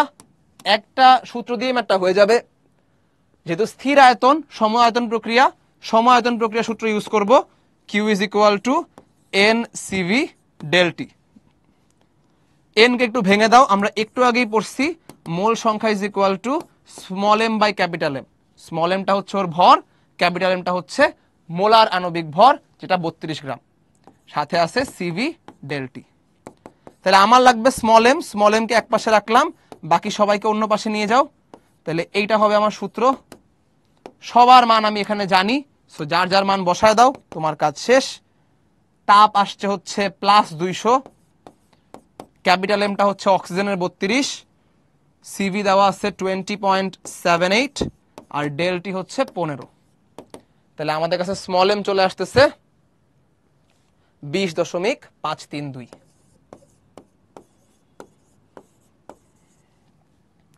এইটাই হচ্ছে আমাদের অক্সিজেনের ভর, বিশ দশমিক পাঁচ তিন দুই গ্রাম। সো বুঝতে পারছ? খুবই ইজি অঙ্ক। যা স্থির আয়তন বলা আছে যে সম আয়তন আমি বুঝে নিতে হবে। সম আয়তনের সূত্রটা মনে করতে হবে এবং কি কি দেওয়া আছে চিনতে হবে। অক্সিজেন দেওয়া আছে মানে ক্যাপিটাল এম বত্রিশ গ্রাম। দুইশো জুল শক্তি সরবরাহ হয়েছে তাহলে দুইশো জুল শক্তি সরবরাহ করছি মানে Q is equal to plus two hundred তাপমাত্রা পনেরো ডিগ্রি বৃদ্ধি পাইছে, তাহলে ডেলটি হচ্ছে পনেরো ডিগ্রি সেলসিয়াস। সেলসিয়াসে যা কথা, ক্যালভিনে তাই কথা। এখন বাই করতে বলছে ভর। সূত্রে আসলাম এনটাকে ভাঙলাম স্মল এমটা আমার দরকার, একে এক পাশে রেখে বাকি সবাইকে অন্য পাশে নিয়ে গেলাম ভ্যালু বসাইলাম অ্যান্সার চলে আসছে। একবার ইয়েস নো বলতে আমাকে জানায় দাও, এই ম্যাটটা সবার কাছে হান্ড্রেড পার্সেন্ট ক্লিয়ার কিনা। ওকে ভেরি গুড একদম সবার কাছে ক্লিয়ার খুবই ভালো লাগল। তাহলে আমি ধরে নিচ্ছি, আমাদের এই ক্লাসটা মোটামুটি তোমরা বুঝছ। টাইম একটু বেশি নিছি, বাড়ির কাজ নেক্সট ক্লাসে সবার আগে করে দিব। যদি আমার সাথে থাকো করছে, তাহলে নেক্সট ক্লাসের শুরুতেই এই বাড়ির কাজ আমি করে দিব। আর তোমরা বাসায় বসে করার চেষ্টা করবে সবাই। সো উইথ দ্যাট আছে ক্লাস শেষ। সময় একটু বেশি নিছি। এইটার একটা প্রুফ যে আমরা সবসময় যে আড়াই ঘণ্টার মধ্যে সবসময় ক্লাস শেষ করবে এমন না। যদি তোমাদেরকে প্রপারলি বোঝাতে আমাদের একটু বেশি সময় লাগে, আমরা বেশি সময়ও পড়াই। আমরা এই দিক থেকে চিন্তা করি না যে আমরা, আমাদের কোনটা ভালো হবে বা আমরা আগে শেষ করতে পারলে আমরা আগে বাসা যেতে পারব সেটা চিন্তা আমরা করি না। তো তোমাদের যতটুকু দরকার, ততটুকুই পড়াবো। এখানে টেনশন নিও না। ফ্রি কোর্স যারা করছ, তাদের সাথে হয়তো এক সপ্তাহ পর দেখা হতেও পারে, নাও পারে। যদি ফ্রি কোর্স করে ভালো লাগে, তাহলে হয়তো আগামী সাথে দেখা হবে। আর যারা কোর্সে আছো, তাদের সাথে দেখা হতেই থাকবে। নেক্সট ক্লাসে তাপ গতিবিদ্যা নিয়ে আবারও থাকছি আমি ফাইম ফয়সাল। ইনশাল্লাহ আসসালামু আলাইকুম সবাইকে।